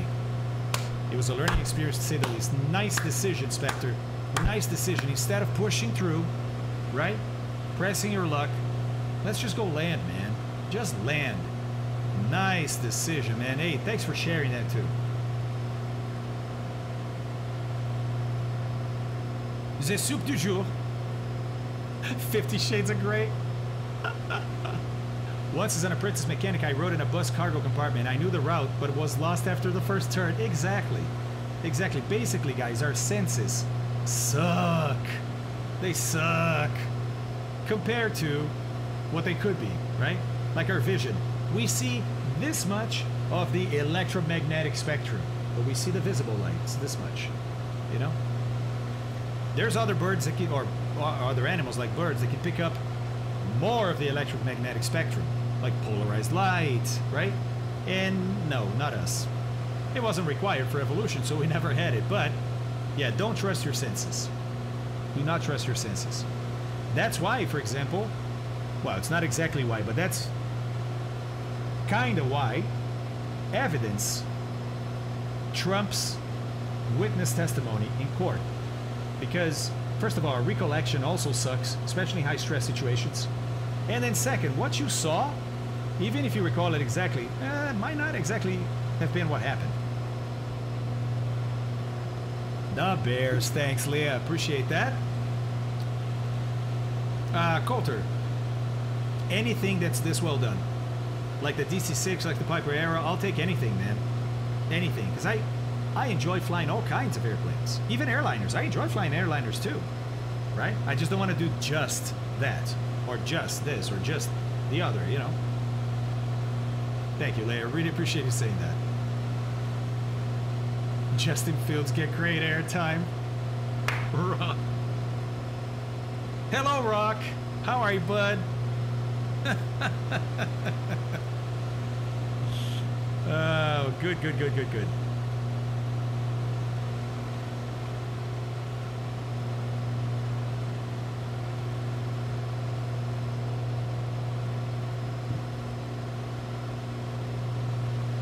Oh, yeah, airlock. That's true, too. That is true, too.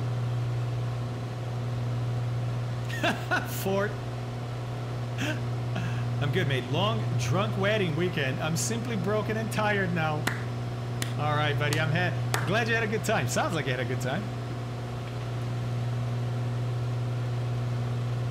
Your way. oh, that's good. All right, all right, all right. Let's have a look at the health of the engine.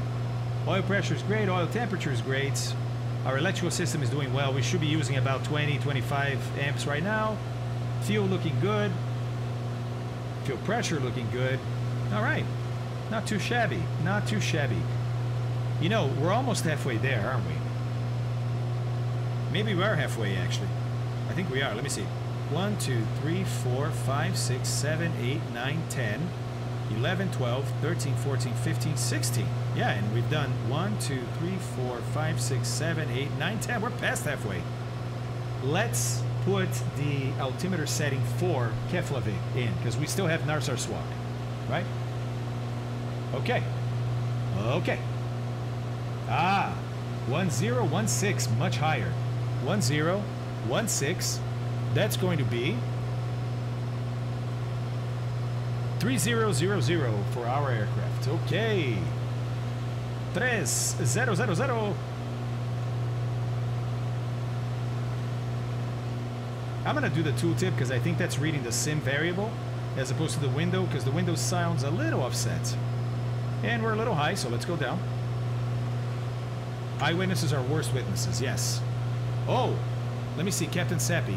I was a deputy a long time ago, and in peace officer training, our instructor had a guy run into the classroom to all of our amazement and grab a book off the table at the front of the class and run out. Then he asked all 40 of us for a description, and literally nobody got it exact.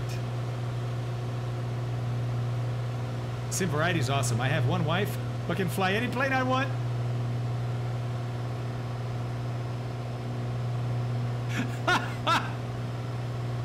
Você é da hora do Brasil, Fábio? Parabéns pelos streams, elas são intuitivas. Oh, muito obrigado. No. Moro nos Estados Unidos. I live in the US, FCK in Ohio. And I've been here for oof, longer than I care to count, I suppose. Oh, man. 20, going to be 25 years. It'd be cool if Czech could somehow vote on in-flight emergencies. Oh, Spittleman, you haven't been here long enough. You haven't been here long enough, buddy. Yeah, DC, exactly. You have no idea. That is a thing. We haven't done that in a while, but that is a thing. Oh my god, I said exactly what DC just wrote. We haven't done that in one in a while. But it did Yes, we actually have a way for chat to uh, um, donate bits towards failures. The Kaboom streams, that's right. We still haven't been able to hook up the Kaboom uh, app, the rent failures, to this aircraft, which is what we fly most here. But man, those streams were so fun.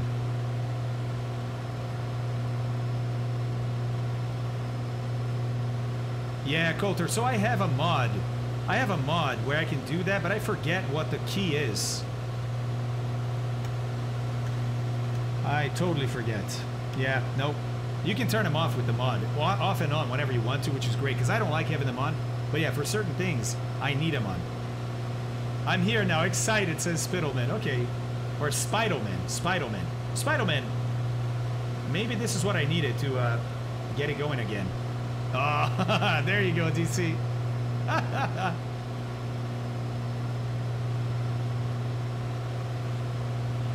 well, Flo, I don't think they've mapped it to a key. I don't think they've mapped it to a key. With the mod, you can have it on a key.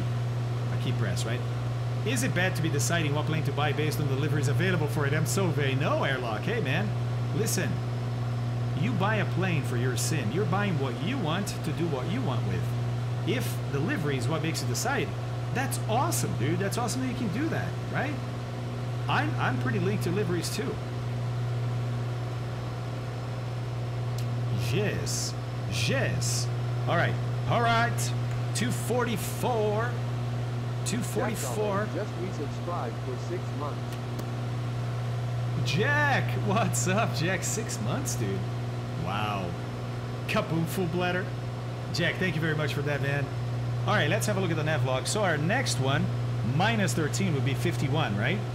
Okay, so that's in another seven minutes. Yo! Yeah! All right. Oh man, I really hope we find Iceland, boys. I really, really hope we find Iceland today. I really hope that the sim actually has the winds that reality has, right? Because if the sim has different winds, we could be completely off. Could be completely off. We'll see. Love liveries. Got the branded for the DC6. Yeah, still hoping for an Eastern. Love vintage stuff. Me too, Papa. Me too. Me too. Watch that trim. Is your nav radio tuned? Yes, it is, DC. We got both Keflavik's VOR as well as the NDB dialed in. Let's just check once again 1128 and 3902. 1128 and 3902. Okay. Okie dokies. Outside air temperature flow. It's this guy right here. In this case, excuse me, outside air temperature right now is 8 degrees for me. Yes, I do, Zephyr. Yes, I do, buddy. So, this should take 4 hours and 42 minutes, but that's not... I mean, we're 13 behind that from that. Yeah, so that works, right? So, four and a half hours is what the trip should take. And we're currently at 2 hours and 46. So, Past halfway. Yeah, less than two hours to go. Oh no, Kozaki. Finding Iceland could definitely be a problem. Definitely be a problem. Look, if we don't have these winds over here, if the winds were, for whatever reason, in the sin coming from the north, we're definitely going to miss it. Because of my corrections, I would pass south of here, not see it, maybe not even pick up the VOR depending on how far I got, how bad the winds were, right? How different the winds were. And I'd never find Iceland. Obviously, in that scenario, what you do is, if you think you're here, right? Because if we're if we're off to the north, we should be able to. We have to be off by a lot to miss on the north, not that much on the south. So if you missed it on the south, fly a little bit longer, and then turn north and hope you find the island. By the way, I found your stream thanks to YouTube lessons. I was looking for DC6. I don't know why I didn't find this channel faster. Best place to learn some stuff, period. Thank you, Yaris. Let's go. Thank you very much for that. So yeah, finding Iceland could definitely be a problem. Definitely be a problem. Happy lemon cake. What's going on? What is going on? That's really nice, Aris. Thank you very much for saying that. I quite enjoy helping people. Ah, Maxwell. So true. Thank you, thank you, thank you. I think I'm gonna go heat up some food. I haven't eaten today yet. And you know, you gotta keep your brain powered up. Nate, what's up, man? How's it going? Nate just resubscribed for six months. What's your opinion on the max age you should pursue a private? Take into account the cost and length of time you could fly. I think that's a very personal decision, Smell. I would do it as long as I could, right? If I'm 78 and I feel like I can still do it, I'm in good physical shape, my memory's working well, my brain's working well, and I have the money, sure. Because listen, if you got the money, you can do a private in a couple of months. I mean, you need whatever, 50 to 75 hours, which again is very different. When I when I learned to fly, there was no minimum time. So I soloed with uh, six hours, and then I got my private with 13 hours. Right nowadays, it's it's different. So you you're gonna do 50 to 75 hours, right? So yeah, if you fly one or two hours a day, you can knock it out, man. You can knock it out. I totally would, DC. Why not? What's wrong with that?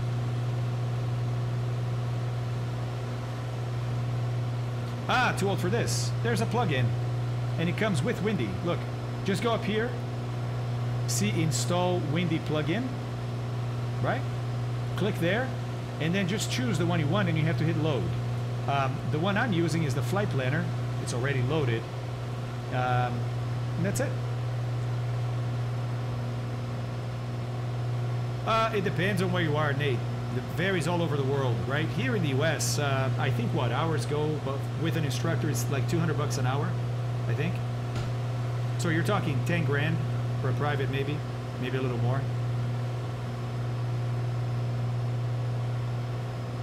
Yeah, exactly, Chromium.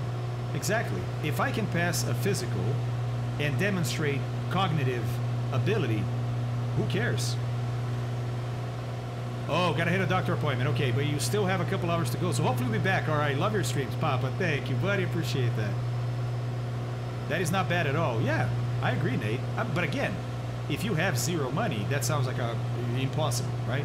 If you're uber rich, ten thousand is uh, maybe nothing. So you know, it's it's very personal. Can't beat that view. I agree, Winglama. I agree, man. This is my my happy my happy place. My happy place is right here in the soup. How you go? How you doing, Winglama? I'm not a VFR kind of guy. I like looking out the window like everybody else, but I much much rather have the challenge of a, an IMC flight. Okay, a hundred dollars per hour in Argentina. So in Argentina, you could do it for about five grand, right? Winglama, that's not the challenge today, buddy. The challenge today, if you if you just got here, the challenge today is that we're doing Narsarsuaq in Greenland to Reykjavik, Iceland. Dead reckoning. No GPS, right? And the winds are, uh, well, they're there. They're there. And we're not here, by the way. We're we're further along. We think we're about here. About here. Um, so it's all time and heading, time and heading.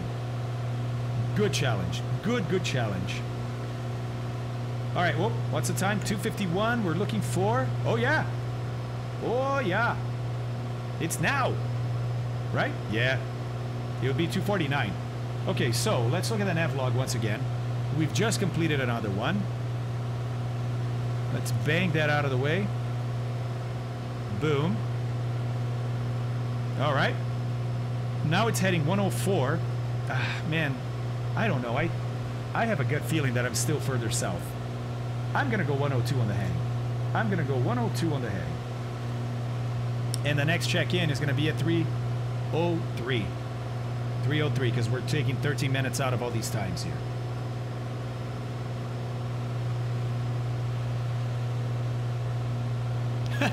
Coulter. Okay, 8 to 10 grand here in Texas, says Mel. Yeah, okay. Yeah, it's also not 10 grand all at once. Take a Discovery flight and go. So, Peebo, I didn't have that money. So I took two years two years, actually no, a year and a half to do my private. Because I only had money to go fly once in a while. So yeah, I did it in 13 hours, but those 13 hours took me two years, or basically about an hour a month, a little less than that. All I had money for. Not bad at all. Another potentially rainy day here, so hunkering down with some Twitch. All right, man. All right, all right, all right. All right, let's try to get back to that altitude a little bit. Doesn't look like we have a whole lot of updrafts or downdrafts where we are. Wokie dokie. Yeah, IFR is way more satisfying than VFR. For me, for me. Some people hate IFR and like VFR. You know, that's okay.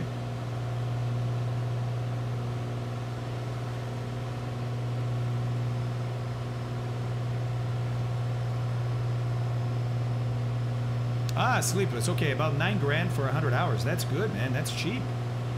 That is cheap. Uh, okay, DC. So 175 with the instructor and fuel. Yeah, okay.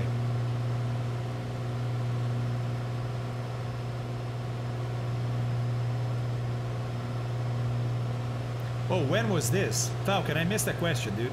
Uh, when? In 1994?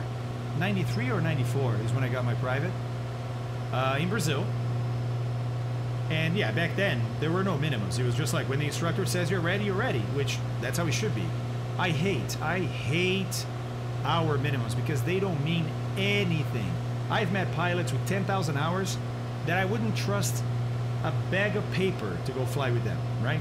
Don't know how they're still alive. And I've met pilots with 20 hours that are better than those, uh, those guys with 10,000 hours. It has nothing, nothing to do with hours. The only thing hours tell you is experience. Yes, so you have experience, but who said that that's good experience, right? It could be the 10,000 scariest hours that somebody has seen and you're just lucky. So it doesn't mean jack. Unfortunately, we are in an industry that works not primarily, only on hours. Only on hours. That's all. The, you know, how many hours do you have? Oh, 2,000 hours. Yeah, we can hire you. No, how about just give me a give me a check right? right? How about put me in some decision-making situations and see how my decision-making skills are? Should be performance-based, not minimums-based. Yeah, it could be 10,000 FMS hours, which does have some value, but not in a lot of other contexts, right? Same thing in Salem. What counts for licensing hiring is nautical miles travel. That's insane. That's us being stupid, right? It's us humans being very stupid. Exactly, Ninja. Yeah, right. Any tip to get aileron trimmed easier in MSFS since you can't really feel it like in real life? Yeah, Breck, I mean, like you said, it's not as easy as real life. The good thing is that planes like this don't have aileron trim, so you don't have to worry about it. In the DC-6, I mean, it's easy, right? Trim a little bit, let it go, and see if she's turning. And if she is, trim a little bit the other way. Yeah, I mean, there's no secret to it. It's just, it's trial and error. Real nobody. Boa tarde, mano. Careful over there. I guess that was the way Columbus discovered America. Headed for India. I know, I'm probably going to discover, like, the Arctic or, you know, the Faroe Islands. Thinking, and then call it Iceland. Wow! Iceland's a lot different than I thought. Ah, Flo. Uh, good question. Good question. Start with the rudder trim and make sure your turning bank is centered. Put that ball in between these two very light black lines and you're going to be, and no turning, and you're going to be pretty much perfect on your rudder trim. Then after that, if, if you let go and she wants to roll a little bit, then use your aileron trim. Which is why most planes, small planes, don't have aileron trim. It's because you don't need it. You can do it all with the rudder. But if you have it, then still start with the rudder and then do that. The other night in the sim, and I gotta say, I was kind of let down by the scenery. Fake, was that before or after the Nordic update? Carno Fork is here. Hey, buddy, how's it going? Cloudy the Chesa Piper, that's right. That is right, my man. After, oh, really? Oh, I was excited to see it. Finds a new island that a volcano made yesterday. Fabio Land, Tex Haven. That's phenomenal. There you go, Singleton. There you go. Let's drop those Colonel Fork 85 emotes in chat. Did glider flying 500 euro per year, 4 euro per start. Only requirement, you help hours maintaining planes. Yeah, it's the same here in the US. If you help maintain the planes, it's really cheap. Bar shifts in the club bar, and do shifts on the winch and fuel jobs, control tower. Those extra things, they're pure joy and learn a lot of it. That's true. Glider, if you don't have money to fly and you really, really want to fly, look into gliders because a lot of them are inexpensive compared to flying airplanes because you're not burning gas. I mean, you have to pay for the tow or the, the winch, but that's about it.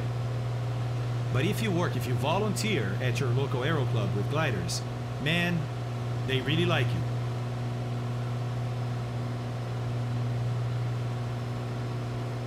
Hey, tank swap. Alarms going off. All right. Let's see here. We have about 26 gallons and about 21 gallons. Perfection. Perfection. Watch that fuel pressure. Swap those tanks.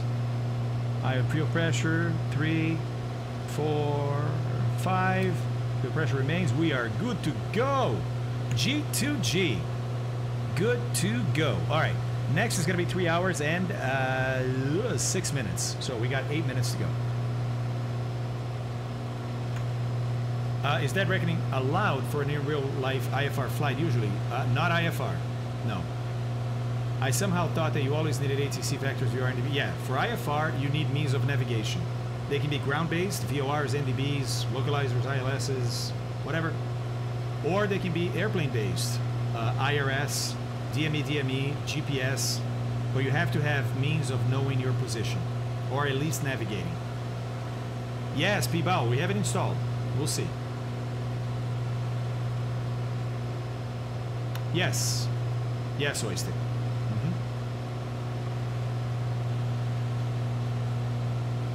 But how you can get into gliders if you don't have the money to get a PPL? Well, Mr. 90, you don't need a PPL for gliders. Uh, in many countries, glider is a separate license. Separate license. Um, and you start with no license, just like you start a PPL. Now, I don't know about Europe, but I'm going to guess that it's the same. It certainly is here in the US. You can start with nothing. What are your rituals after first solo? Uh, in Brazil, it used to be, again, back in the day, used to be they would dump a, not a cauldron, because then people are going to think it's hot, a uh, bucket of oil over you. We became too politically correct. And so uh, now it's a bucket of water. Oh, wow. That's, whoa. Uh, in the United States, it used to be to cut the back of your shirt with scissors. So whatever shirt you were wearing when you came back from your solo, right? The instructor took scissors out and cut the back of it. Um, pretty sure that's not allowed anymore because, you know, we're snowflakes. Hello, kitty. Today I'm with 25. My plan now is go to UAE as cabin crew. Yeah. After two or three, go to USA and do my flight school in a couple months, eight, nine, maybe. Yeah. So at the final, I'll be 28, 29. Do you think it'd be a good age for ATP? Absolutely, Coulter. Absolutely. Absolutely.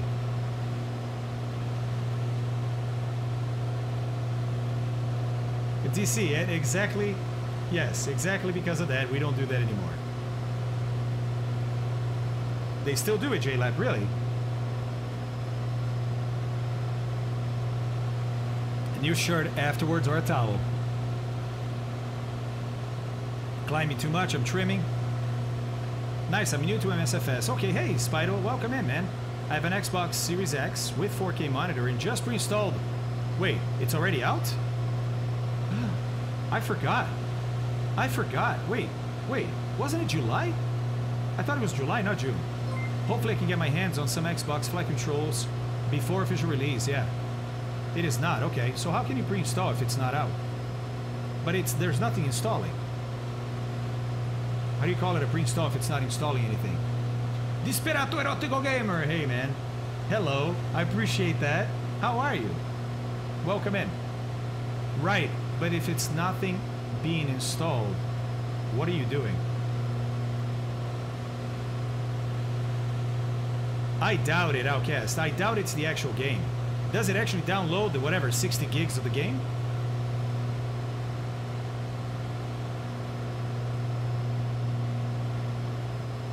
it does download the entire game. That's insanity to me because you know people are going to crack that. You know people are going to crack that and have access to the game early. Well, Ninja, I agree, but that's extremely risky. It's asking for hackers to try and hack you.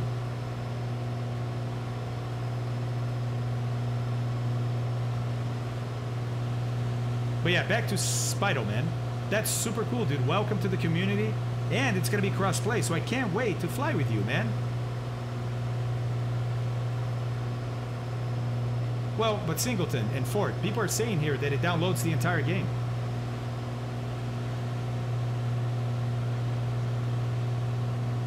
Ah, cookie, exclamation mark plane. It's the just flight.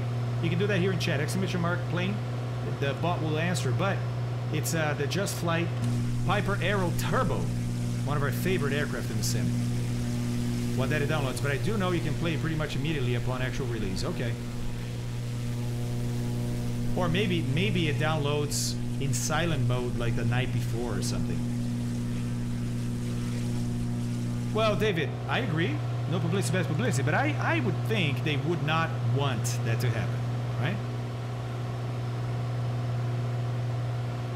Oh, Ninja, that just sounds like an invitation for hackers. Anytime you tell them, ah, oh, this is not going to be, this is going to be tough. They're going to be able to do this one. That's when they go and crack it, dude. I just think it's interesting. Like this far out, like a, a month in advance, I, the game is not even finished. I guarantee you they don't have a gold release for that just yet. Odd. I'm sure it pre-installs some stuff, right? Yeah, it must be, Rodops. It must be. T-Tail sexy version. That's right, Airlock. Need to change the description. Ah, okay, there we go, J-Bob. It's only 297 megabytes. Yeah, it's not the game. It's not the game. Oh, how come, Colonel Fork? What happened? What happened? You have a long race or, or something like that?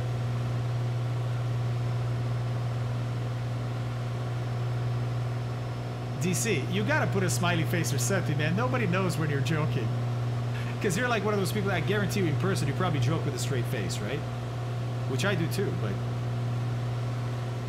I'm having a brain freeze. I don't get why gliders are easier cheaper. You don't have an engine. If you misjudge the winds, you crash. I'm obviously missing something fundamental here. Well, hold on.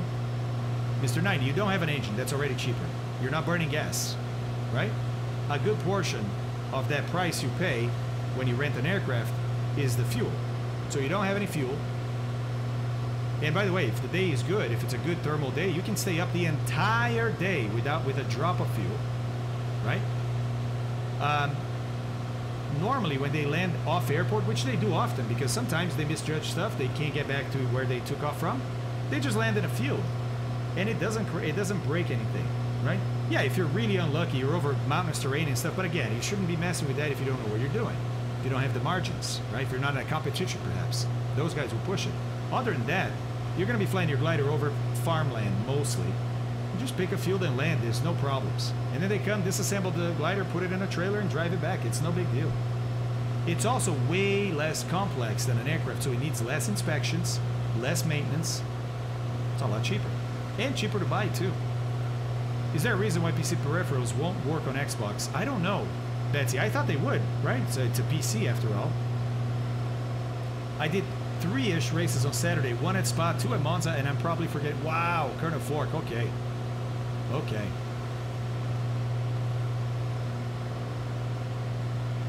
Actually, I was being hyperbolic. It sure felt like 12 terabytes because it was so slow.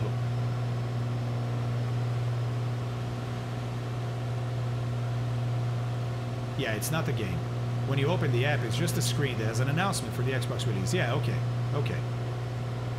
Yeah, I looked at, because I remember the number 27, but I thought it was July. And when you said, like, oh, I downloaded it, you know, I was like, wait. And I looked at the date and I was like, it's the 28th. Oh my God, did it get released yesterday? No, I would have heard. That's what's happening in my brain, right? How did I not hear?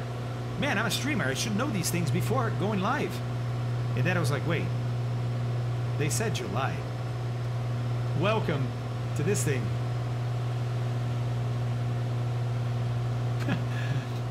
the best description of how my brain works. It's uh, it's an episode of uh, Always Sunny in Philadelphia, which is a fantastically funny show. And uh, Dennis is talking to. Um, oh, sorry, stretching. Oh, hold on. Oh, one minute, one minute behind. Woo! We are on it. We are on it, boys. Okay.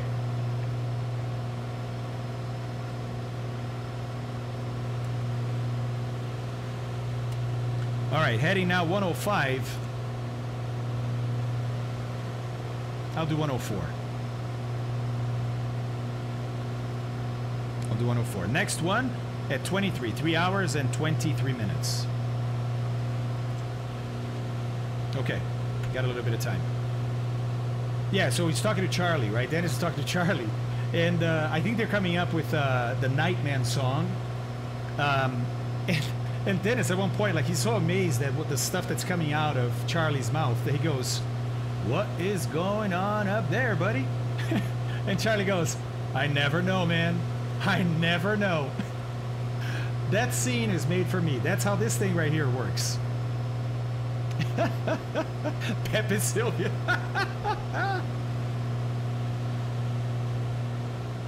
the wild card. That's right. Wild card. Hey, that was pretty good, Charlie. Silver's up a sock.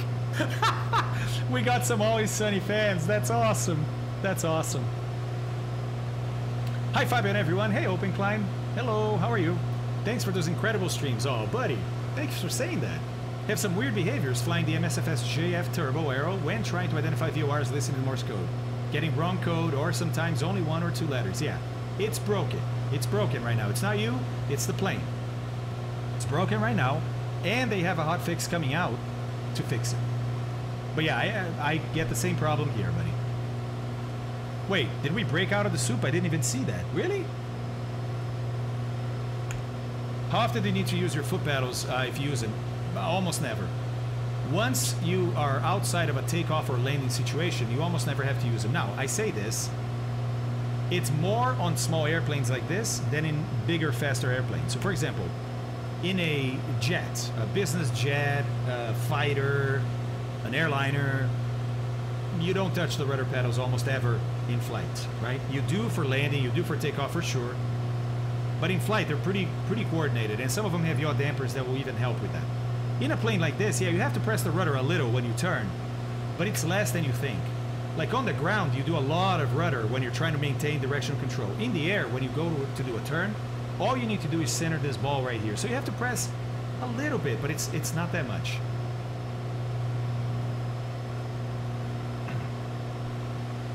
Let's see, let's see, let's see.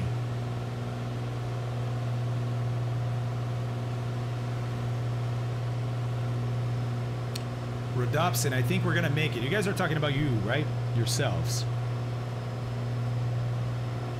Oh, Superboy. So that's the thing, right? I've never had a Just Flight product before Microsoft Flight Sim. Never. Uh, this is my first Just Flight product. Um, the Piper Arrow normally aspirated and then the Turbo, right? I consider them the both same aircraft. Um, and they were amazing. Amazing at everything. Like the product was great, the support was great, the updates came out fast, they were responsive. So, not having previous experience with them, I was like, this is great. This is great. But it sounds like that was not the case in the XP world, huh? Full of bugs on release with 146, just lazy. Uh, sorry to hear, man. Uh, maybe they learned their lesson. Let's see, because they have further releases coming for MSFS. Let's see how they, those go. New Icelandic Mesh, is that the, in the base game? Add-on, separate purchase. Ah. Yeah, Airlock. You need to go get... Uh, do you know Orbx, the company that makes a lot of sceneries? Glad to hear it. Wait. Who? What? Who had a broken spine but he's fine now? What? Oh, your friend did paragliding. Oh my god. Oh, Zasran, this reminds me of that uh, that crazy paragliding story you told us, man. Or at least you shared with us. You still have that link.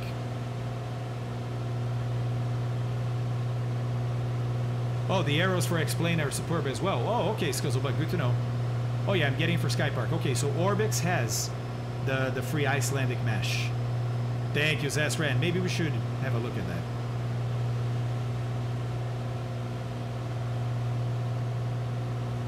Well, Yares, hold on a second.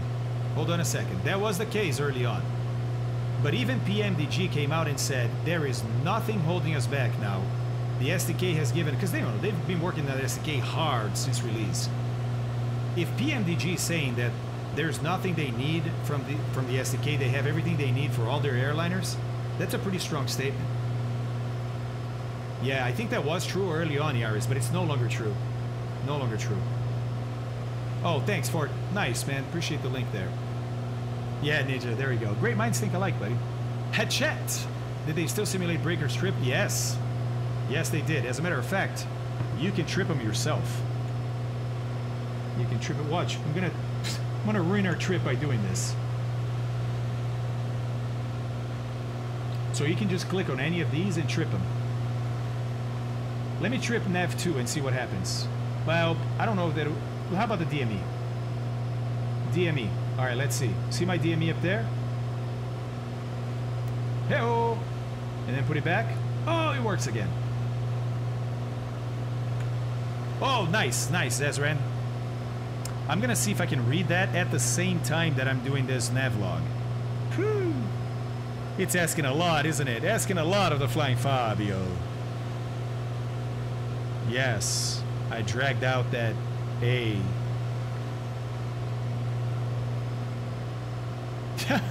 yeah, Hatchet. I'm not gonna do that, buddy. Yeah, just in case, man. I'm gonna I'm not gonna risk a bug with the aircraft. I don't get it back, etc., etc., etc. Right? I know, I know, Chromium. Well, developers can. Developers can. The DC6 has a probability that any of those circuit breakers are going. Well, the systems that have circuit breakers will trip for all circuit breakers. So you can, as a developer, you can do that. All right, what's my time here? Because I'm about to start reading a story. 313, we needed 323. I got nine minutes to go. Let's take a chance. Let's take a chance. I'm going to read you guys a story of a paraglider er, who got sucked into a thunderstorm. Would you like to see the text as I read, or would you like me to just read it out loud? There's when there are visual aids, I can show them, but there's only one really for the entire article. There's only one picture, and it's better at the end. Fires are coming, yep.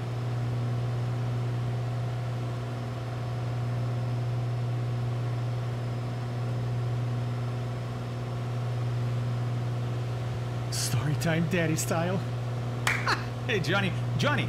Hey, buddy. Johnny's the guy that makes a lot of the guides for the amazing group flights that we have. Johnny, did you see that I rescheduled for this Friday? We're still doing it, bud. We're still doing it.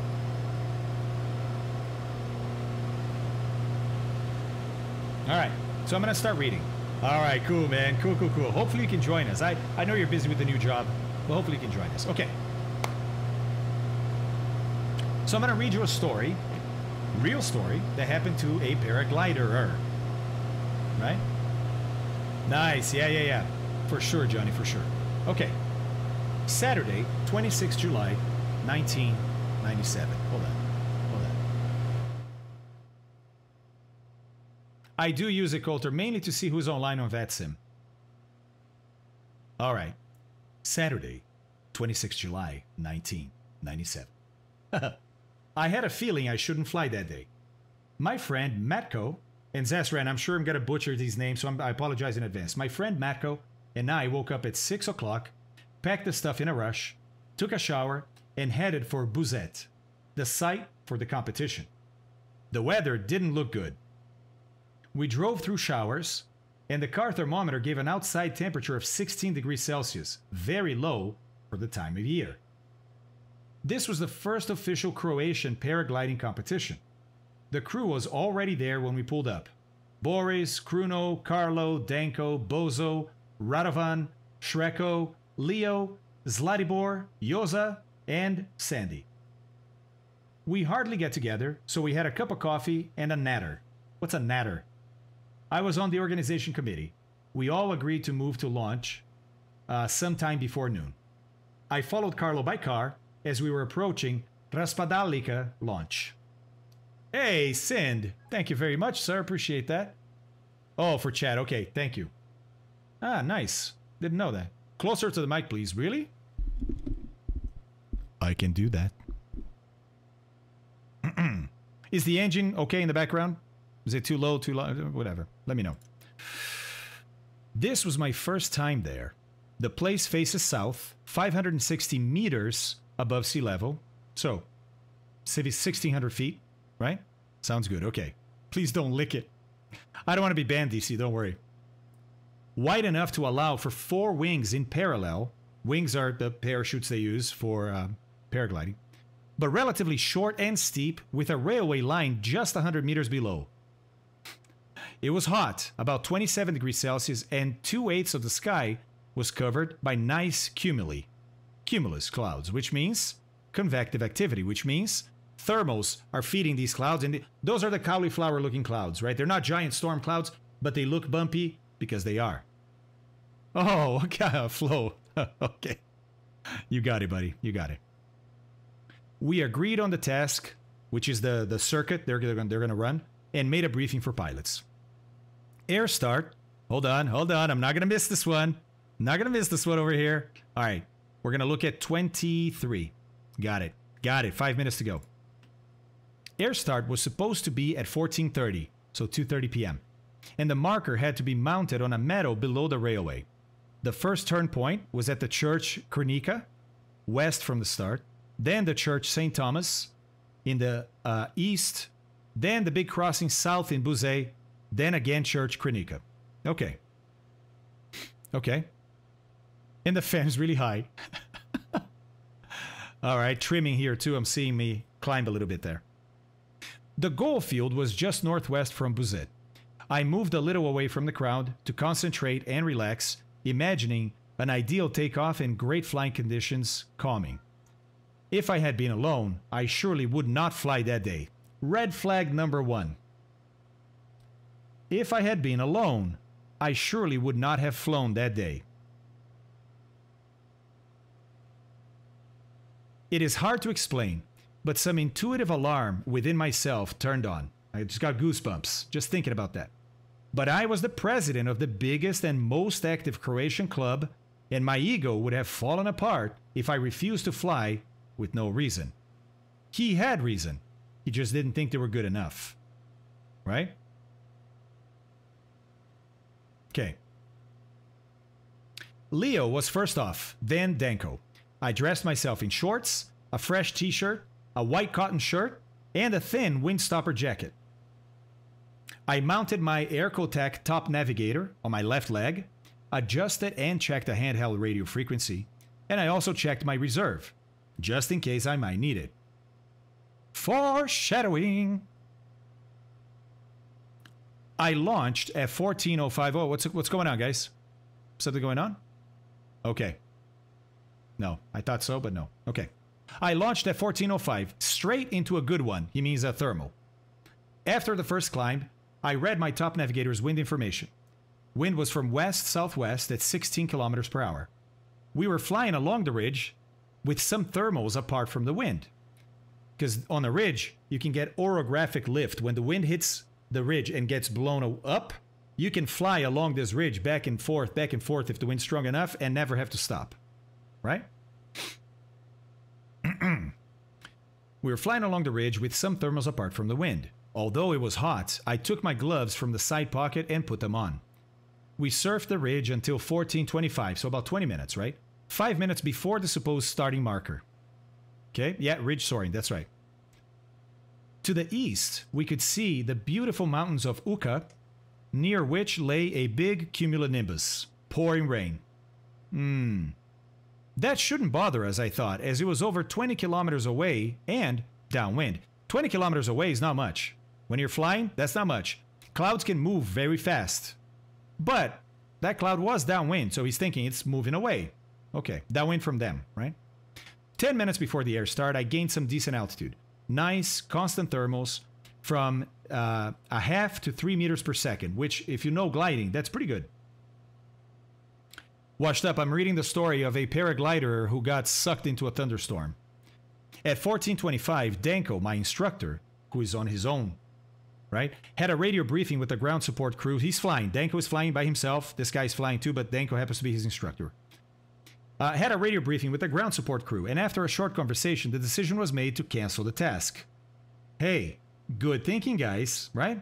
The reason was the overdevelopment that was observed a few kilometers north of our position over Mount Zbevnica, which is a thousand meters high. Okay?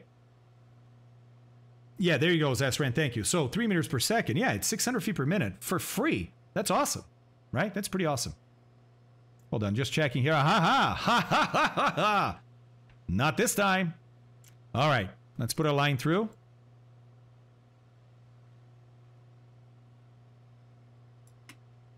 Okay. Next heading, 103. I'll do 103. There we go. Sorry, you didn't see it. There we go. I just put a line through here. Next heading is 103 and 3 hours and 40 minutes. 3 hours and 40 minutes. And by the way, if we're adding these uh, distances here just to see when we can expect to get that VOR, if we are en route, right? Let's see. Oh, and hold on, tank swap. Let's do that real quick before we forget. We should be very equal, about 21. Oh, and 20 and a half. That's awesome. Awesome, awesome sauce. Back to the left. Three, four, five. Pump off. Fuel pressure remains. We're good to go. Now let's go back here. Uh, three hours and 40 minutes. Oh yeah, sorry, we're adding adding distances. So this is 40 miles, 78 miles, 130 miles, or 120 miles, and then 160 miles. Okay, so we're currently about 160 miles from the destination. That should be our distance, right? If that's a really powerful high altitude VOR, we might pick it up at about 130 miles, right? Which is not now, but it should be soon. If it's a lower power VOR, it's going to have to be closer. So let's keep an eye on it. Let's keep an eye on it. All right. And now we have until 340, another 16 minutes. Okay. All right, so they decide to cancel the task, right? Because of that uh, um, storm and overdevelopment. Overdevelopment means, hey, that's blowing up, like that cloud is blowing up more than we expected. It's more violent than we expected. Uh, maybe we don't get close to it. Okay.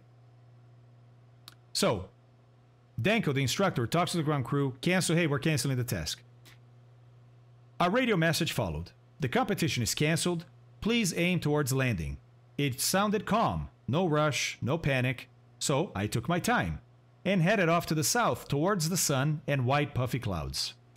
Guys, things can happen very fast when you're flying.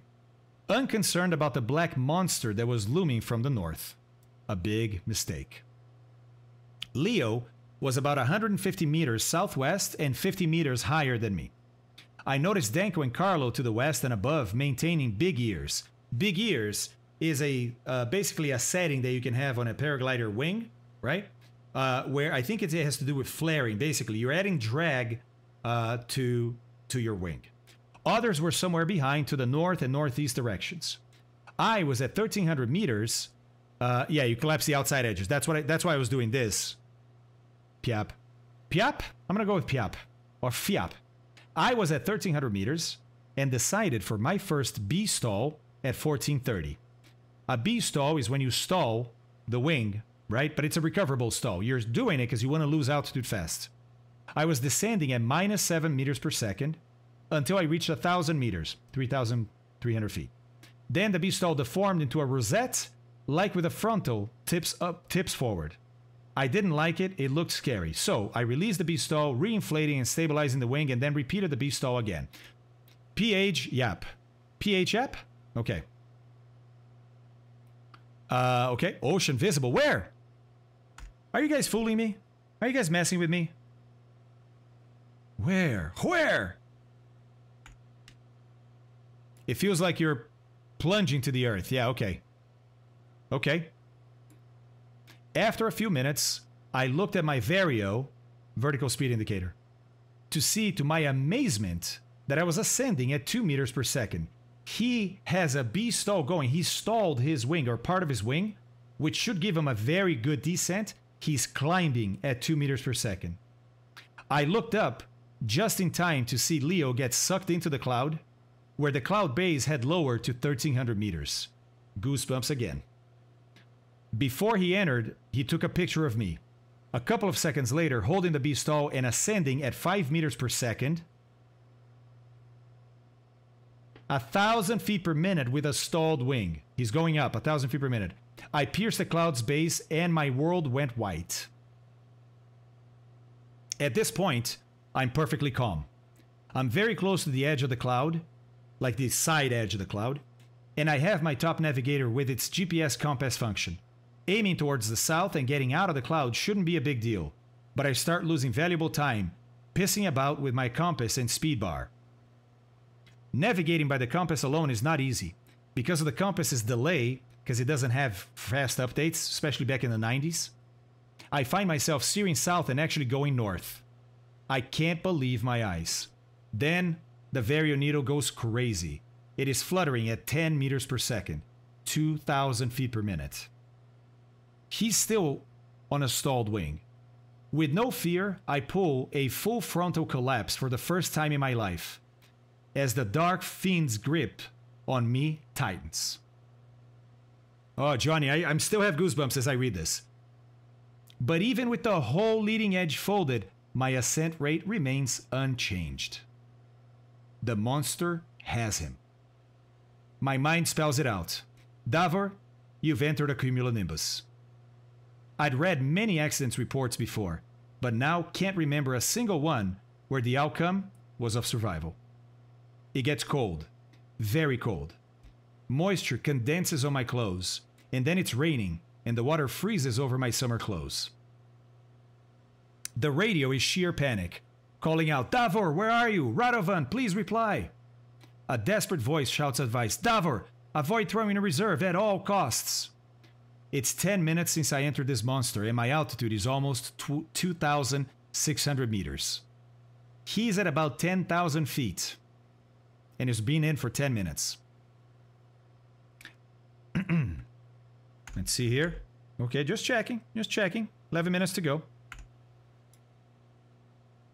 I am in a strange state of mind, calm and relaxed. I don't care about the radio panic nor advice which seems irrelevant. Instead, my mind is fully occupied with a single thought I have to warm up. I have to protect myself from the wind and rain and ice, wrap myself up in something, or else I will freeze. I release the frontal collapse and decide to deploy my reserve so I can pull in my paraglider and wrap it around me for some shelter. As I release, the Vario goes crazy, peaking at 18 meters per second. He's approaching 4,000 feet per minute up. I tug my left A riser, the lines go slack, and I enter a spiral. I wrench at my reserve handle on my right side, lobbing it away into the dark gloom. Then, horror. Pure fear. The reserve hangs limp, undeployed at the end of its lines, and my canopy is out of control, cravatted on the left side. I'm still climbing at a horrendous speed, and so it takes ages for the reserve to deploy. Seconds later, I hear a muffled crack and see it open and overtake my glider. You guys have heard parachutes open, right? They have a crack. Thank God. With a burst of adrenaline induced energy, I haul in the main canopy arm over fist and wrap its damp nylon around my shivering bare legs. I radio that uh, to say I am I am alive at 4,500 meters. He's already passed 15,000 feet. Under reserve parachute and still going up at 10 meters per second. That was my last radio call. Boris told me later he was horrified with the unrelenting scream of the Vario, because when he talked on the radio, they could hear his Vario because just like gliders, paragliders use a Vario that has an audible tone to indicate if you're going up or down. And the more it beeps, well, the pitch gets higher and the frequency gets higher, so it starts to beep, beep, beep, beep, beep, beep, beep, beep, beep, beep, beep, beep, beep, like that, right? Going higher and higher, like I am right now in this updraft, right? Not in the 90s, DC. Not in the 90s. And she gets slow. She's at the top here. She's going to start down. I'm going to leave her. Uh, so Boris told me later he was horrified with the unrelenting scream of the Vario, contrasting with my voice, which was gentle. The radio yell, well, or yells back, Where is Davor? Davor, call us back.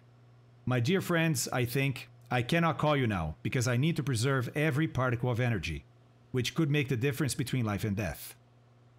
It's okay, Piep. It's okay, PH Yep. I remember an accident. I'm, I'm letting her vary up and down. This is normal. In, in turbulent situations like this, no worries. You keep attitude, not speed or altitude. I remember an accident report about a twisted parachute during a longer descent. But looking up, the Czech Sky Systems 32 meter reserve is stable and tense. In a few seconds, I establish a relationship of trust with it. Hailstones batter me, hitting from all directions, drumming on my helmet, harness, and wing. The ver- Whoa!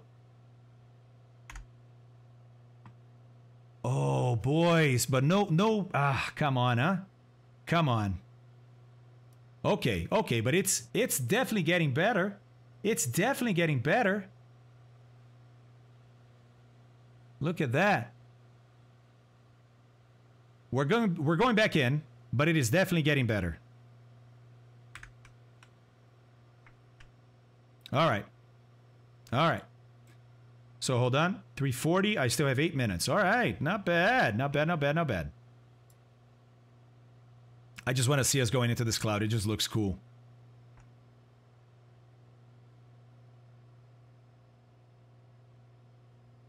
Goodbye, outside world. It was nice to see you for a second. All right. And look, now she's, you know, she's not leveling at six, but she's not too far from it either. It's fine. Okay. Lightning flashes surround me, bursting the dull grayness to the left, right, below, and above. Every few seconds, a dimmed flash of light is closely followed by a thunderous explosion. How far away was that one? If hit by a bolt, I'd be fried in a second. Davor, chances that you will survive this are zero. Pure zero. Accept it as a fact. Ooh, breaking out again. Breaking out again. All right. So he's accepted he's gonna die. In my fetal position, I desperately pray to God to save my life. Would there be many people at the funeral? It's what you start to think, right? The easiest death would be to faint from hypoxia, then fall into my reserve and fall, smashing hard into the ground. My father, who lives close to by uh, does he know that I am here? Above him, his only son, and that these are my last moments? Then, something else crosses my mind. Davor, what kind of thoughts are these? You must not give up. You are still alive. Have you done everything you can to protect yourself? A quick look at the Vario tells me that I am at 6,000 meters. 19,000 feet. At that altitude, I will either faint due to the lack of oxygen or freeze. I consciously start to breathe faster to hyperventilate in order to avoid fainting without oxygen. The air starts to get terribly cold. right. Right, he's in shorts, Mort. Ah! I'm in shorts at nearly 20,000 feet with the wind blowing fiercely. I'm freezing. No, I can't afford to feel cold. I remember my friend Kalman. He was caught in an avalanche in the Himalayas at Pisang Peak, and he survived with an open leg fracture.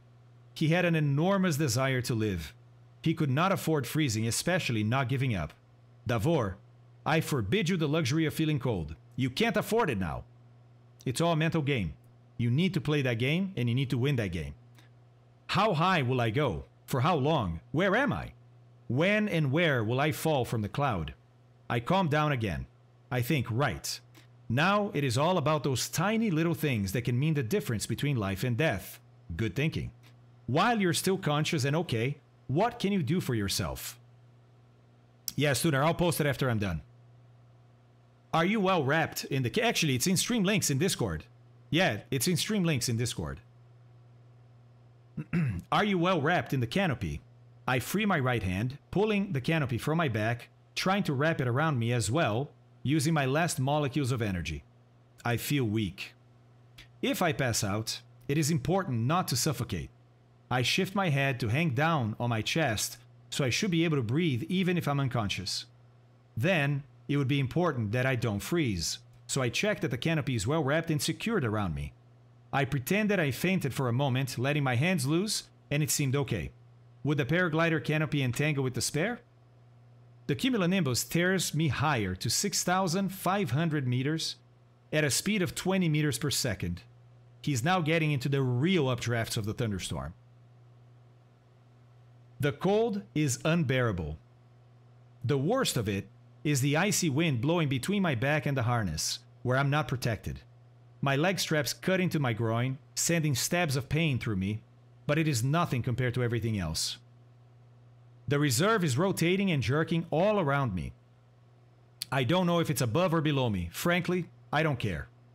Then I start to descend from minus 3 to minus 17 meters per second until I reach 3,300 meters, Then I lift up again, up to 5,500 meters, then down again.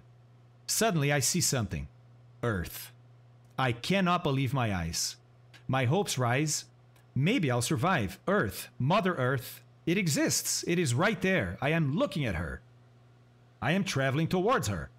A beautiful lake, forests, nature. Hail falls almost horizontally, melting, warming up, and transforming into big raindrops. But the reserve is bucking and spinning out of control. It is a whole new situation. I'm now fully focused on the next trauma landing. I try to get rid of the main canopy wrapped around me, to release it partially so that I'll land some resistance to slow my descent, but I am too wrapped up. The scene worsens. I am flying towards power lines and a burnt forest with sharp, naked branches pointing to all directions. Oh no. After all I went through, would I end up finished on power lines or nailed to a spear like a branch? It's all right. It's all right, Jet Dreamer.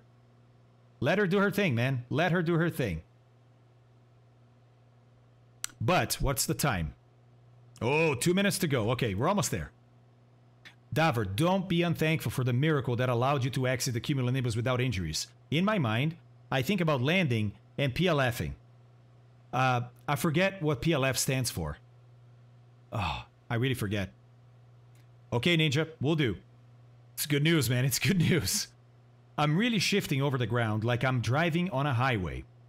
I stretched, trying to put my legs together, preparing to roll on landing. I pass a few meters. Oh, I think PLF is when you land on those big round canopies and you come in hard, and so you land and roll, right? So you don't break your legs. I pass a few meters above the power lines and hit a tree with my airbag, which absorbs the smash. I stand on my feet, frozen, wet, scared, shocked, but still alive. Oh, look at these clouds! Completely uninjured. It seems impossible. I am shaking from the cold. It's raining cats and dogs. I record the experience on my top nav and see that I've traveled 21 kilometers from where I entered the cloud. Parachute landing fail. Thank you. I hike out to the road and stand in the middle, trying to stop cars with my thumb, but the cars just circle around me. Can you imagine the scene? Shaking, I continue to walk, thinking, Davor, you look like a forest goblin, completely soaked with a rucksack on your head, covered in leaves and with a bunch of nylon in your hands. Who would be crazy enough to let you in their car? I'm relaxed. It's not a matter of life or death anymore. Right? No, no cell phones. No, in Brazil, for example, cell phones didn't get there until the late 90s, DC. It was raining gliders as well. All right, she's down a full thousand feet. Let's see what she does. See what she does. I'll do a couple of couple of tabs of trim up. Yes, Ninja, yes. But you have to. If you're going to survive, you have to clear your mind, right? Soon, I come across the village of ooh, Solsonievica. Civilization, people. I pass the nearby graveyard, approaching a new house. There are signs of life a kid's bike, a car, tools, and stuff around. I haul my lazy body up the stairs to the first floor, ring the bell, and knock on the door. A man appears. I can't stop my flood of emotion. Please excuse me. I was flying with my paraglider and got sucked into by a by a storm cloud. I am cold and in shock. Can I call my friends from here? Please help me. Oh, time. Thank you. Thank you. Yay. Yeah, yeah, yeah. One passed. Thank you very much. I got so excited there at the end. Hold on.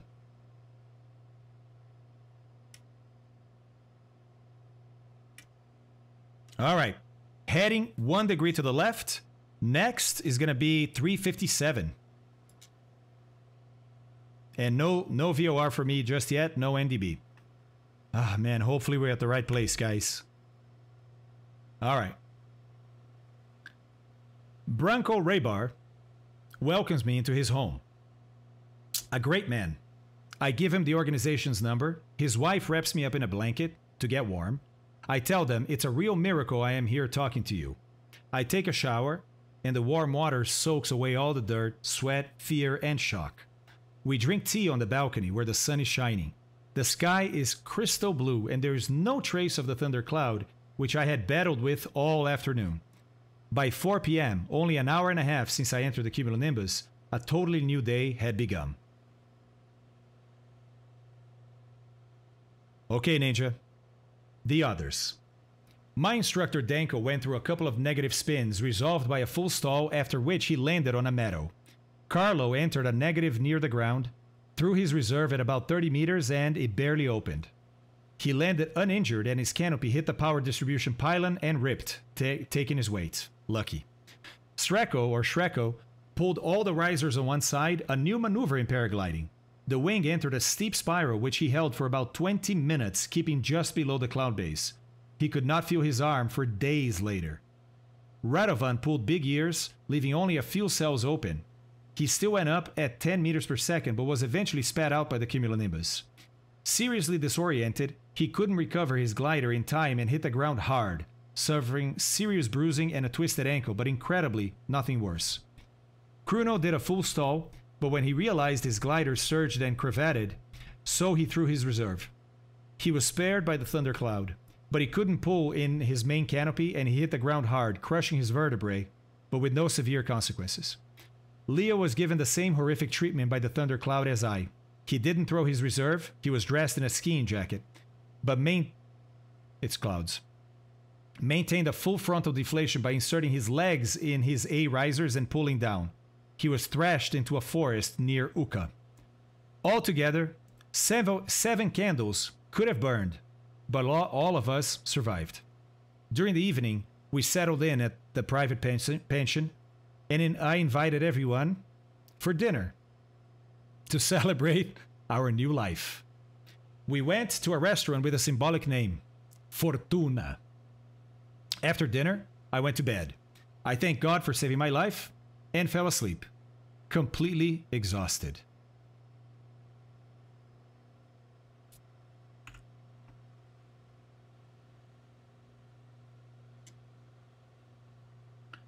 It might be too small for you guys. Let me see if I can open this. Um, if it's going to make it any bigger. It is not. I can't zoom in, can I, in Edge? Anyways, look.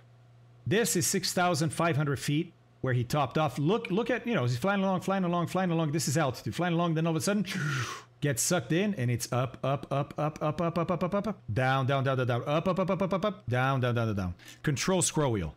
Hey, thank you very much, guys. Thank you very much. Remember, he was coming down, then went up again to 5,500 meters, and then he was he got spat out. So he just had a normal descent on the way down. Here's his Vario registering at top of about 15 meters per second up, about 15 meters per second down. Altitude max 6,570 meters. Vario max 19.6 up, 17.8 down. Let's see. VOR! What? What? 123 miles. Okay, let's see how how off we are, guys. How off are we? We're not that off. Oh my god. We're only 10 degrees off. Let's just go. Let's just go. All right, baby. Take me there. Take me there. Take me there. Oh, boys. Boys. Now, now we are within range to start listening to the ATIS, right? And see what the weather really is. We don't have the ATIS here. I hate the ATIS in the sim. It's I don't like it. So I'm gonna just look at SkyVector. So let's go get a, a weather update in SkyVector. Smoke, that was not bad, huh? Not bad. Leo, thank you, buddy. Thank you very much. I appreciate that. Oh man, I am happy. I am happy, happy right now. Oh, my gosh. All right, so that means, look, let's look in SkyVector. So 10 degrees off at 123 miles off. Okay. And I'm 10 degrees. I am to the north, so I, maybe I shouldn't have corrected my heading like I did. Like an idiot. Okay. So look, hold on a second. Let's go uh, let's see what kind of distance this is. Oh, no. Yeah, I need way more distance than that. Because this is 40, 38. Okay, so. Let's see. This is 101. 110. Okay, so about 120, right? About here. And 10 degrees off, I'm on a heading of, uh, I need to be on a heading of 120 is the go-to.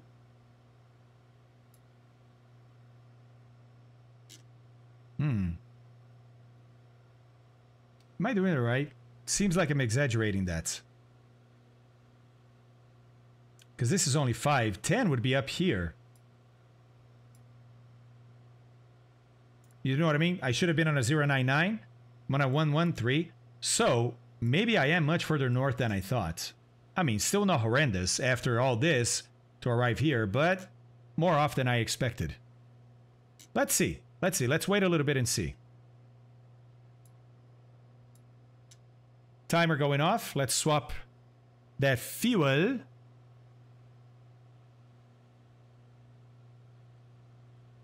Lower on the left, then the right, and we're going to go to the right. And we're going to the right. One, two, three, four, five. Still good. Still good. Still got it.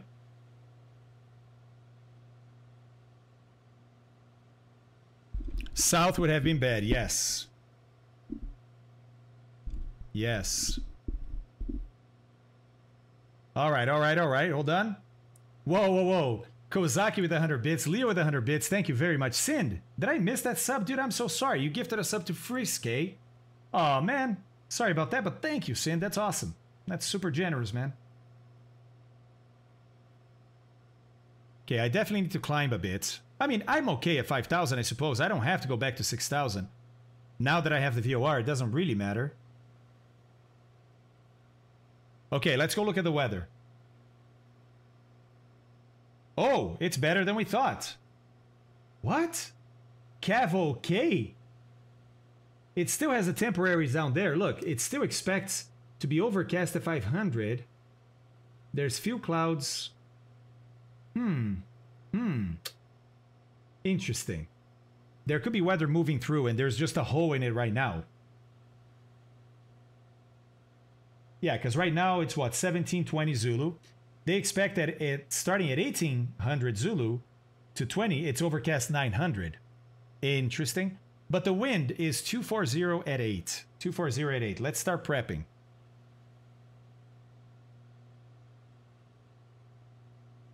All right, wind 240. We're going to use runway 28, right? Okay. Plenty big. No worries there. They have an ILS if we need it, right? And look, we can do the ILS off of the VOR because this here requires GPSs. These are GPS waypoints that we don't have. So we can do this though. Outbound on the 092 because we're a category A aircraft. Um, because of our speed. It has to do with our approach speed or stall speed really. So we're going to go outbound on the 092.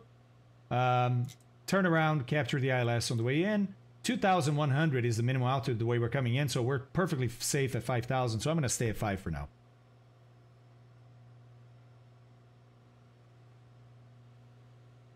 There you go, Coulter.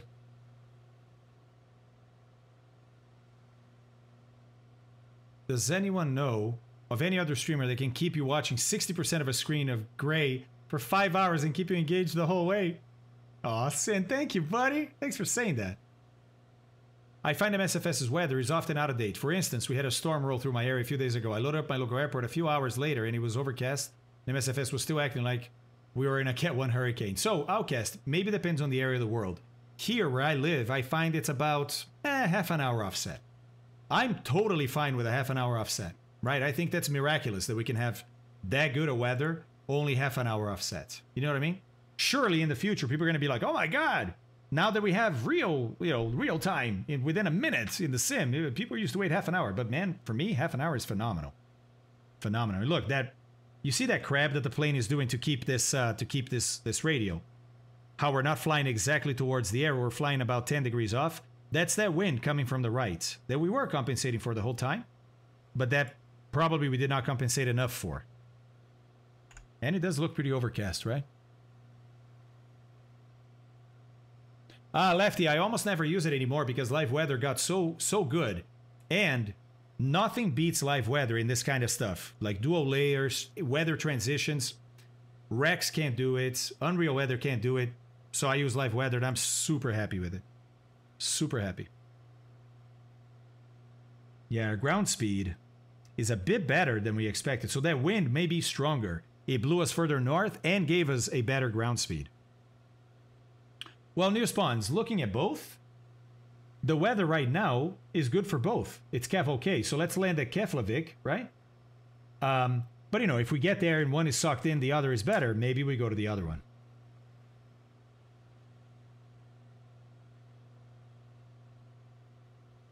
Oh, Arva landed already, man. That's awesome, dude. What were you flying, Arva? What were you flying? Because I still have about an hour to go, right? Well, less than an hour. About 40 minutes. Which reminds me, food. All right, guys. I don't need the navlog as much anymore. Uh, I got the VOR, right? Obviously, you keep doing this in case the VOR goes off because you're the unluckiest person in the world and it just broke. But I feel pretty good here. So, let me go grab some food and I'll be right back. And yes, Lefty, I can. I'll do that when I get back, okay?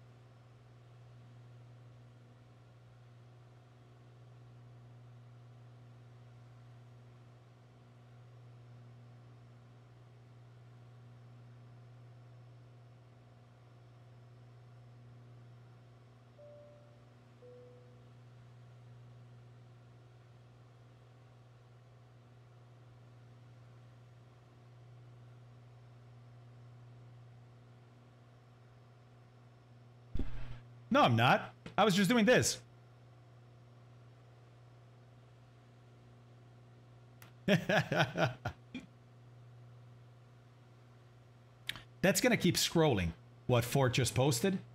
So uh, I'm just going to show this and we'll keep this on screen and I'll talk us through that METAR. Deal? All right.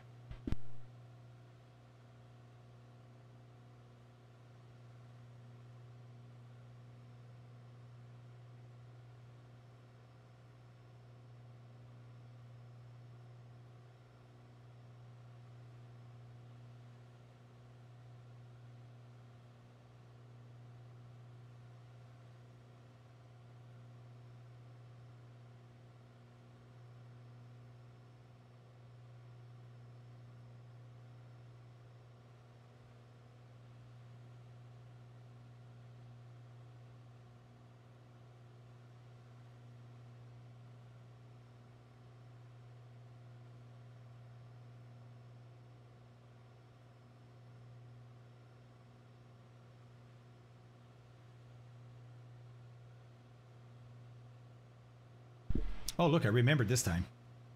Oh, what am I saying? I never forgot it. Yes, yes, there are, Stooner. By the way, Stooner, did you have a question that I never answered? I think you did, didn't you? I think you did. Oh, yeah, Vokaisus. No, I love DCS, dude. I've even streamed DCS. It's amazing. It's amazing. All right, so weather station BIKF, that's the ICAO identifier. BIKF, Bravo India Kilo Fox. That's how you tell FMSs. You want to go to Keflavik, that's how you, you report weather, is using that four letter ICAO identifier. Okay. Then next line, smaller font. BIKF, okay. I know that's Keflavik. 281700Z. That means June 28th at 1700 Zulu. That's when this METAR, this weather information was issued. Okay? Then 24008 KT. Okay. Winds from 240 degrees at 08 knots. KT for knots. All right. Next, 200 V270. That's associated with the winds we just read. The winds that are 240 at 8 knots, but they're actually variable between 200 degrees and 270 degrees. So the wind is not blowing in just one direction. It keeps changing a little bit. Then, CAV OK, CAV OK, ceiling and visibility OK. That means no clouds, and visibility is great. Then 10 slash 07, right? Hello, Ingo. Um, that is our temperature and dew point. The first number 10 is our temperature in Celsius, so it's 10 degrees Celsius right now in Keflavik. Slash, so now dew point of 7 degrees. And dew point is important because when your actual temperature gets down and matches the dew point, water in the air will condensate. The air can't carry any more humidity, and we call that a cloud or fog if it's on the ground. Followed by Q1016, that's our Q QNH, our altimeter setting of 1016 hectopascals. Yeah, yeah, exactly, exactly, Coulter. oh, Kozaki got the ILS already. Nice, buddy. Nice, nice, nice. All right, I'm going to start eating a little bit, so let me see here. Still maintaining about 5,000 feet. That's all right. Uh, what's our distance? Ooh, we're under 100. Under 100. Let's go. Let's go. Oh, this is awesome. I can now, now that I read that story, guys, I think I can bring this up. You guys tell me if it's too much. Ooh, hello.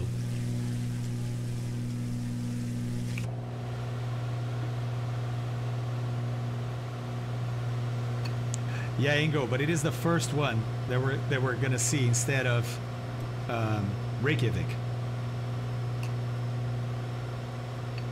And we have good scenery for both.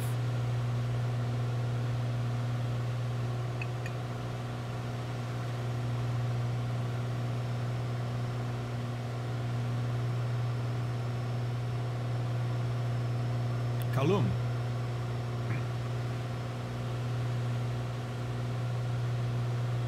If the ceiling visibility are not okay, then they'll give you the clouds, the bottom of the clouds, right? How much altitude between the airport and the clouds? Uh, and that can be scattered, few, broken, or overcast. You kind of divide it into, like this is overcast, or broken, that's broken, right? Because you can see a little bit through. And you would have a visibility. So whenever you see CAV OK, they're not going to report numbers. They're just saying, hey, no clouds, visibility is awesome. There's actual minimums for them to issue that, but you don't have to memorize those. And then, if they have, if it's not CAV OK, they'll give you scattered few, broken, or overcast and an altitude, and they'll give you visibility numbers too. No, Coulter. No. It is AGL, above ground level. Because you need to look at those altitudes for approach. So if you see overcast 002, that's 200 feet above the runway, right? It could be that the airport is 10,000 feet in the mountains, doesn't matter. Overcast 002 means 200 feet above the runway. Do I still need a dew point then? Well, it's for you to look at Lefty and be like, oh wait, that temperature is really close. Oh yeah, by the way, I saw your question, right? It has to match. The temperature has to be the same as the dew point for fog to occur. And even then, it doesn't guarantee the fog will occur. It just means that the conditions are there and it may occur. BR low, I have Brussels sprouts with a Carolina Reaper sauce and uh, a bratwurst.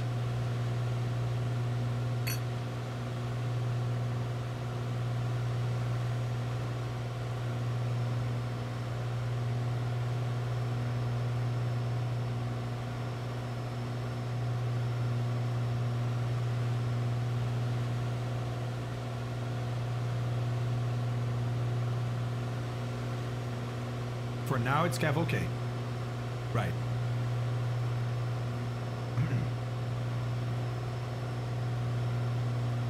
DC6, Papa Norris. DC6. I am going to go back to those at some point. At some point. Mmm. BR, do, what don't you like? Both? So I love veggies, right? They're great for you. But I think they taste really good too. Not all of them. Yeah. So, um, for example, for me, Brussels sprouts are very similar to broccoli.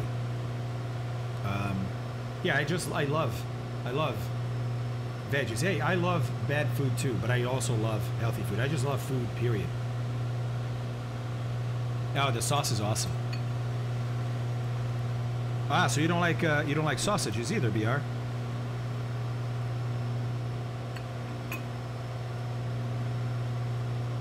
It's a spicy.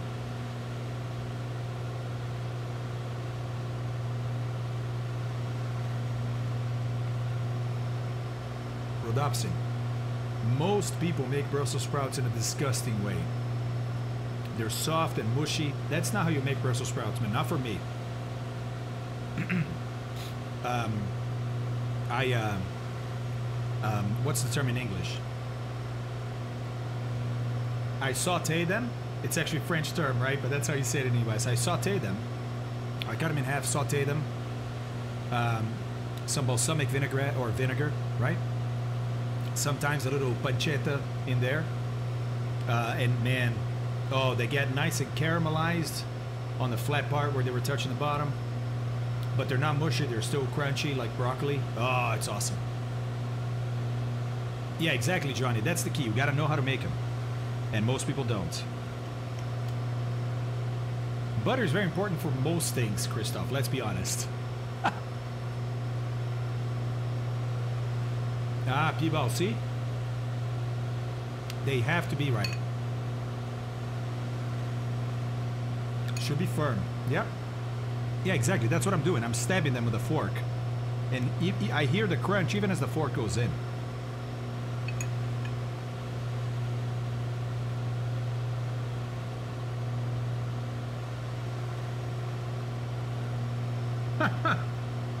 yeah, two cider. By the way, butter or olive oil depends. Depends on what you're cooking. I saw that movie too.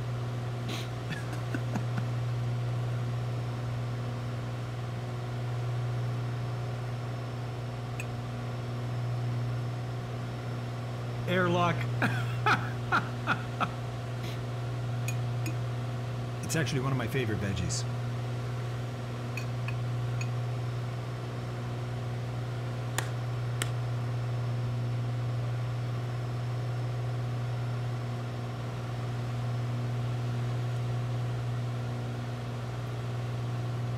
Tool, thank you. I forgot to say, I put lime juice in them too.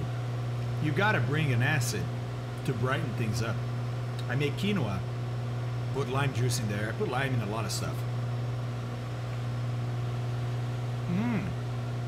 Both seem to be reporting about the same. So, go. they could be reporting about the same. METAR is now. TAF is in the future. There you go, Christoph. There you go.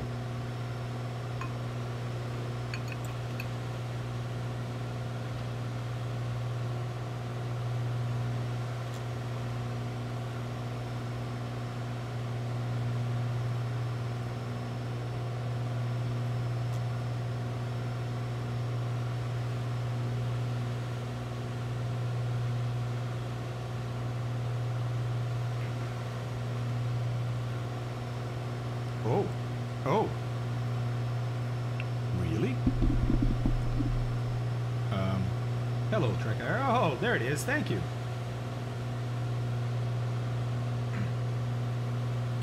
Maybe for you, not for me just yet. I see ocean, but that's okay. We got that VOR. 70 miles. Or, or 26 minutes.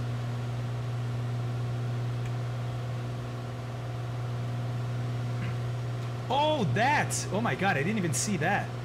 I did not even see that. It's certainly a volcano. They have lots of volcanoes in Iceland.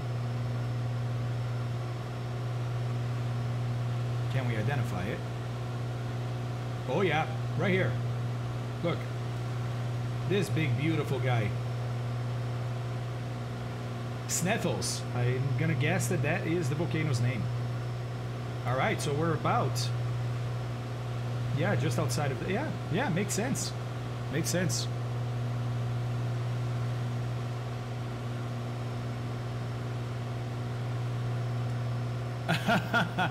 Rice cauliflower hot sausage. That's awesome. See?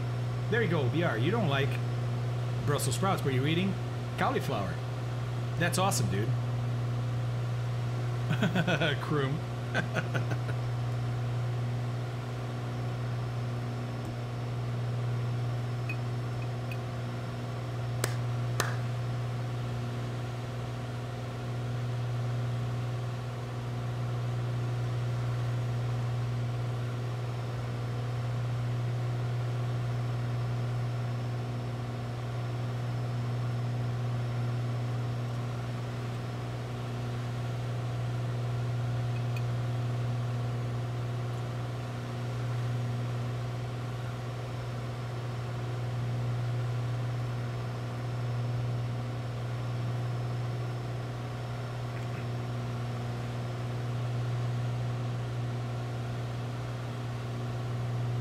Hello, friend.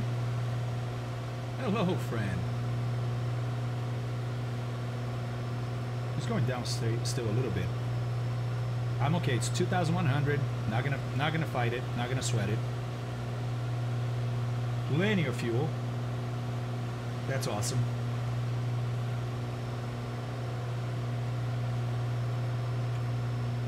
Hmm, UFO.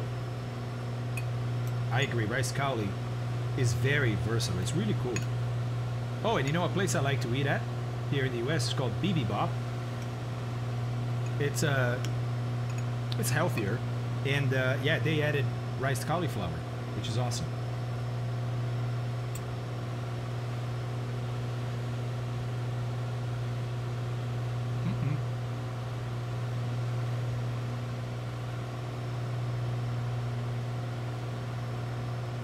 Ciao, Lefty. Ciao.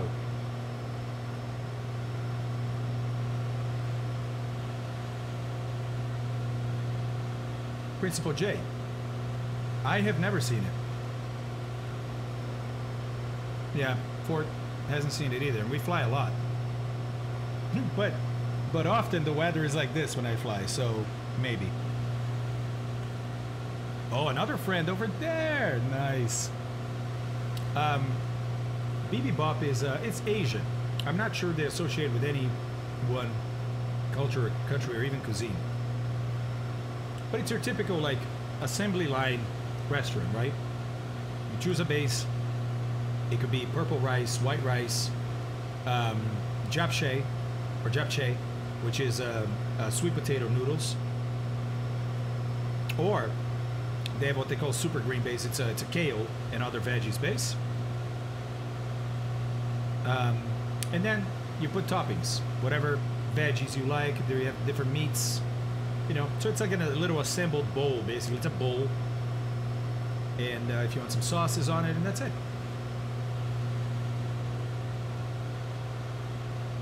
Oh, Kozaki has. Oh, dude, you're already in, huh? Chipotle owns Bibibop. Oh, there you go. Makes sense then. I found a plane on the ground image. I've seen a plane and the contrail on the ground image. I've seen that. Nah, Ninja, you haven't missed much, at least on my flight here. I'm still about 50 miles out. 56, 21 minutes to go. Um, no, people are talking, asking if we've found the Bing watermark in the scenery in the sim, and I, I haven't. I don't know if others have. I just haven't heard of it. Guys, uh, it looks like Aerosoft just tweeted something about the Otter.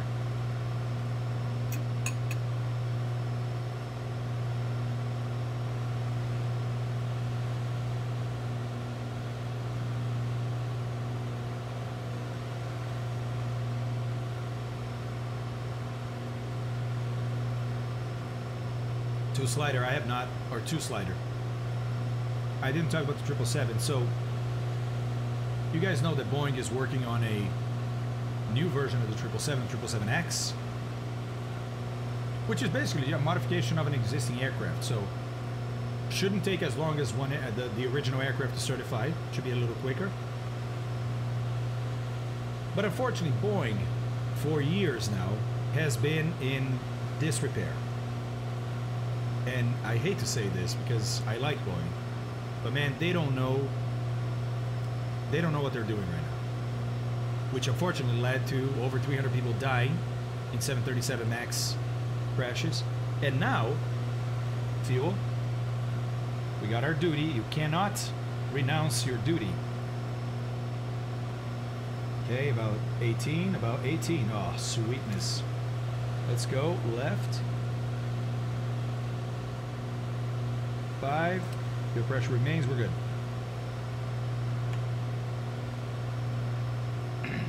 Yeah, you'd hope, right, two slider? But issues with the Max, issues with the military aircraft. They build the uh, 767 or 767 tanker. They've been finding tools, metal shavings inside those things. Issue with the 787. Now in 777X flight testing.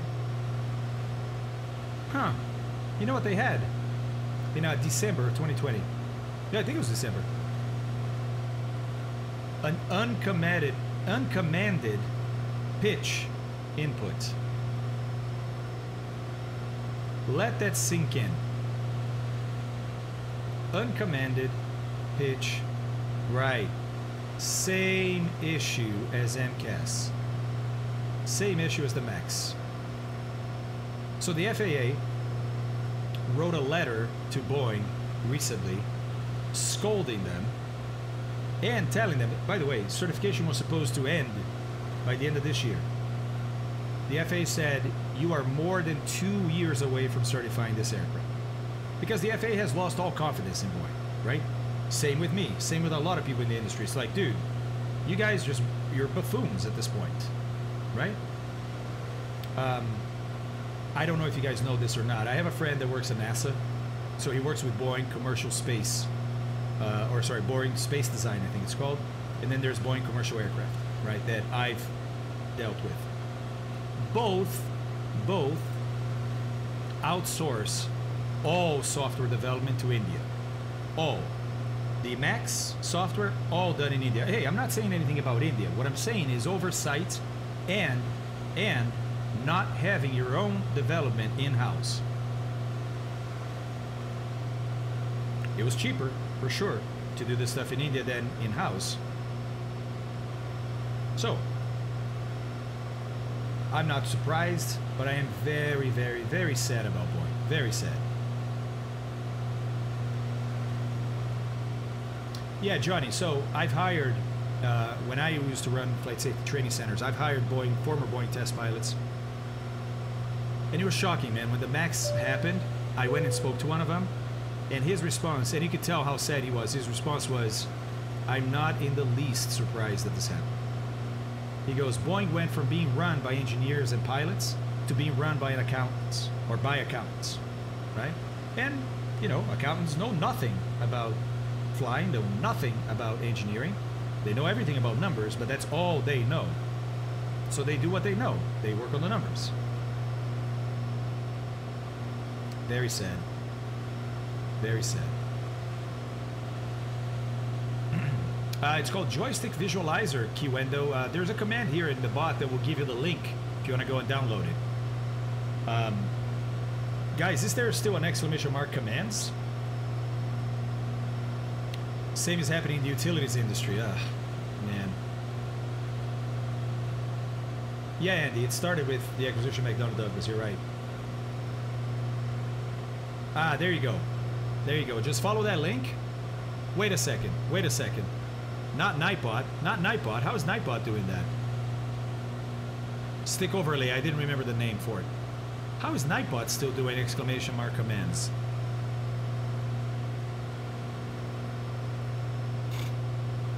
Airlock, I just pulled the trigger on a Piper Turbo 3M4. T-Tail just did it for me. Downloading right now. Drooling a little. Oh, let's go, buddy. New toy. New toy. That's awesome.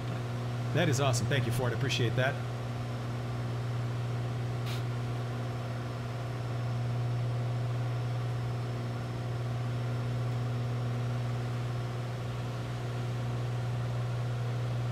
We'll hire people from India. We can hire four for the wage of one local dev. Oh, Sticks, that's good attitude by your company there. That's great. Great attitude. They put an engineer in charge. Yeah, Mort, you're right. You're right. I mean, it's no secret, right? It's no mystery. It's actually really simple. Really simple. But greed, greed, mark my words, will burn this planet. Like the story of Intel, but they switched back, so now it's run by engineers again. But yeah, it will take three to five years until we see results. Right. Right.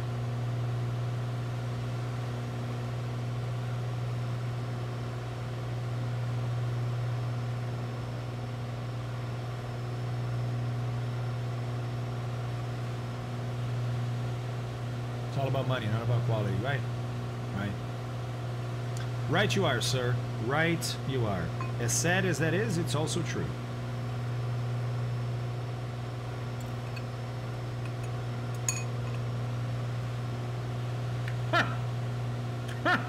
Sorry, Port. I, yeah. Welcome to Nightbot.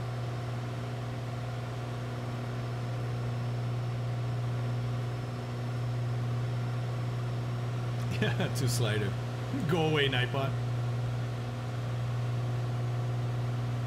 Ah, uh, no, I fly everything. Uh, I do fly more prop. And I'll tell you, I don't fly the fly-by-wire Airbus because to me it's still really far from the real thing. So it's not that I... It's not that I'm a snob. It's that I like to fly planes that are complete, as complete as possible representations of the real thing here in the sim.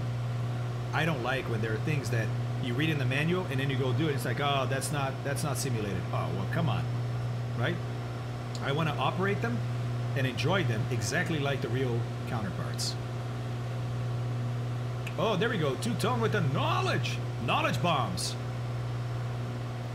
Ah, uh, Kozaki. It's probably set to 12. Yep, set to 12. We're not doing ATC really, right? I mean, we like to be realistic, but uh, I think that would have to be seven, wouldn't it? 7,000 for Europe.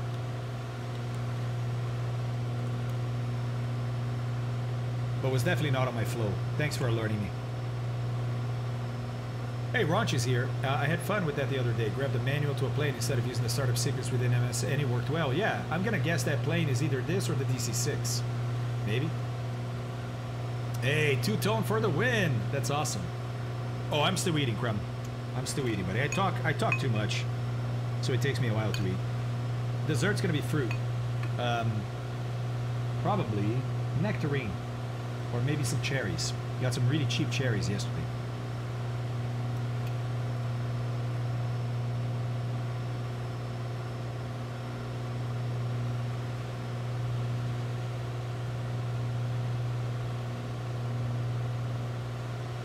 Gotcha, Raunchy. Gotcha.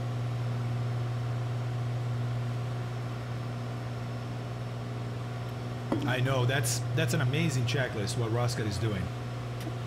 Skynet. you know, Two-Tone, we laugh and we joke. But man, I am one of those people concerned about AI.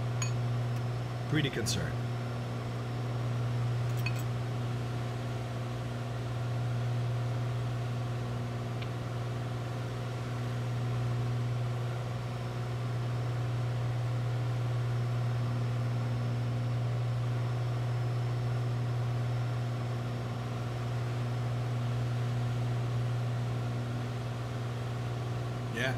Seppi, exactly that. So, two slider, I never ignore, man. I may miss stuff, but I never ignore. Um, do I do new landings as they come out? Um, oh, you mean like uh, airports? By the way, look at look at the breakup on the clouds here. We may just get there VFR. We may just get there VFR. Be afraid about the idiot who would write. Well, exactly, Cookie. That's why I'm afraid. That's why I'm afraid. I'm not afraid of guns. I'm afraid of the people that use the guns.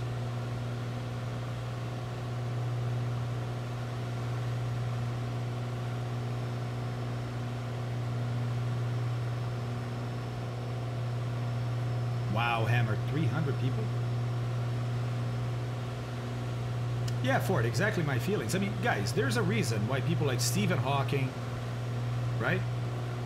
Like Elon Musk. There's a reason why these guys are saying, hey, AI, this could be a problem, guys. Those are decently smart people, aren't they?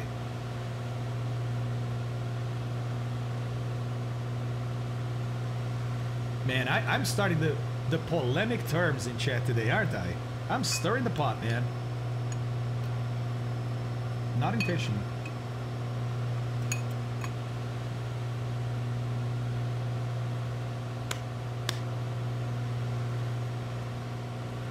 Airlock. Let's go, buddy. Let's go. Well, Cookie, here's the thing. I'm not thinking tomorrow. I'm thinking, what about 20 years from now? Right? This stuff's going to take a long time to build. But all it takes is one day it goes over. That's it.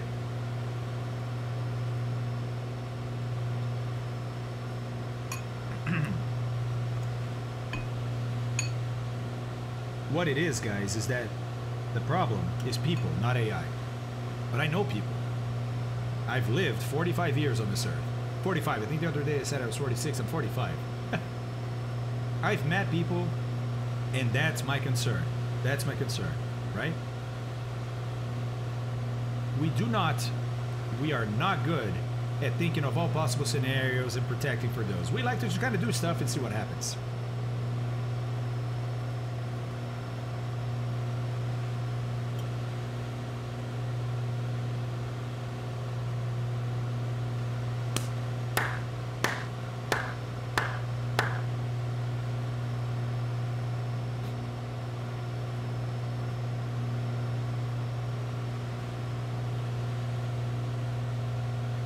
Airlock.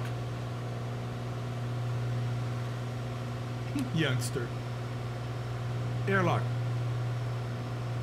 Sorry, I'm trying to chew and swallow, but I wanted to stop you. Because if you can, if you can be patient and read the docs before you fly, man, your experience is going to be that much better. Do it. Do it.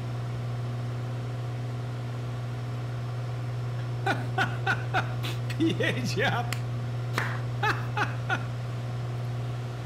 There you go, Supra. Captain Boo is here. And he just gave out a sub to 6504K. Thank you very much, Captain Boo. I'm dying to see what our track is going to be on Little Navmap.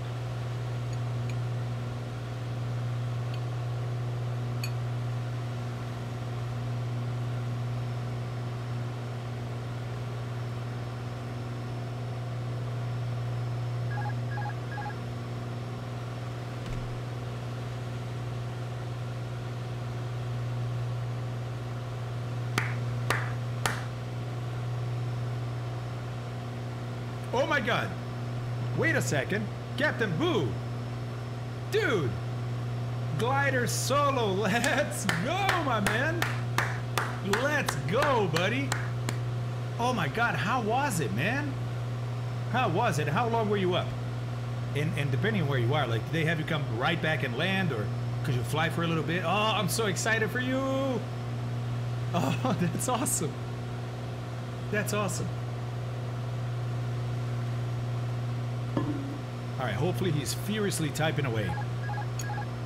Oh, Sappy. Thank you, sir. Thank you, thank you, thank you, guys. Mm-mm. No spoilers.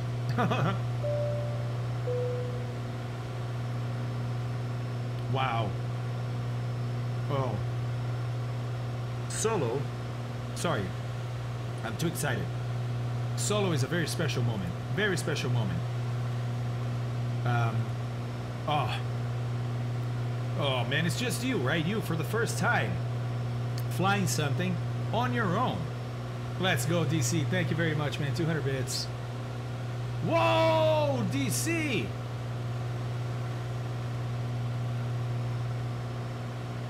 Are you seeing the badge you just won, buddy?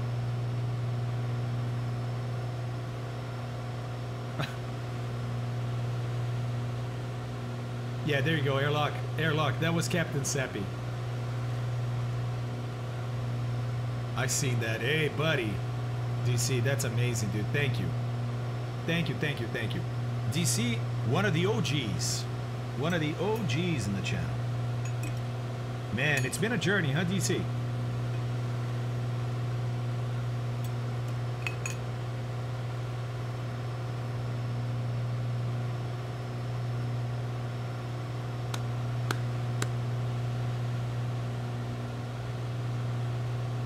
No, I don't.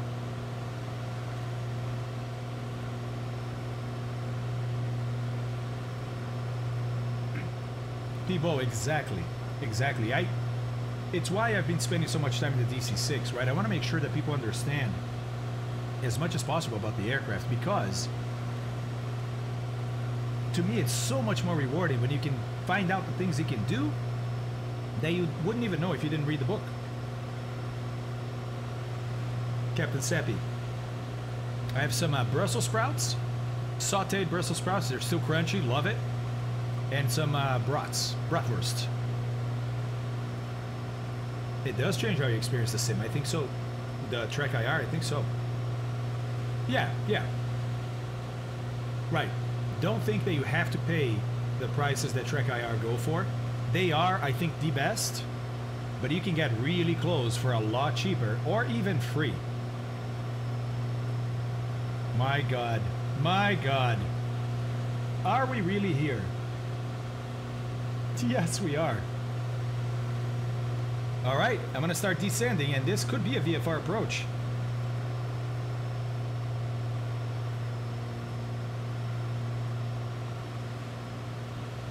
And a new sub. Screw Oprah. This is the place to be.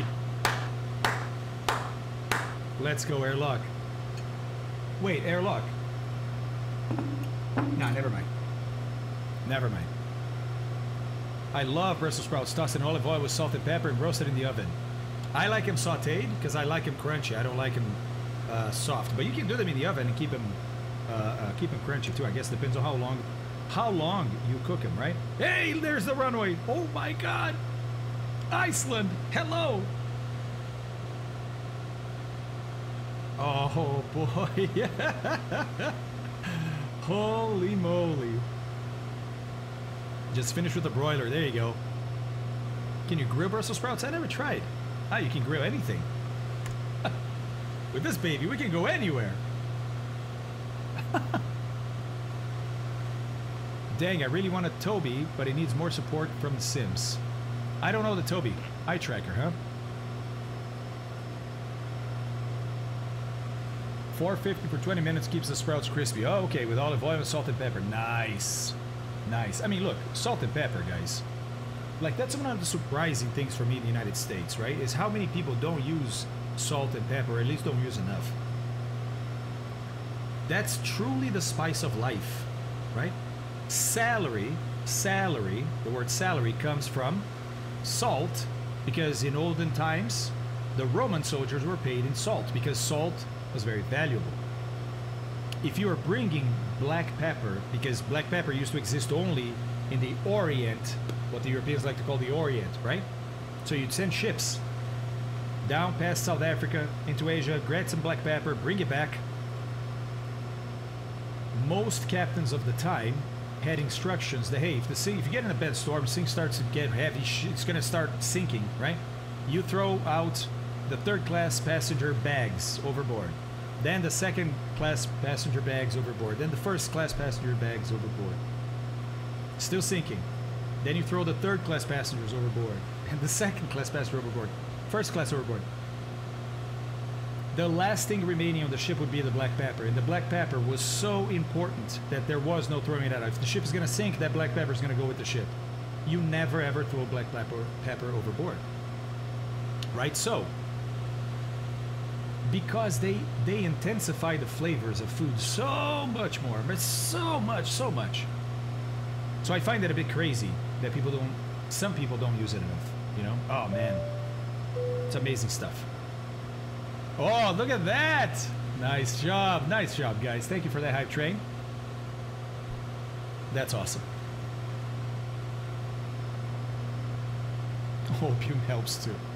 All right guys i'm gonna level off about here The other runway is going to be north-south like this, but we're going to land on runway 28. So I'm going to pass it, and then we'll left turn and come back.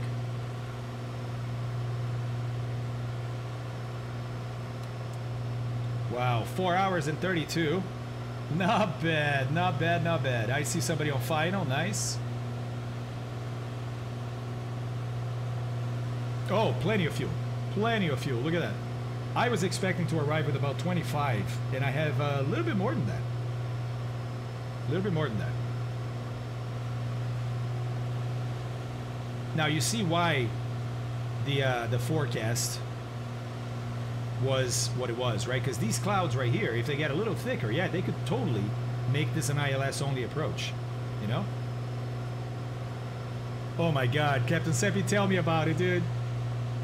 Tell me about it. Wow. Wow. Hello, Iceland. Oh, that looks like some military spots, maybe. Guys, we found Iceland after four hours. Because for the last half an hour, we've been flying on VOR, right? Ooh, there's some airliners there. I think scenery is loading, so it keeps hiccuping, Picking up like this.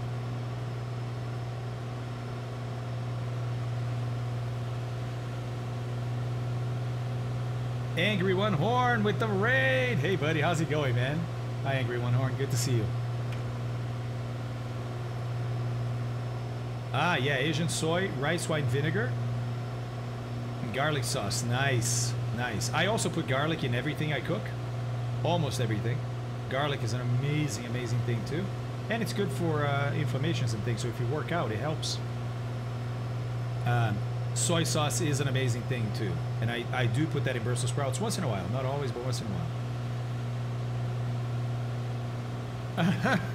Volkeisters. Oh, ye little faith. All right. Let's go pump on. Prop full forward. Mixture rich. I'm to start slowing her down.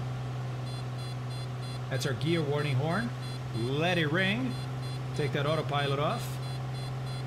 She's dive bombing here to the ground. We'll fix that. Oh, man. Oh, man. I gotta look up some Icelandic food. No, not fermented shark. I'm good. Thank you. Gear coming down. And uh, I'll see if I can make some Icelandic recipes um, this week before we move on to what's going to be probably more known to our palate next week, which will be Scotland.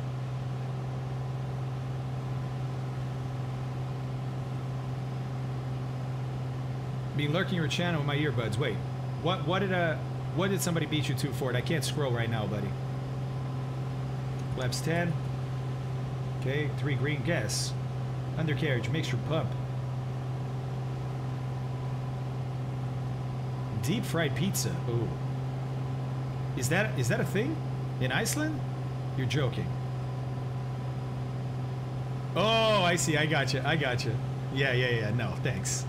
No, I've seen Andrew Zimmern eating that, and that dude can eat anything. So I, yeah, no. Thank you, but yeah, nah. Deep fried Mars bars. Not a fan of haggis. Yeah, haggis is all right. Some of us were jumping ahead to Scotland, yeah, with the haggis. hey, look at that. On the ramp. Two reds, two whites. Red over white, you're all right. That's not for a PAPI like this, for a VASI. 100 knots, I'll start slowing down. All right, I think I'm going to park on the left here. That right one is too far, isn't it? That's That looks to be the terminal. This looks to be military or airline or something, but I don't know. Where did you guys park?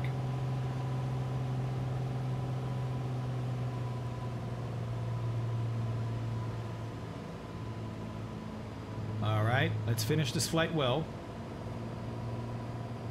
I'm just to do flaps 10. I don't need more flaps than that.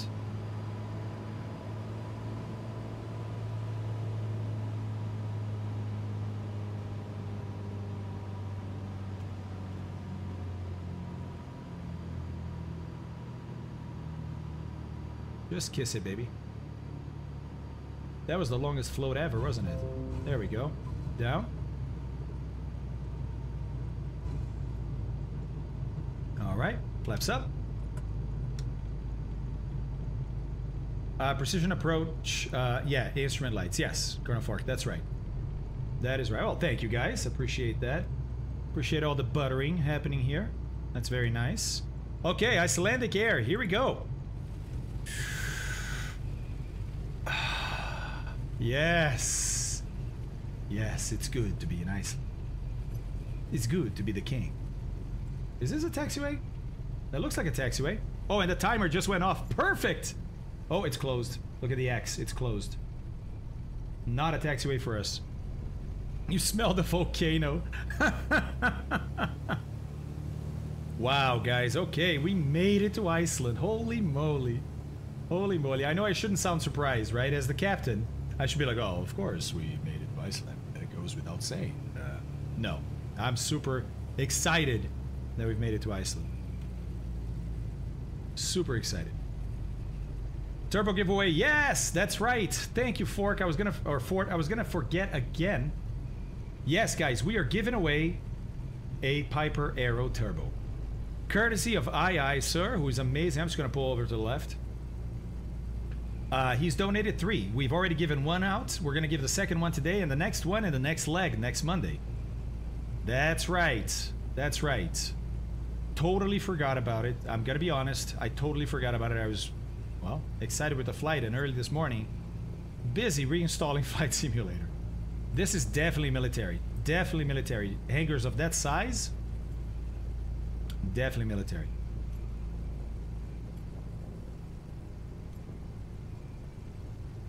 Keeping that RPM at least a thousand. Mm, it's windy too, I can hear it.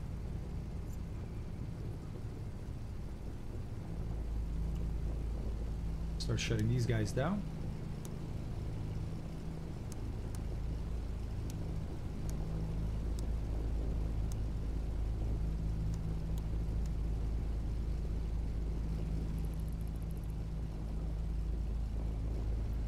Well, this looks like a good spot.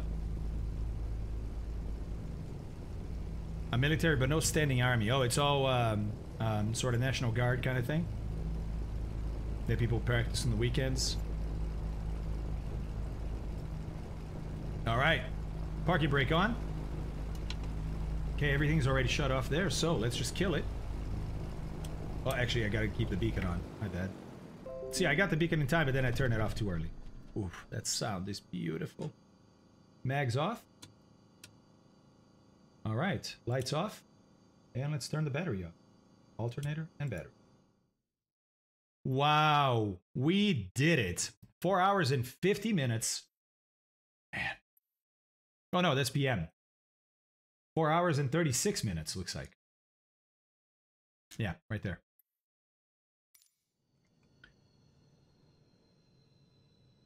Yeah, what Fort said. What Fort said. Um, flow again, man, depends on what you like. I think I use a 50 whatever 55 inch TV. Um, and it works for me, but that's also because I'm space limited. I stream from my living room, so this is the TV in the family room, basically. Can set a clock to it. Are you talking about me forgetting the uh, the beacon or screwing up the beacon? I, I. You're an amazing sim streamer, Fabio. Exceptional. Bravo. Oh, and climb. Dude, thank you very much for saying that, man. That's amazing.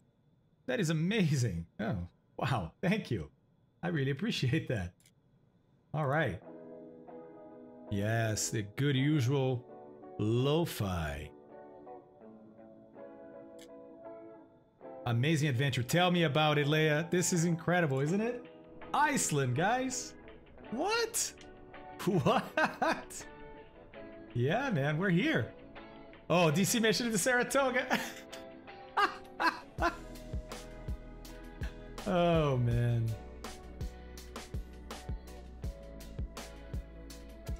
You know, I didn't even check. Like, I have all kinds of Brussels sprouts in between my teeth. oh, somebody coming in for a landing there. Nice. Low-lying clouds for sure. For sure. Man. This is volcano land. That's what I love about this place, is that it's wild and still being foreign, you know?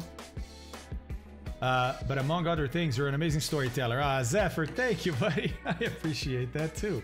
Guys, it's a good time to consider supporting the channel. We're about to give away a uh, Piper Turbo Arrow. Uh, but before we do, if you'd like to support the channel, subscriptions are a great way to help me. Thank you. Scazzlebutt, that mountain in the back there got me stranded in Spain six years ago. Oh, yeah. Hold on. Hold on. I don't remember the name, but I'm going to try and pronounce it. Then we'll do the giveaway, yeah? all right. All right. Hold on. I can't I can't prep. I can't prep. So I'm going to get it up on the street. There we go. Okay. I'm not looking. When I turn it on for you guys, when I'm going to look and try to pronounce it, okay? Here we go. Okay. Eyjafjallajökull. Oh, I thought it was harder than that. Is that right? Eyjafjallajökull? But that's what you're talking about, right? Whoever was stranded in Spain? Airlock.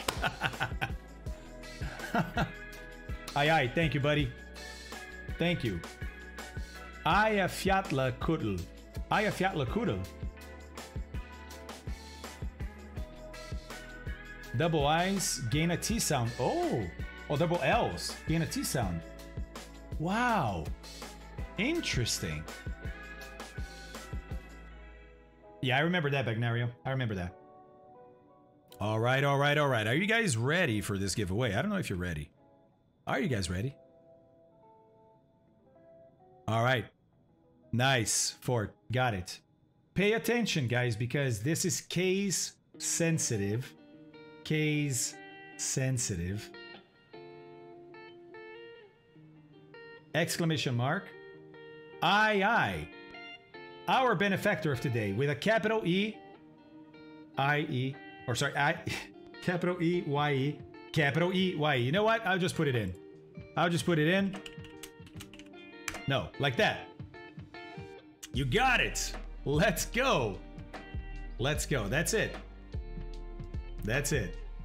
For your chance to win a Just Flight Piper Arrow Turbo. Whoo! Ho ho ho, let's go! Attention, attention. We're about to begin our giveaway. If you're lurking, this is the time where you stop paying attention to your job and start paying attention to the stream. Let's go. Let's go, guys. Let's go. Capital Fish. Oystick, thank you very much for that, dude. OISTK just OISTK. for two months. All right, all right. Fort, how are we looking, buddy? I'm supposed to pay attention to my job. oh, we still got some aye ayes coming in, okay? Let's go, guys. Exclamation mark aye aye. Our amazing, amazing uh, um, member of the community who donated three Piper Arrow turbos for us to give away during this trip. All right, 88 people are in, okay? Thank you, Smell. I know that some of you guys have it, so I'm not expecting it's going to be every viewer, and I know some viewers are uh, probably not paying attention. I know, right, Airlock? There you go, buddy. There you go. And Airlock, I honestly, I feel bad, dude, because I know you went out and bought it, and I forgot to say, I forgot that we were giving away a copy, so I am really sorry, man. Should have said that. Should have said that. Stula, thank you for the follow. All right. yeah, yeah. Rigged. Sorry, man. Okay, yep, sounds good, Fort. All right, guys, we're going to do the usual. We're going to have a little uh, drum roll as we do the drawing.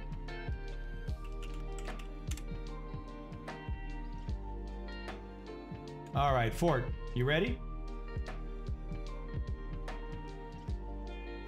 I think so. I just want to, you know, positive communication, guys. Challenge and response. Challenge and response. bye bye, says Mort. Hey, Ninja's down. Had a good landing. All right, cool. Ninja, uh, we are giving away a turbo arrow. If you don't have one to enter, it's exclamation mark aye aye. Like aye aye. All right, guys, I think this is it. I think it's time for the drum roll. Here we go. Here we go. Good luck, everybody. Good luck. Ready and. And the winner is.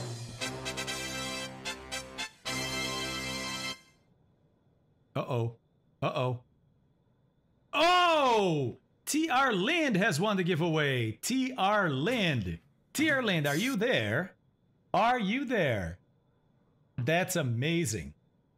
That is amazing. I always like to see people win stuff, man. Let's go, TR Lins. Hey, David. Rigged. David Lewis just resubscribed. Yes, sir, he is, or she is. That's awesome. All right, TR Lin, congratulations. Congratulations on winning a Just Flight Piper Arrow Turbo. Uh, you got to get in touch with us on Discord. yeah, Will, sure. Uh huh. Oh, you're very welcome. Very welcome. Thanks for being here and thanks for entering the, the giveaway. Um, TR, yeah, do you know, uh, can you contact us on Discord? Or contact Fort? In the meantime, in the meantime,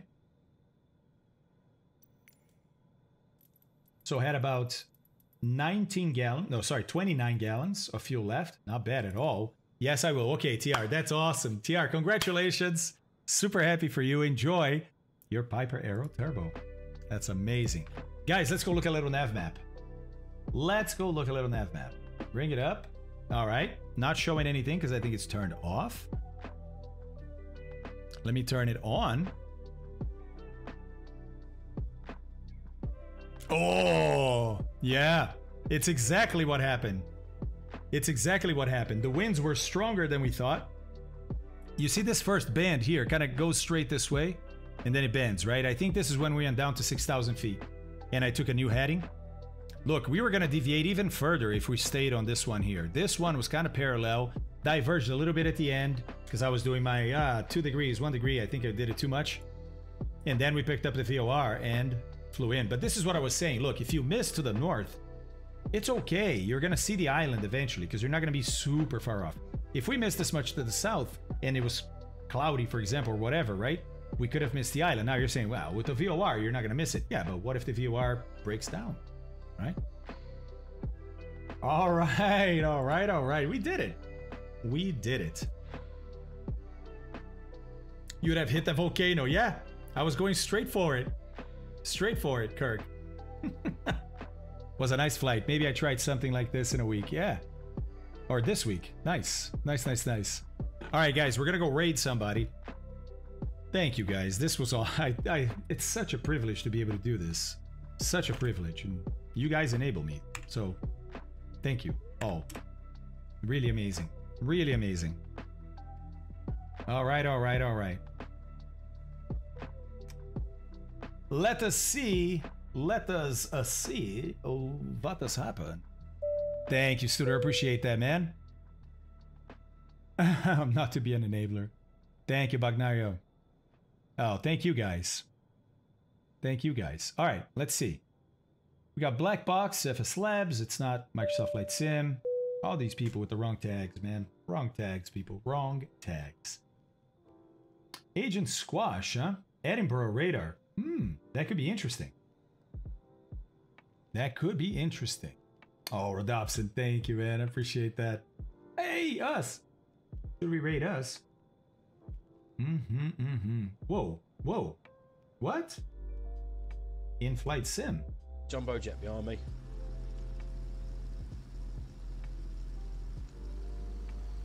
Mm-hmm. He's probably thinking, who's this plank right in front of Yeah, It's Calgary. alright. Just. Me too, Hammer. Me too. Well, Well, I mean, me I, I still don't have confidence in it considering what happened this morning, but, you know. yeah, no. Anyway, Ooh, test flying the 787. Okay. DC6 from Zurich to it's Italy, but what's RA? It's not Rome. Oh, it could be Rome. Uh, the secondary airport in Rome. Primary is Fiumicino. What's the secondary? Ah, I don't remember. I had to do a, a, a reinstall of the launcher of Steam. I, I reinstalled it on Steam. Ciampino. Ah, but I don't know if LIRA is Ciampino, is it? Um, I had to reinstall the launcher. Steam had uninstalled it. But luckily, the, the actual files for the sim stayed because I didn't do the, the uninstall inside Flight Sim or through add and remove programs. So I just had to download the launcher again, install that, and it worked. On air, mobile flight simulator. Whoa. We're back to Iceland. What?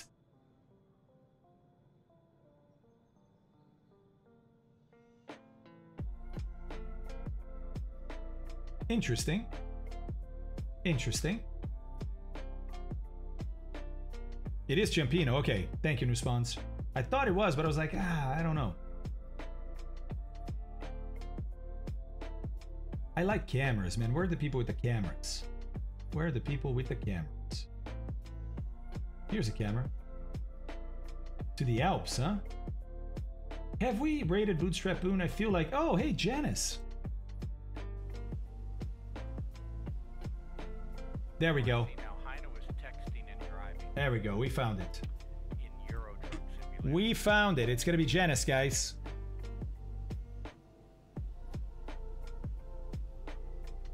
It's actually, yeah, it's actually Janice, Sin. That's how she pronounces it. It's actually Denise, isn't it? Yes, it is. Okay, so it's two names put together. It's Janice and Denise, I think. And she spells it this way, but it's pronounced Denise. Denise, my bad. My bad. Guys. Thank you. I'm so happy we found Iceland. So happy you guys stuck around. Sorry we started late today. Little technical issues, but we did it. Tomorrow, tomorrow, DC6 airline flight, and it's a long one. So we're gonna have time to study some of the systems, which is gonna be amazing. Then we have case flight. It's a case study of an accident. And perhaps we're even gonna try and fly that ourselves and see if we can survive. Thursday, we're back in the DC6 for another airline flight. That one's going to be the longest DC6 flight we've ever done. It's a six and a half hour flight from uh, Kolkata, India, all the way to uh, Karachi. Yes. Yes. Uh, that's awesome, Airlock. Thank you. And then Friday group flight. So all the schedule is on Discord. I have a channel in there just for schedules. So you can go check that out. And do stop by the Discord and let's have a chat until the next flight. All right, guys. Let's go do this. Hey, I love you all. Thank you for the support. I hope you stay well. And I'll see you tomorrow. Take care.